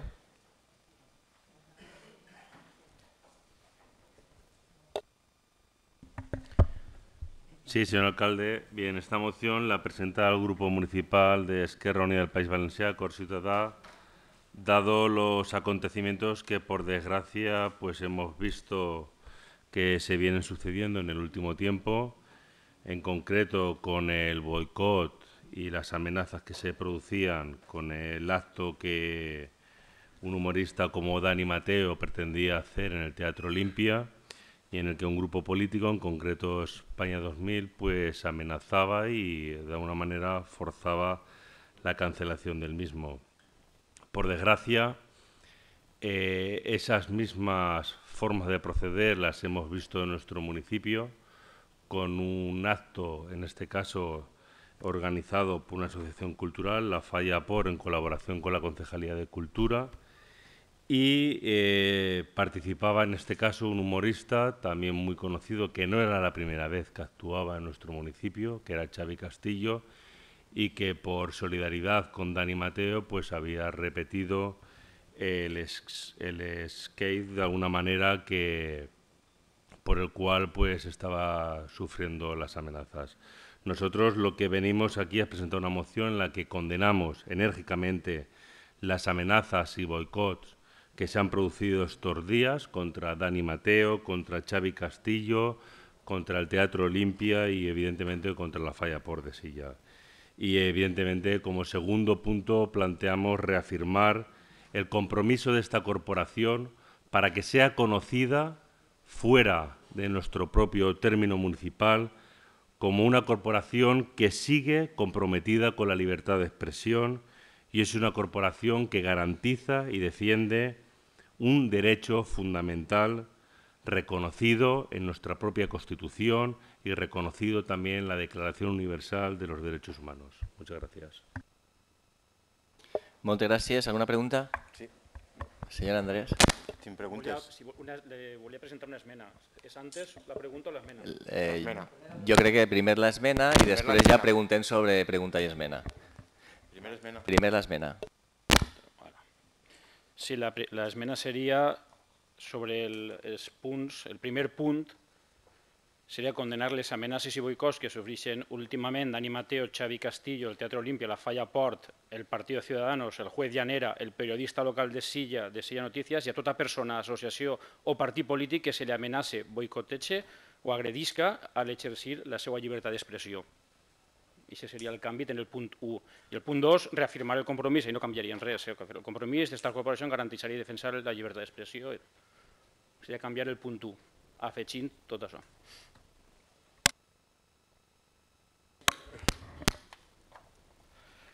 Condenar las amenazas y boicots que sufren últimamente Dani Mateo, Xavi Castillo, el Teatro Olimpia, la Falla Port, el Partido Ciudadanos, el juez Llanera, el periodista local de Silla de Silla Noticias y a toda persona, asociación o partido político que se le amenace, boicotee y o agreda al ejercer su libertad de expresión. Jo esmene també la teua esmena i al PSOE i a, Ciudadanos i a Compromís i a no sé, Exacto. Fiquem algú més o algo? Algú vol, algú, algú vol entrar dins de l'esmena? Me pareix un absurde, de veres. Me pareix un absurde. Juez Llanera o... Me pareix un absurde. Como, como grupo que presentamos esta moción, pues evidentemente discrepamos en la esencia fundamental de la moción que nosotros estamos presentando, de lo que algunos están interpretando el juego político, nosotros ahí pues no, evidentemente no vamos a entrar y nos reafirmamos en la moción que hemos planteado para el debate de que tenemos aquí. Vale, pues anem a entrar en el, en el debat de la moció. En el, si l'esmena, bueno, si no l'accepta el, el que ha dur l'esmena, ell vol la seva esmena. Bueno, pues votem l'esmena, però jo no ho entenc així. De totes maneres, jo lo que pre cuando se presenta Él, él presenta una moción y esa moción no la quiere alterar de para las nada. mociones, si una moción que se presenta por un grupo al final queda desvirtuada con una esmena, lo que evidentemente no puede ser. Yo la presento y si la tengo que perder, la pierdo y ya está. Y no tiene que ser que quede desvirtuada. O sea, una cosa, si tú no la aceptas, no tiene, no tiene sentido. Es que al final no... No, pero yo vamos a ver, yo lo que diga la señora secretaria, pero yo entiendo que si la moción eh, inicial que la presenta un miembro del equipo de gobierno, pero la presenta a título particular de partido Izquierda Unida y no quiere que se altere absolutamente para nada, habrá que trabajar su moción. No, no, no, es que no, eso no es así. Es que eso no es así. Vamos a ver, el, eh, tú presentas una moción y evidentemente quieres que se vote tal cual y luego hay una enmienda. El- al final de cuentas, la moción es una propuesta de resolución y un grupo político pretende enmendar esa propuesta que tú has presentado. Yo creo que la enmienda se tiene que votar. ¿Pero votar para qué? Pa- Bueno, ya, pues que sí. Se- se- ve- bien, no pasa nada porque no se va a alterar, pero lo veo... No entiendo. Bueno, pues siguiendo la recomendación, la recomendación de recomendación de la señora secretaria, votos a favor. Sí, señor Navarro. Sí, es decir, si, vamos a votar la enmienda, por lo menos mm, un trocito para poder decir eh, que no sea así o no. Yo, lo que le pido es a la enmienda al, al señor Fuster es que si retira lo de Ciudadanos expresamente, yo no tengo ningún inconveniente en votar el resto. Claro, como si me pone lo que sea, pero que no me ponga el nombre de un partido político. Lo que me cuesta es votar el suyo o, usted el mío, porque ya están incluidos todos. Y luego ya votaríamos la, la propuesta. Claro. Votación, votación de la enmienda. ¿Votos a favor que se incluya? ¿Votos a favor que se incluya? Tú has hecho una enmienda a la enmienda. Venga, va, vamos a jugar. Al, camarote de los hermanos Max, va. Vale. Ahora qué hacemos? ¿Votamos la enmienda de la enmienda del señor Navarro? Venga, vamos a votar la enmienda del señor Navarro. ¿Tienes otra enmienda? Jo per lo vist... No, perquè de, que més experiència d'ací, la senyora secretària ha parlat en tota, en tota la raó i les esmenes se traten aixina, com ha dit la senyora secretària. Que moltes vegades així presentem una esmena i les trateu com voleu i això no funciona aixina. S'ha presentat una esmena a la moció. Se vota si s'aprova l'esmena o no s'aprova i ja està. Se pot intervindre a l'esmena porque hay uno- uno- un, un turno de intervención. Yo no quiero intervenir. Solo ha intervenido el señor Navarro, pues ahora se vota la ¿Alguien enmienda quiere, ya está. ¿Alguien quiere intervenir a la enmienda que presenta el señor Navarro, a la enmienda que presenta el señor Juan Fuster, a la moción que presenta el señor Valentín Mateos? ¿Nadie quiere intervenir? ¿Sí, señor Fuster? Acepto la enmienda del señor Navarro. No, primero tendremos que aceptar nosotros la enmienda del señor Navarro para su enmienda, claro, para hacerlo bien. ¿Cómo que no? ¿Cómo que no? ¿Cómo que no? Vamos a ver, es que aquí somos muy listos. Es decir, el señor que presenta la moción, él no puede decir... No, no, no, señor Andrés, señor Andrés, le he escuchado a usted perfectamente. Señor Andrés, le he escuchado... No, no, entiéndame a mí. Resulta que el señor Valentín no puede, no puede, no puede decidir si acepta o no hasta que todos no aceptemos, lo cual, pues usted tampoco puede aceptar la enmienda hasta que todos aceptemos el señor Navarro, la enmienda del señor Navarro. Porque es que entonces a usted le estamos dando un privilegio que no le estamos dando a aquel señor. ¿Quién vota a favor de la enmienda del señor Navarro? Muy bien, Ale. Ocho a favor, nueve en contra. ¿Quién vota a favor? Se queda la enmienda del señor Fuster. ¿Quién vota a favor de la enmienda del señor Fuster? Venga, ocho a favor, nueve en contra. Ahora continuamos con el juego. Continúa. Sí. Ah, ¿usted vota en contra? Discúlpeme, señor Navarro. Vale, discúlpeme. Entonces son 10 en contra, 8 a favor. Vale. Y ahora ya, después de estos 5 o 6 minutos perdidos, vamos a continuar el pleno. A ver, ¿preguntas? Señor Andrés. Eh, señor Valentín Mateos, ¿asistió usted al acto que realizó la Fallaport con el impresentable de Xavier Castillo?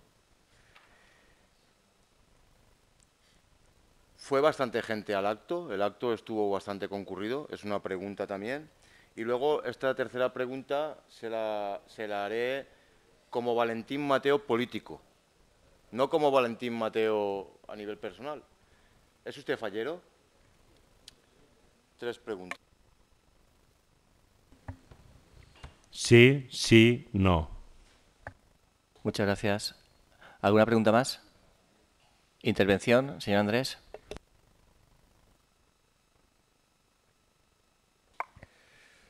Bueno, para que los vecinos eh, se sitúen sobre, sobre la moción que presenta Izquierda Unida del Reino de Valencia, pues eh, el Grupo Municipal Izquierda Unida del Reino de Valencia acuerda moción del Pleno. Ayuntamiento de Silla en defensa de la libertad de expresión.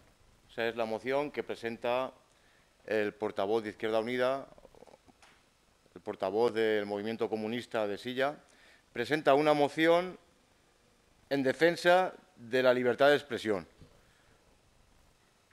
Hombre, señor Valentín, que esta moción la presenta usted, es que esto roza, roza el esperpento surrealista más retórico que nos hemos encontrado aquí ahora mismo en esta legislatura. Que lo, hubiera presentado cualquier otro partido político en defensa de la libertad de expresión, pero que lo presente usted. ¿En nombre de quién? ¿De Stalin? ¿De Lenin? ¿De la pasionaria? ¿De Carrillo? ¿De Manuel Sánchez Gordillo, este que entraba a los supermercados pegando a los trabajadores, que es un piquete de Marinaleda, de Andrés Bódalo, de Cañamero. ¿En nombre de quién presenta usted una moción en favor de la libertad de expresión? ¿En nombre de, quién? Es que esto es... Pero bueno, vamos inicialmente a centrarnos en, lo que es la, moción y la respuesta de sus preguntas y luego pues le, desvirtuaré la legitimidad que tiene usted, la poca legitimidad que tiene usted para presentar este tipo de, de la, poca legitimidad y carente de autoridad moral ninguna. O sea, es, es irrisorio ¿no? que usted presente una moción de estas características. Bueno, primero vamos a diferenciar entre el señor Dani Mateo, que fue ayer juzgado. El señor Dani Mateo ha sido denunciado por la ASP la alternativa sindical policial. El señor Dani Mateo está juzgado por un delito de ultraje a los símbolos de España y un delito al odio, tipificado en el artículo 510. Ese es el que usted está defendiendo aquí en esta moción. Eso lo llama usted libertad de expresión, porque usted confunde libertad de expresión con libertad de ofensa y libertad de insulto. Usted lo que viene a pedir aquí en esta moción es que haya libertad de insulto y libertad de ofensa, porque está tipificado en el Código Penal los delitos que ha cometido este impresentable también, porque es un impresentable, ¿eh? que ha cometido eh, aprovechando un programa de televisión española para eh, insultar a, a todos aquellos que nos sentimos orgullosos de nuestra bandera y nos sentimos orgullosos de ser españoles.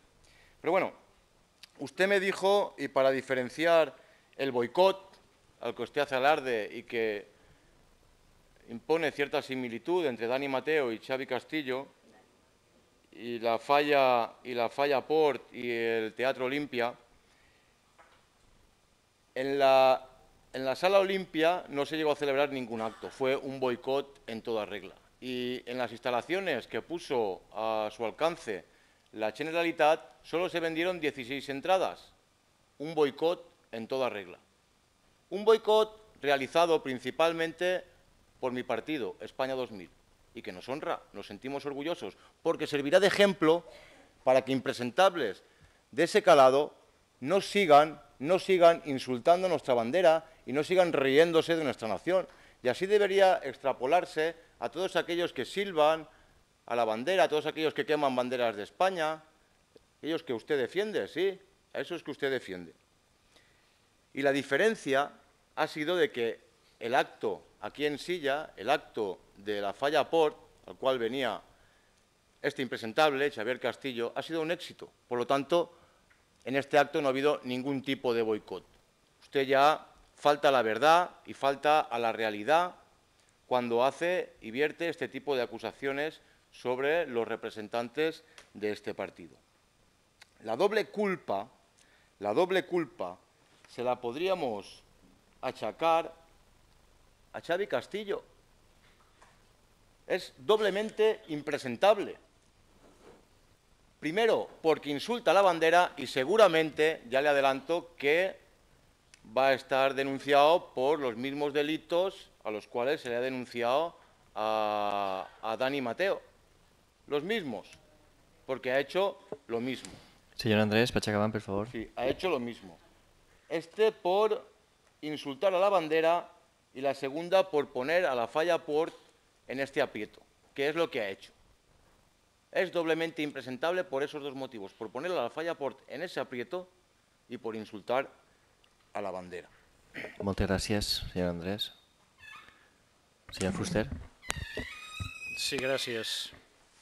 Bueno, es quedem, eh, es quedem en eh, no poder defensar així la llibertat d'expressió, perquè volíem votar a favor la llibertat d'expressió de tots, de tots, no d'una part a soles. Perquè quan uno se vol expressar lliurement i li tiren pedres, doncs no és llibertat d'expressió. I és que critiquen això, no critiquen l'altre. Entonces la llibertat d'expressió i la crítica als que no complir, és que no respeten la llibertat d'expressió, haurien de criticar les dues coses, no tan sols una. No a sols una part. És molt fàcil dir, mira, això sí que ho permetís perquè jo és que sóc superior i pense que aquesta llibertat d'expressió és la correcta, però l'altra no. La llibertat d'expressió, ho diu la Declaració Universal dels Drets Humans, però també ens diuen que la llibertat d'expressió depèn de la situació, a vegades s'interpreta o se canvia o depèn del país.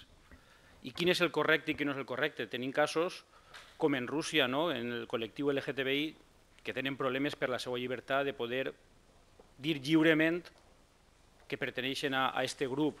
I ahir això no és llibertat d'expressió, allí no n'hi ha. Però d'això no, no diguem res, no defensem ni aquesta llibertat d'expressió. O en canvi, que jo estic d'acord en això, i Espanya no està incluïda, hi ha països europeus que diuen que en la llibertat d'expressió no pot estar incluït el discurs de la negació de l'Holocaust.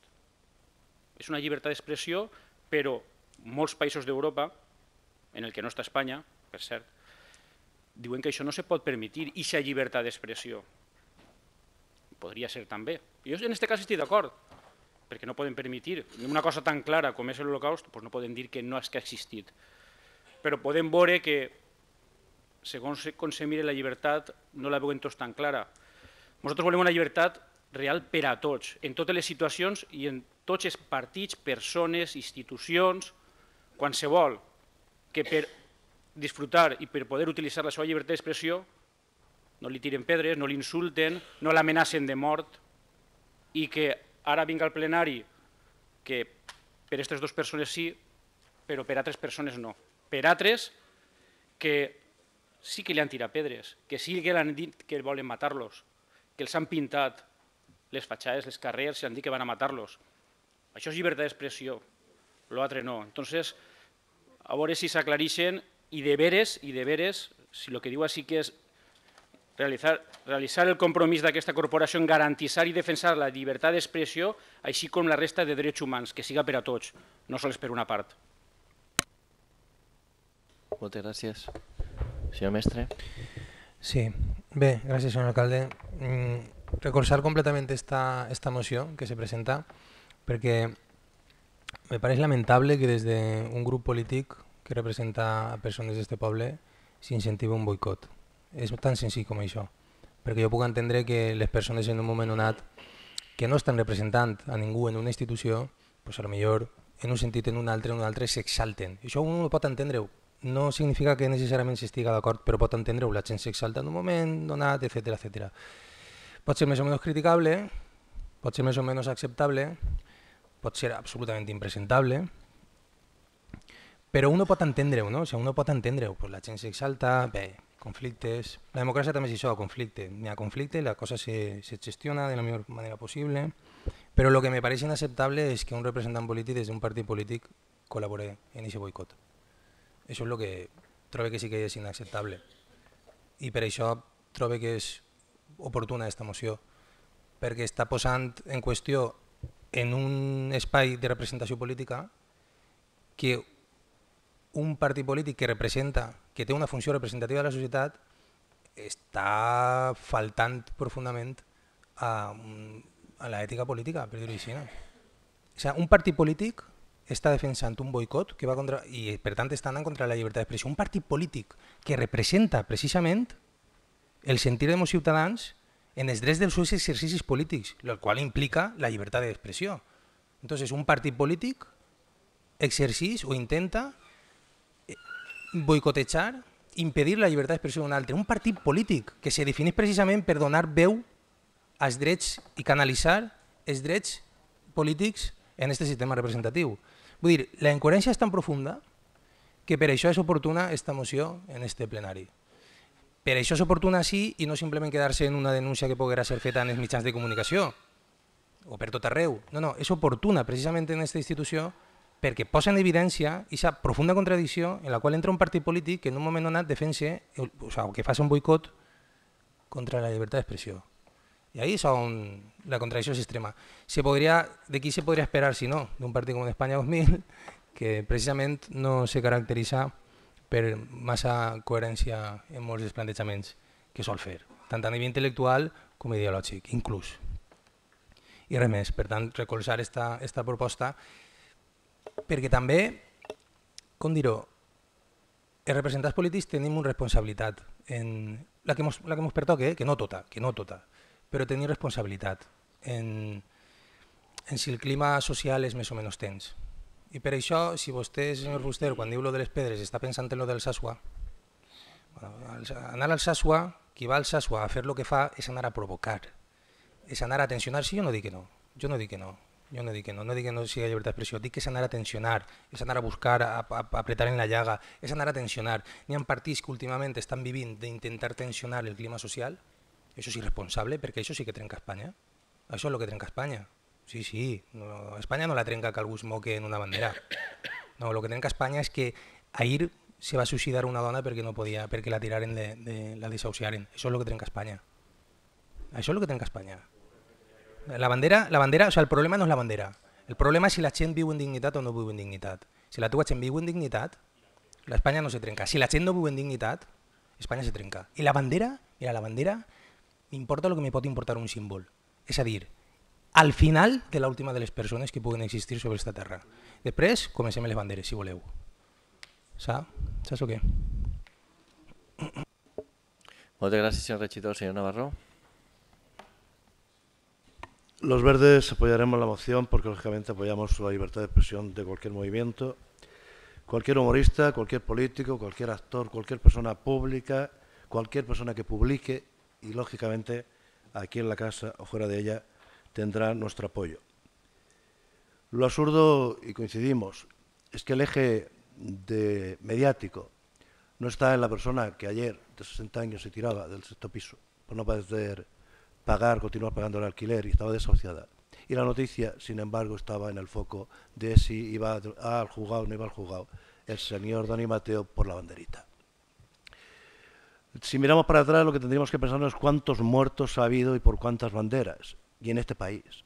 Por cuántos colores ha habido, cuántos muertos en este país.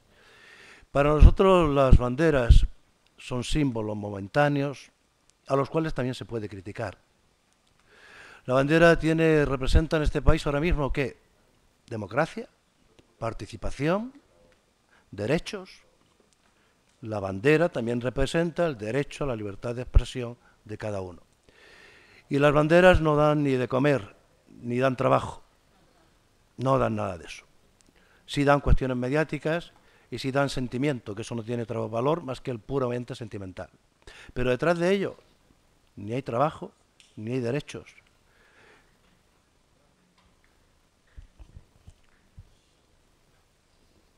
Es que me parece muy bien que cuando hablemos hay que estar callados y cuando hablemos los demás se puede estar de cháchara.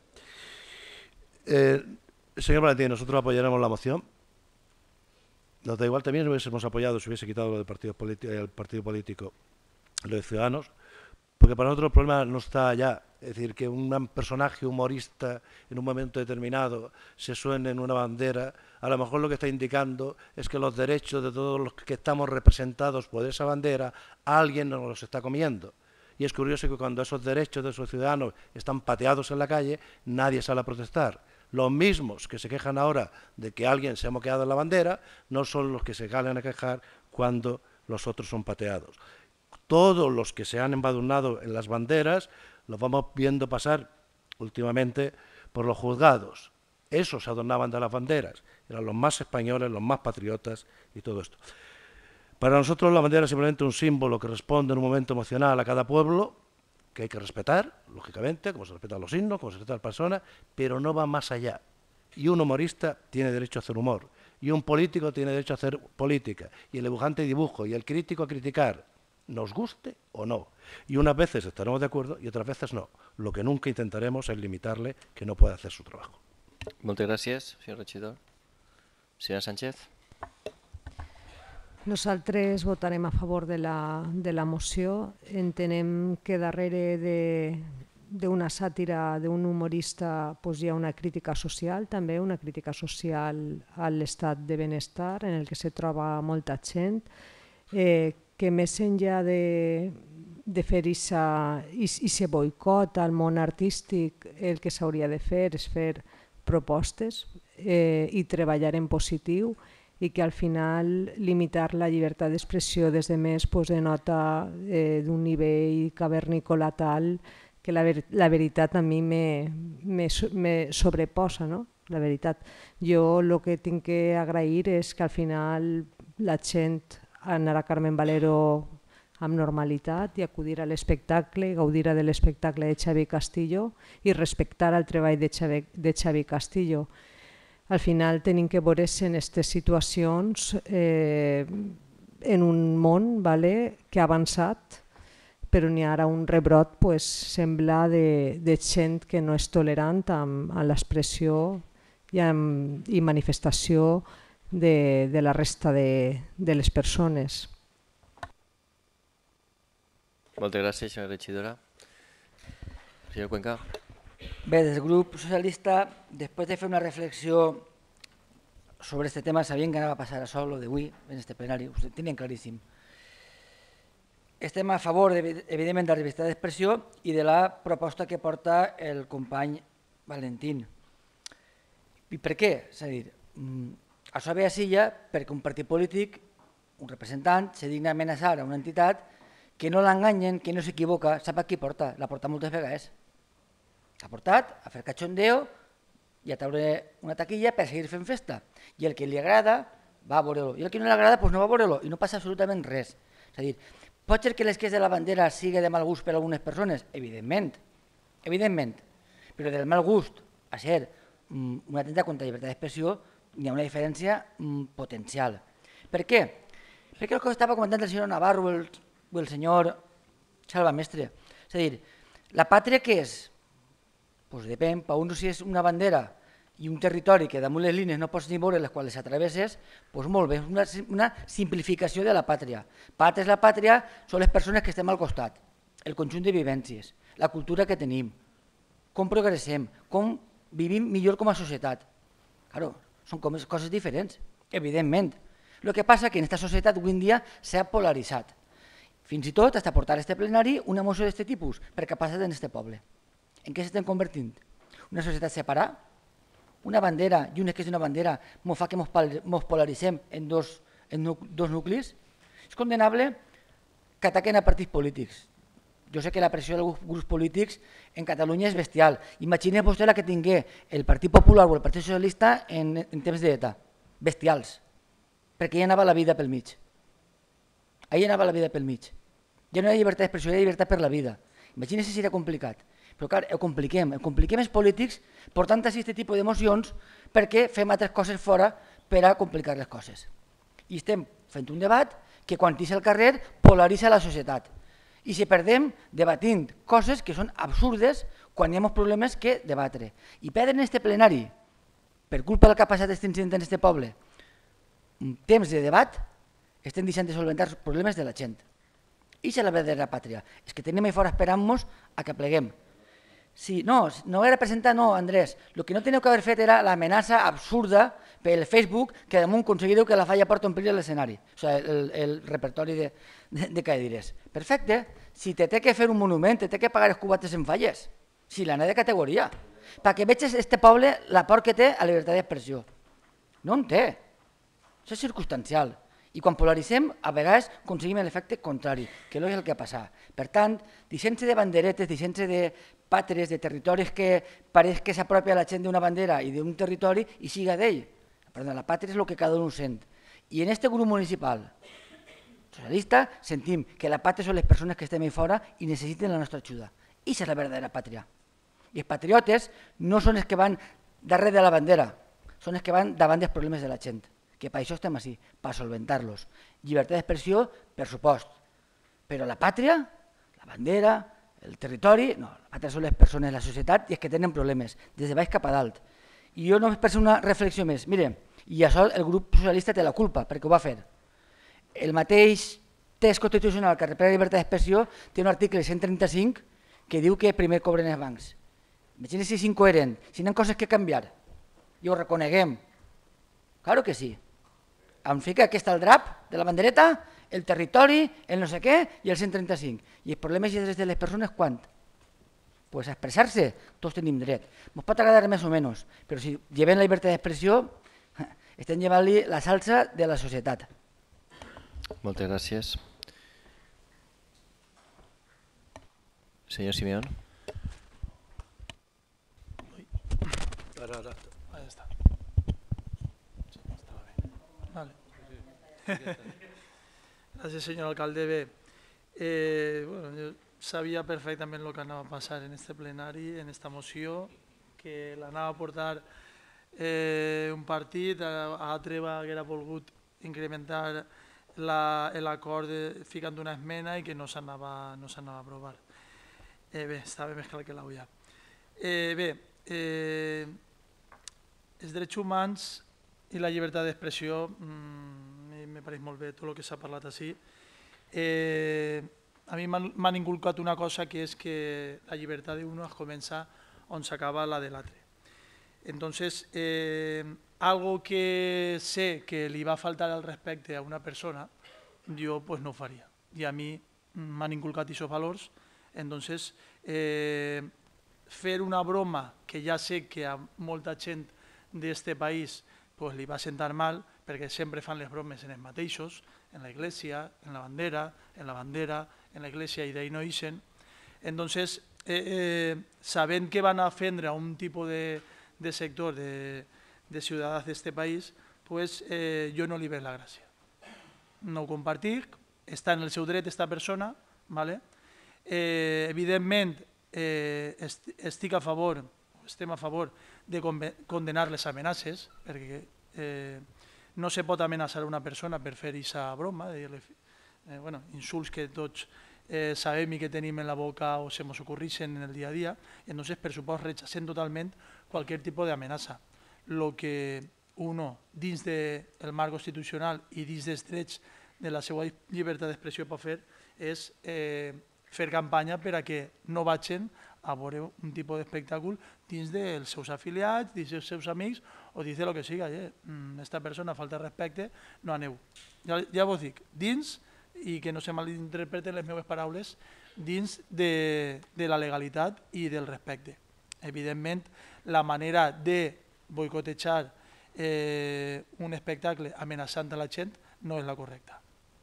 També n'hi ha que dir que resulta molt curiós, ja que el senyor Andrés ha comentat que esta persona del Teatre Olimpia no, se podia, no podia fer l'espectacle i, sin embargo, en el Palau de la Música de València sí.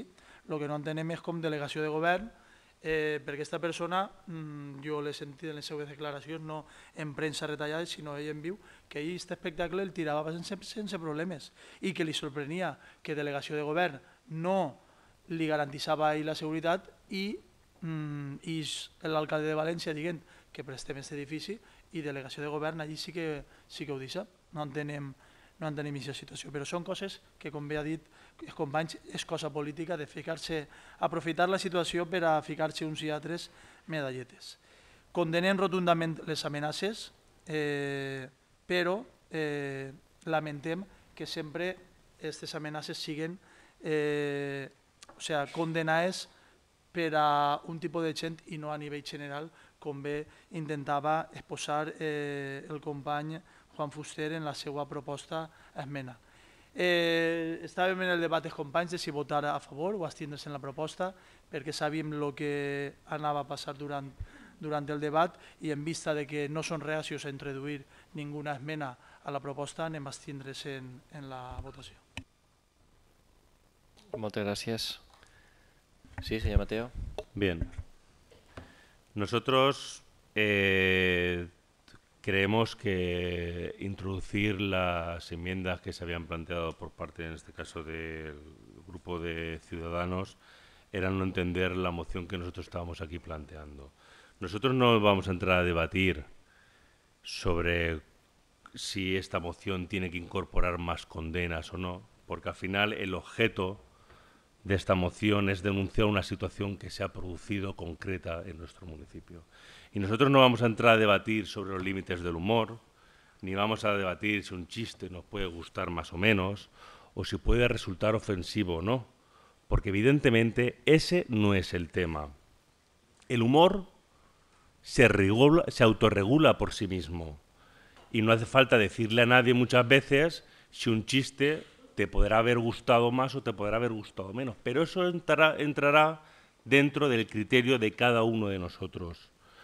Lo que sí que es cierto es que lo que hacemos con la ficción es hacer la parodia, hacer la reflexión, hacer la crítica, y con eso hacemos que a veces las personas puedan pensar. ¿A alguien se le ocurre que hiciésemos un boicot a la película Ocho apellidos vascos? porque hubo alguno que se pudo sentir afectado al ver las icurriñas? ¿O alguien podía verse también pedir un boicot cuando hicieron los ocho apellidos catalanes? Porque la cuatribarra se podía ver a lo mejor sentido ofendido. Pues no, formaba parte de una actuación concreta, en este caso una película. Pero por desgracia, si tiramos de la hemeroteca, pues vemos cómo durante este año de una manera organizada por un grupo político concreto como es España 2000, se vienen de alguna manera proliferando una serie de amenazas y boicot contra diversos actos culturales. Y a mí ahí es donde me preocupa como concejal de cultura y como cultura como elemento de transformación y de crítica, que es un elemento fundamental. Hoy podemos ver en la prensa cómo España 2000 amenaza con boicotear el espectáculo Mongolia sobre el hielo en la Rambleta en Valencia. Pues no pasa nada. No pasa nada. Estamos aquí simplemente hablando de que evidentemente como no les gustan, pues van a boicotear que la gente pueda acudir libremente a una actuación concreta. Y es cierto que lo que le pasó a Dani Mateo en el Teatro Olimpia, donde hacía un skate concreto donde hacía la parodia de lo que algunos estaban haciendo con esa bandera que algunos se pegan puñetazos en el pecho por ella, Pero que son los mismos que la traicionan, pues con esa parodia que él hacía, algunos la utilizaban para impedir realmente que él pudiese actuar en el Teatro Olimpia. Y evidentemente lo mismo que se le hacía a Dani Mateo era lo que se le pretendía hacer a Xavi Castillo por mostrar su solidaridad por lo que había sufrido en este caso en el Teatro Olimpia. Nosotros en esta moción no hemos introducido más boicots que se han ido produciendo en este último año. Podríamos poner el boicot que se produjo en la fiesta de Paiporta, cuando los chicos del maíz pretendían actuar, ni tampoco hemos metido, hemos introducido el boicot que se le intentó hacer a la cabalgata cívica de las Magas de Enero, que organizó la Sociedad Cultural del Micalet, ni tampoco hemos introducido las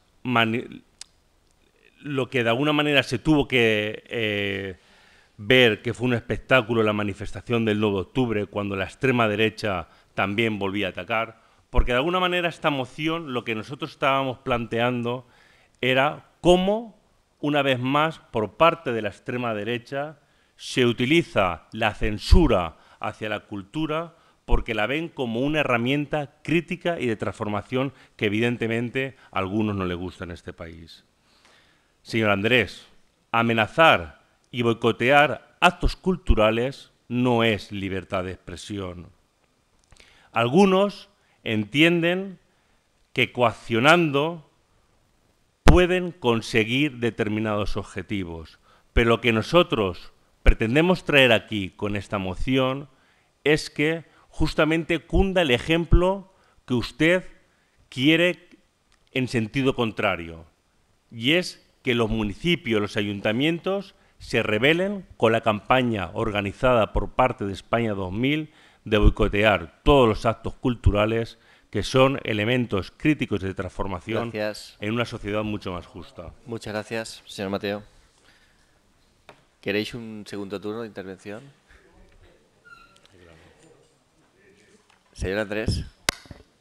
Sí, gràcies. Eh, espero que tinguin en compte el senyor alcalde que quasi tots els grups polítics han intervengut contra este i en la possibilitat de defendre'm pues, necessitaré un poc més de temps. Gràcies. No, eso no. Hombre, señor Valentín, que lo diga todo esto el portavoz municipal del Partido Comunista, pues le hace perder un, un poco de credibilidad.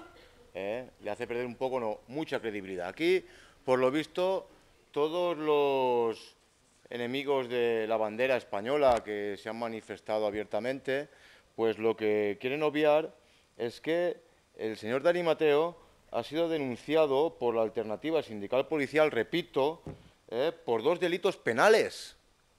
Por dos delitos penales y que ayer estuvo ante el juez y ya no se limpió los mocos con la bandera, se quedó calladito. ¿eh? la sentencia. Dos delitos penales de ultraje a los símbolos de España y delito de odio. O sea que los que amenazamos nosotros, ¿dónde, ¿dónde están las denuncias de esas amenazas a España 2000? Es que no las hemos visto. Ustedes hablan surrealistamente de algo que no ha ocurrido. Ustedes hablan de un boicot a la falla Port cuando el Carmen Valero estaba lleno. ¿Dónde está el boicot? ¿Dónde está el boicot cuando lo único que se le dice a la, a la Falla Port es por un descuido de la Asociación Cultural Falla Port de Silla ha contratado a este impresentable para que haga un espectáculo? Esperamos que la directiva de la falla ponga algún tipo de solución para que personajes así no insulten a todos los que estamos orgullosos de nuestra bandera. ¿Dónde está la amenaza aquí y el boicot? ¿Dónde está? ¿Dónde está aquí la amenaza y el boicot? La amenaza y el boicot la ejerce este tipo de personas que han cometido dos delitos. Ustedes hablan de libertad de expresión, pero es que la libertad de expresión no la ponen ustedes, la libertad de expresión la ponen las leyes. Hay unas normas y unos límites. Y estas personas han pasado los límites. ¿Dónde están las denuncias a España 2000 por amenazas? Queremos verlas y defenderlas o reconocerlas, pero es que no las hay. ¿Dónde está, en qué momento, señor Iván Cuenca, España 2000 amenaza a la Asociación Cultural Falla Puerto? ¿Usted, usted de qué habla? ¿Usted de qué habla? ¿Usted de qué habla? ¿Qué amenazas hemos vertido sobre la Falla Port los portavoces de España 2000? ¿Qué amenazas? Si he leído el manifiesto, exculpando inicialmente a la Falla Port de toda responsabilidad. ¿Qué hablan? Cuando este tío ha cometido dos delitos. Es que los ha cometido, bueno, con la presunción de inocencia, pero está delante de un juez denunciado por dos delitos penales. Es que está de moda ahora apoderarse de la autoridad modal. Es que está de moda ahora que ustedes, eh, ustedes, comunistas, Podemos, neocomunistas, separatistas... Señor Andrés, eh, ya acabat el seu temps, sí, eh? quieren apoderarse de la autoridad moral, de decir qué es libertad de expresión y qué no es. Está de moda hablar entre sus filas de pluralidad y diversidad, pero todo lo que no esté de acuerdo con su diversidad y su pluralidad ya no es libertad de expresión. Eso es lo que pasa. Señor lo- Andrés, ja ha Mig gràcies, senyor minut. alcalde. Así que, así que, para finalizar, así que de amenazas, nada, porque no hemos recibido ninguna denuncia. De, boi- de boicot, de boicot, a ningún, a ningún dirigente ni portavoz de España 2000 se le puede acusar ni denunciar a ningún dirigente ni portavoz de España 2000 se le puede acusar ni denunciar por amenazas porque no las ha vertido. Y si hubiéramos Andrés, boicoteado ya- el acto ya- aquí ya això. no hubiera ido nadie, como le ha pasado a Dani Mateo. Señor es que Andrés. están intentando rascar algún voto eh, porque lo del agua ya no les va a cuento. Señor Andrés. Ya no, Ya no pueden sacar más rédito Senyor lo del Andrés, agua. Ja s'ha entès perfectament el que vol dir vostè. Senyor eh, Juan Fuster. Sí, gràcies. Primer lloc, eh, li vull donar la, la raó al senyor mestre, que és inacceptable el boicot eh, de partits polítics a altres partits polítics, a xutxes, a persones, però de qualsevol partit polític, de qualsevol partit polític, no d'uns o altres. És inacceptable que Espanya 2000 amenace, per supost, però que si, igual que si amenaçarà Ciudadanos, que si amenaçarà el PSOE, Compromís, Podemos, qualsevol. És inacceptable en conjunt, no a soles una part. I no sé què en la següent intervenció anterior que té que veure el desahuci d'aquesta persona, lamentable, lamentable, en les pedres d'Alsàsua, no sé per què, eh, com ho ha lligat en la mateixa frase. És que, clar, ja sé que està parlant de les pedres d'Alsàsua, però la dona està la... s'ha suïcidat. Hòsties, jo crec que no té res que veure. Les pedres és, és... Això és un boicot, això és un boicot, també. Tirar-li pedres a persones que volen parlar i fer una expressió política. Tirar-li pedres, amenaçar-los de mort. A mi, no m'agrada, ho rechace, que Espanya 2000 amenace, o diga que s'amenaça per a fer un acte, però també és una amenaça, i m'acollona més, que un terrorista, un terrorista com el carnicero de Mondragón, diga que per anar a parlar ahir te vull matar. A mi m'acollonaria més, després de saber que té 17 morts a la seva esquena i que mai s'ha arrepentit. A mi m'acollonaria més. I aquesta persona no te deixa parlar o no vulgui deixar-te parlar. Això és boicot i això també hi ha que condenar-ho tots els boicots, no tan sols una part. I per això s'estindrem en aquest punt perquè, aunque està molt clar, és sectari, perquè condenar les amenaces i boicots que aquests dies han produït sent imperfectes, però tan sols a, a, a dos o a quatre, però a tots no. A sols poden condenar aquestes amenaces i boicots, però els demés no. És molt sectari. Per tant, no podem votar en contra perquè estem a favor de la llibertat d'expressió i estem en contra totalment de les amenaces i boicots, però com estem en contra de tots, s'abstindrem. Moltes gràcies, senyor regidor. Senyor mestre. Sí, aleshores vostè està en contra dels aborts o dels assassinats? De què està en contra vostè?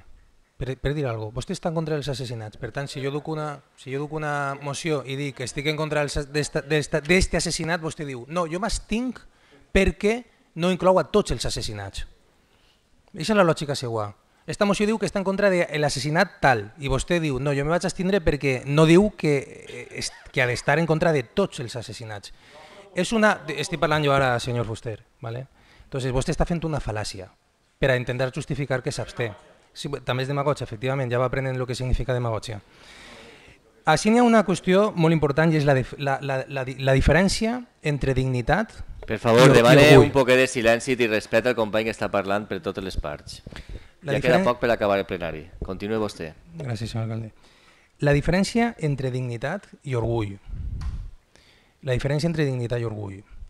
La responsabilitat del polític és preservar la dignitat de les persones. I és la responsabilitat del polític. Però no és la responsabilitat de l'humorista el respectar l'orgull de les persones, si se sent ferit o no se sent ferit. I aquesta és la gran diferència.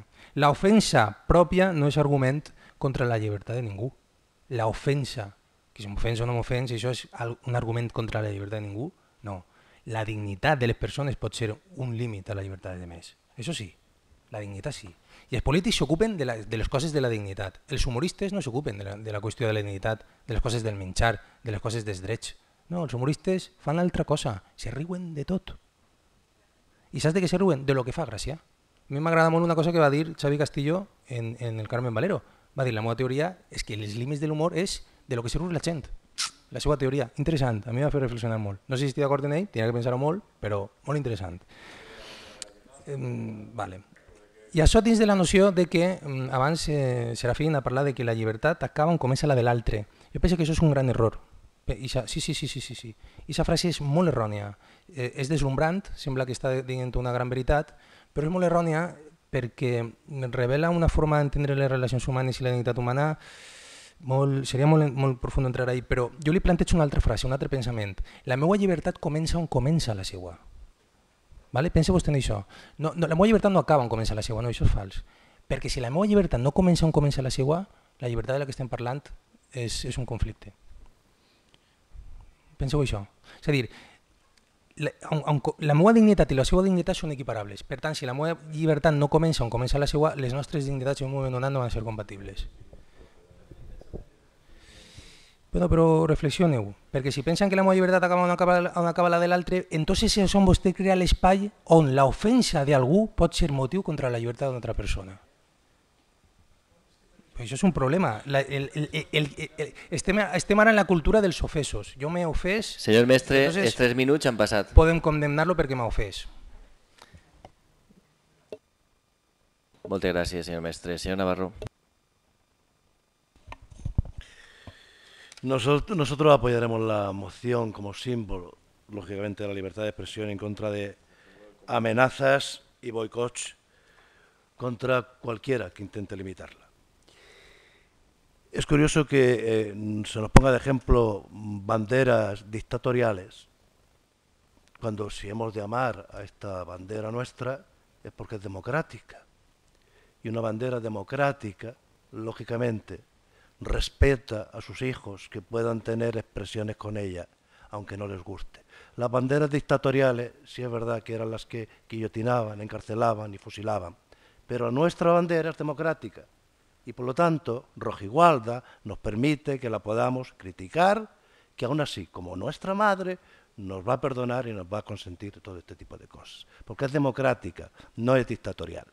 Y luego además diremos que es penoso que se actúe contra un actor que vino hace ya 14 años a este pueblo, por primera vez. Hace 14 años vino, luego volvió a repetirse en otras fiestas y en otras fiestas, por distintos grupos políticos. De verdad que nosotros en aquel momento fuimos los primeros, porque éramos concejal de cultura y había que romper un poquito en aquella época. Y vino, y hubo, tuvo dos actuaciones. No sé si las entradas eran entonces se pagaban a 3 euros y la e, de él para impedir aquello nos costaba seis o algo así. Se llenó. Ningún incidente. Dos veces. Ha venido después. Ha venido después. 14 años después. Tenemos que estar reprochándonos que un humorista venga a nuestro pueblo y se sienta amenazado. Eso es absurdo. Yo quiero una bandera rojigualda que me admita democráticamente con mis defectos y que sea capaz de aceptarme que la pueda criticar. Moltes gràcies. Senyor Melero. Sí, bona nit. Jo vaig a parlar també de llibertat d'expressió. Vostè que sap que és Ixé? Ixé és el senyor, sí, el señor rey emérito don Juan Carlos I de España, conocido como el campechano. ¿Usted sabe qué es Ixé? Mohamed bin Salam. Ese tío es el rey de Aràbia Saudita, que l'altre dia en el consulat del seu país en Turquia agarraren un periodista per fer ús de la seva llibertat d'expressió, el van matar i després el van fer a trosseig el van tirar en un pou en un parc a les afores d'Estambul. Este senyor, l'altre dia diumenge, eh, en el Gran Premi de Fórmula 1, que per cert se n'anaren diners que nosaltres li paguem, perquè que se sàpiga no té ningun altre sou, no? i per tant si va anar a la Fórmula 1 o els diners de, de que vostè i jo li paguem els nostres impostos, no se li va ocurrir una altra cosa que anar a fer-li una gràcia a, Mohamed bin Salam. Tío que va matar i desquartitzar a un periodista per fer, per fer, per fer ús de la seva llibertat d'expressió. I este senyor, este senyor que està saludant a Mohamed bin Salam, en teoria és el que eh, eh, ha sigut el garant de la bandera ixa que tant mos porta de cap durant molts anys. A vostè què li pareix? L'exemple de llibertat d'expressió, de que el màxim garant, de que el màxim garant de lo que sigut la democràcia espanyola i la bandera que vostè està així, avui mos ha tret així a passejar, va donar l'altre dia en els impostos, en els impostos de ciutadans espanyols. No sé, és que no, li, és que no l'he vist jo que vaig a boicotejar, a, no sé que, a, a boicotejar vostè al, al, al, al rei emèrito, vull dir, no, no s'indigna? No s'indigna? No s'indigna? Jo sé que m'indigne. Pues mire, com diu Darío Danti i Edu Galán, que són els dos actors de Mongolia, que os jodan. El domingo nos vemos en Valencia. Moltes gràcies. Señor Cuenca.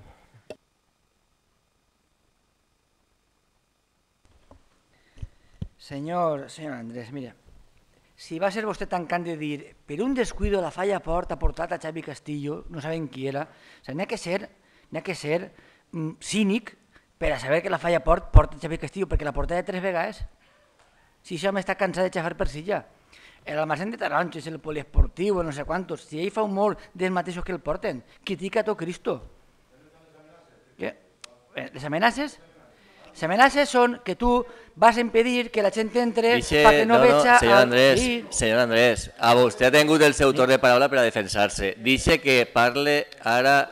No, no, no. Sí. Señor Andrés, señor Andrés, vostè quan parla n'hi ha part verídica i part fal·laç. Per tant, dice, dice als altres oradors que parlen quan es toca el turno. Seguija vostè, senyor Cuenca. Sí, si és que, claro, ells no amenacen mai. Ells se'n van a la porta de Mónica Oltra, se fiquen una careta, se fiquen allà a cantar que viva Espanya. Claro, vostès no amenacen a ningú. Vostès diuen que van a ficar-se a la porta d'un teatre i el que entre, pues a veure què passa. Això és una amenaça. I vostès quarten la llibertat d'expressió. Perquè el que no té res més que oferir utilitza una bandera, no com a un símbol, sinó com a un drap per a tapar-se el seu vergonyes, utilitza un país que no sabrien ni pintar en un paper perquè no tenen ni cultura per pintar-lo i se'l fiquen com a bandera de vostès i es passen dels problemes dels demés. Són així de simples, simples. Un drap, que no és una bandera, un drap i un territori. Senyor Andrés, Te per torno a dir que vosaltres aneu i amenaceu a tot Cristo. Senyor el 9 d'octubre la manifestació, en la porta de Mònica Oltra, i en tot el xat que s'ha produït, en el que tu digueres, perquè con... Senyor Andrés, per favor, dice, dice que continue el que té el torn de la veus, paraula. veus, veus com el teu argument és simplista? Tu, tu tens un problema molt gordo, i és que te creus que la bandera és teua, el, el país és teu i tot és teu. I això és mentira. La pàtria, per algunes altres coses, més que una bandera, on tu te tapes les teues vergonyes. ¿vale? Un territori que la majoria de vosaltres no sabeu ni pintar en un paper. No ho sabríeu ni pintar-lo en un paper. Per tant, per tant, deixeu que la gent s'expresse, perquè la por, la por que vosaltres voleu inculcar és el pitjor mm, mal que tinga la llibertat. Quan hi ha por, no hi ha llibertat. I vosaltres el que voleu és inculcar la por. Les, això d'antorxes com feien els nazis, els boicots a les portes, els escratxes a les cases de les persones. Això és la vostra forma de funcionar, Andrés. Saps el que passa? Que t'així rana i el teatre se va omplir. Això demostra que este poble està per damunt de les teves suggerències i de les teves paparratxades de, del Facebook. ¿vale? Està per damunt. I el problema són les xarxes socials, perquè tingués que haver anat a la falla i dir-ho a la cara, no hagués anat, per oportunisme polític. Però ho tires per les xarxes i al final queda com queda. No, no, no és mediocre, és una amenaça.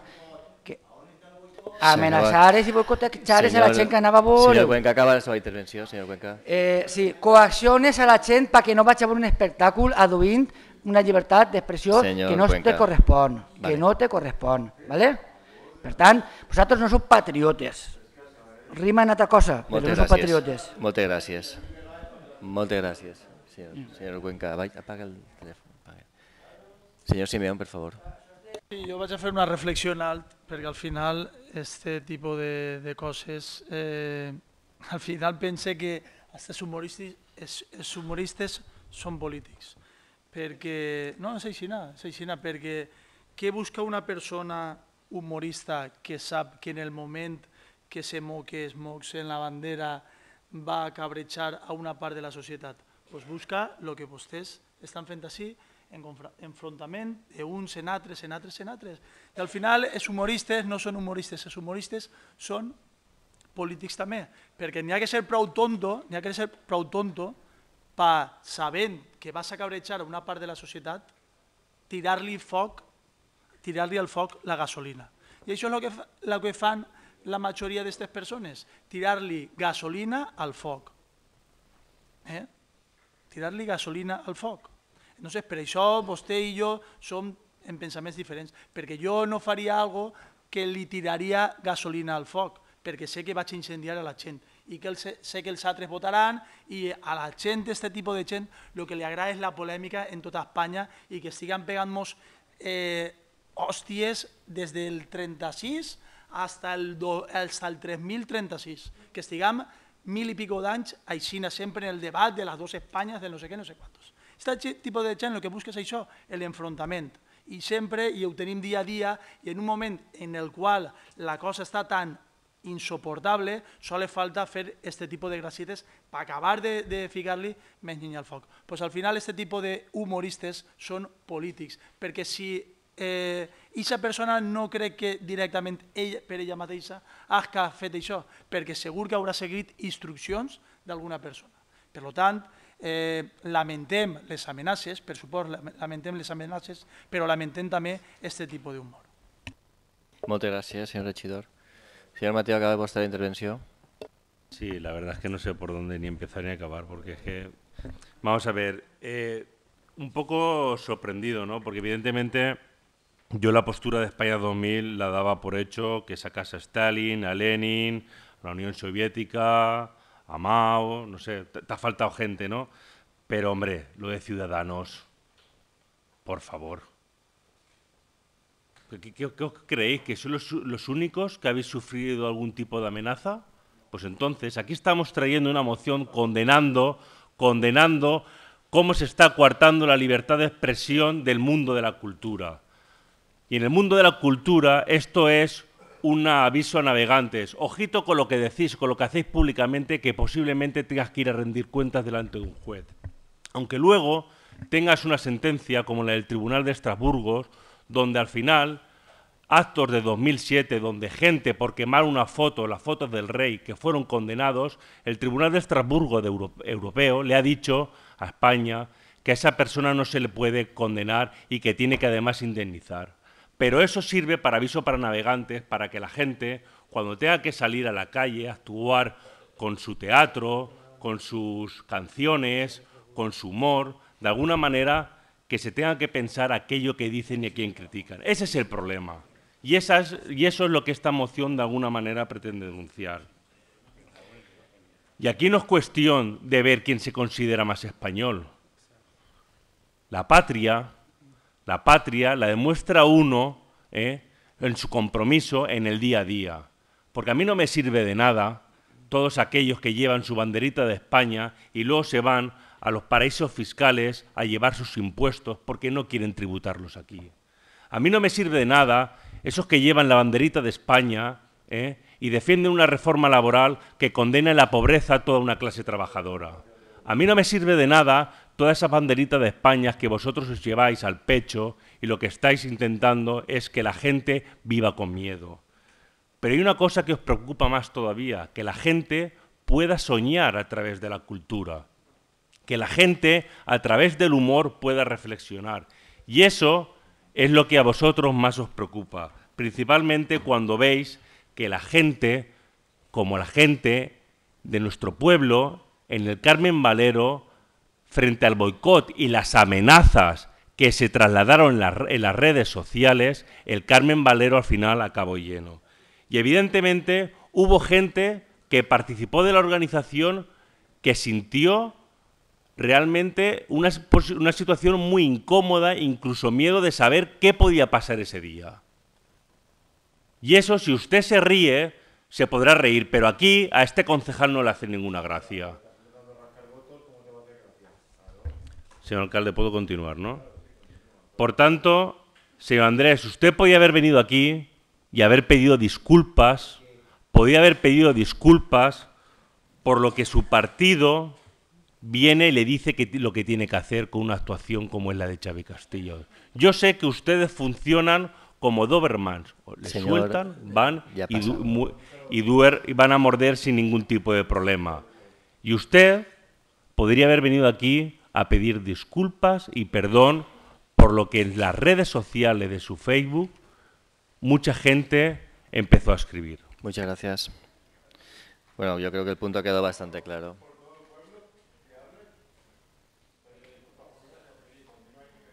¿Ya? ¿Podemos, ¿Podemos continuar, Andrés? ¿Podemos continuar? Sí, claro que hay que votar esto. Vamos a pasar a la votación. ¿Votos a favor de la moción presentada por Izquierda Unida? ¿Votos en contra? ¿Abstenciones? Muchas gracias.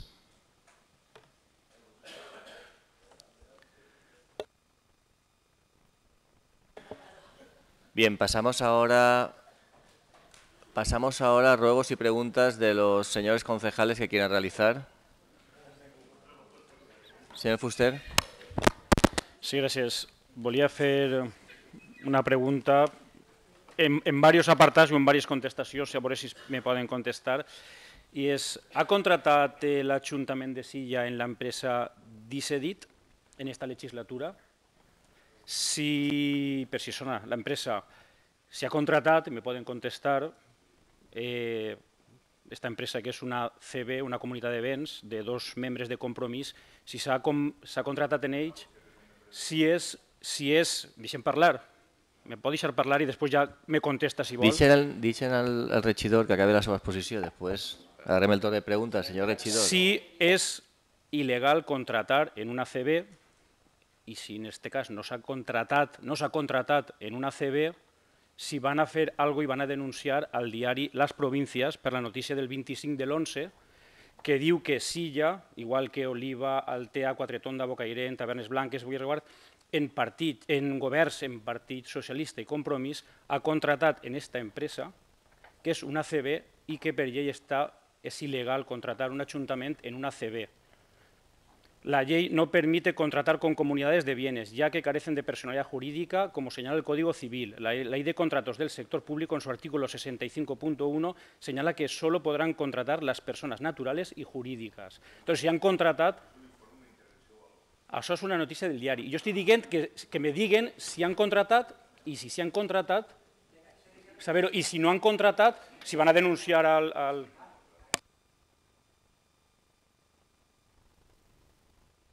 Ah, sí, sí, sí. N'hi ha, algo, ha un regidor que sí que li pot contestar. Vale. A veure, eh, me pareix ja lamentable que, que arreplegueu coses de la caverna mediàtica que són absoluta basura, perquè això és basura directament. Basura, ara ho explique. Però això és una notícia de les províncies que desvirtua la informació per intentar agitar a tot el món, en aquest cas a Compromís, que a mi que yo no soy de compromiso, pero la basura la es identificar, siga contra compromiso, contra Ciudadanos o contra Esquerra Unida. La basura es basura, ¿vale? Y eso es basura, directament. I li vaig explicar les coses. Decidit se, se contracta en aquest ajuntament perquè és l'empresa que fa la web de votació de l'enquesta popular. I se li contracta perquè en el moment en què jo me plantegi aquí contractar, jo tire a, a, a l'empresa que jo conec, que és la que ho fa a Podemos que en, que en aquell moment es dia Agora Voting, ara canvia de nom i crec que s'hi diu N-Vots. Però Agora Voting, antes de fer-ho a Podemos, ho havia fet a Equo, a, a Pirates, a no sé quin partit europeu, crec que a Compromís també li havia fet algo, o sigui, a mogolló de, de partits, però bueno, estic segur que les províncies, si hagueren contractat a Agora Voting, ara les províncies diria que en aquest ajuntament han contractat a l'empresa de Podemos perquè i alguna il·legalitat s'hagueren inventat per embarrar com embarrar aquesta notícia. El cas és que en aquell moment jo estic buscant a veure qui m'ho fa, Agora Voting me posa un pressupost elevat, segur que m'ho hagueren fet vamos, de cine, vamos, o sea, galàctic, però era prou car i en aquest moment jo conec l'existència de Decidit. L'avantatge de Decidit és que estem així, molt propet, són de Torrent, i me van oferir un preu molt bé, ens van reunir en ells, ens van demostrar solvència i nano, ja anava fantàstic, eh? Vull dir, les enquestes populars a nivell tècnic, el que és la web, fantàstic, fantàstic. I te dic una cosa, no, crec que la, no existeix en tot el planeta i en la galàxia millor relació qualitat-preu que la que aquesta empresa ofereix. I t'ho dic en sèrio, eh? T'ho dic en sèrio. Ara, entrant en el tema de, de lo de la comunitat de béns. Ahir n'hi havia un problema d'un canvi legal que generava dubtes en un moment donat i n'hi havia divergència de criteris. I recorde que des de, des de serveis tècnics precisament se va, se va dir no volem contractar com a, com a comunitat de béns, perquè no sé si el primer any se va fer no ho recorde ara, o si va ser l'empresa la que va proposar que se fera en comunitat més, ah, no me'n recorde, eh? t'ho dic en sèrio, això després podem comprovar-ho. Però sí que recorde que en un moment donat secretaria diu, això no pot ser així, o intervenció, vamos, sí, ¿vale? les habilitats nacionals. Diuen, això no pot ser així. I en, i en l'Ajuntament de Silla, diguem, en comunitat més no. I entonces ens facturaran com a autònomos. ¿vale? Però així i tot, això n'hi ha una divergència de criteri que jo, segons el que tinc entès, no s'ha establert de forma fixa, hasta, no sé si molt recentment, vale? és una cosa que no tinc clara. jo li he aclarit tot el que puc aclarir des de, des de l'Ajuntament de Silla. Lo que li torno a repetir és que això és basura i que me pareix molt lamentable que venguen això. Entonces la última era, ¿van a actuar contra les províncies per fer notícies basura en contra de l'Ajuntament de Silla? Però jo no me puc dedicar a denunciar a tot el món que va dient barra baixa per el món. Jo tinc coses que fer. O sea, perdona que te diga, però jo tinc moltes coses que fer que estar preocupant-me de què diu cada... Mm, claro, que ens denuncien a nosaltres si, si es creuen que, hem, en, que ho hem fet malament. O sea, a mi no me venga... O sea, ixe, ixe, ixe argument de si lo que vostè diu és de Vale, veres entonces anem, a, denuncie... anem a continuar, que ha quedat tot, ha quedat tot clar. Però, espera, espera, deix- deix- deixa'm... Ah, però... Senyor, senyor Melero. Crida-li l'atenció, crida-li l'atenció Melero que m'acaba de, que m'acaba Senyor Melero, parlar. dice, dice parlar. que acabe el senyor Acaba enseguida. Ja, ja no sé ni que anava a dir. Això, senyor Fuster, això és com si jo li diguera que vostè ha matat a uno i vostè me tinguera que demostrar que no. Eh? Perdó? Sí. Té igual, podem continuar, senyor alcalde, Això ja és, està tot dit. jo aquest exemple el fiqué molt. Això és com si jo li diguera que vostè ha matat a uno i vostè me tinguera que demostrar que no. Tindré que demostrar jo que l'ha matat vostè. És el mateix, el que li estan dient. Si van per ahí ficant tonteries, pues que les fiquen. Ja, però bueno. Nada, que mos denuncien. Però... Claro, col·lega, jo tinc... Jo m'ha assabentat avui eh, de la notícia, ixa, i estem a 27, crec que estem, no? I vostè ha dit 25, no? No tenia ni idea, eh? Ja, ja, però això no, no ho sabia. Senyor Navarro, té alguna pregunta o algun prec? Senyor Simeón, alguna... senyor Simeón, tampoc? Senyors del públic, alguna pregunta o algun prec? Senyor, senyor Melero, per favor. Senyor Melero. Si va, d'ací poquet se queda ahí fora en el company xerrant. Espere. Del públic, n'hi ha alguna pregunta? Sí?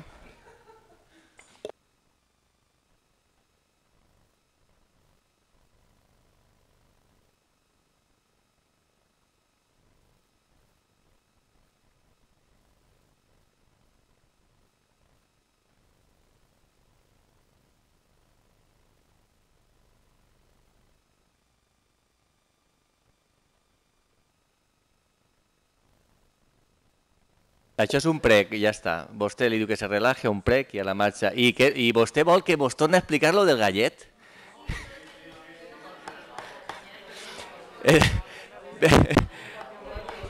Això és una broma, no? Jo li ho explique ahí fora, li ho puc Millor, millor. fora, si ho accepta la veïna, si ho accepta la veïna. Si la veïna vol que ho expliqui així, li ho expliquem així. Ve, veïna, veïna, li dic veïna a vostè. Vecina, veïna. Vostè accepta que li ho explique després en el carrer? Vale, pues sí que, sí que ho accepta la veïna. Donem per tancat el pleno, moltes gràcies i molt bona nit.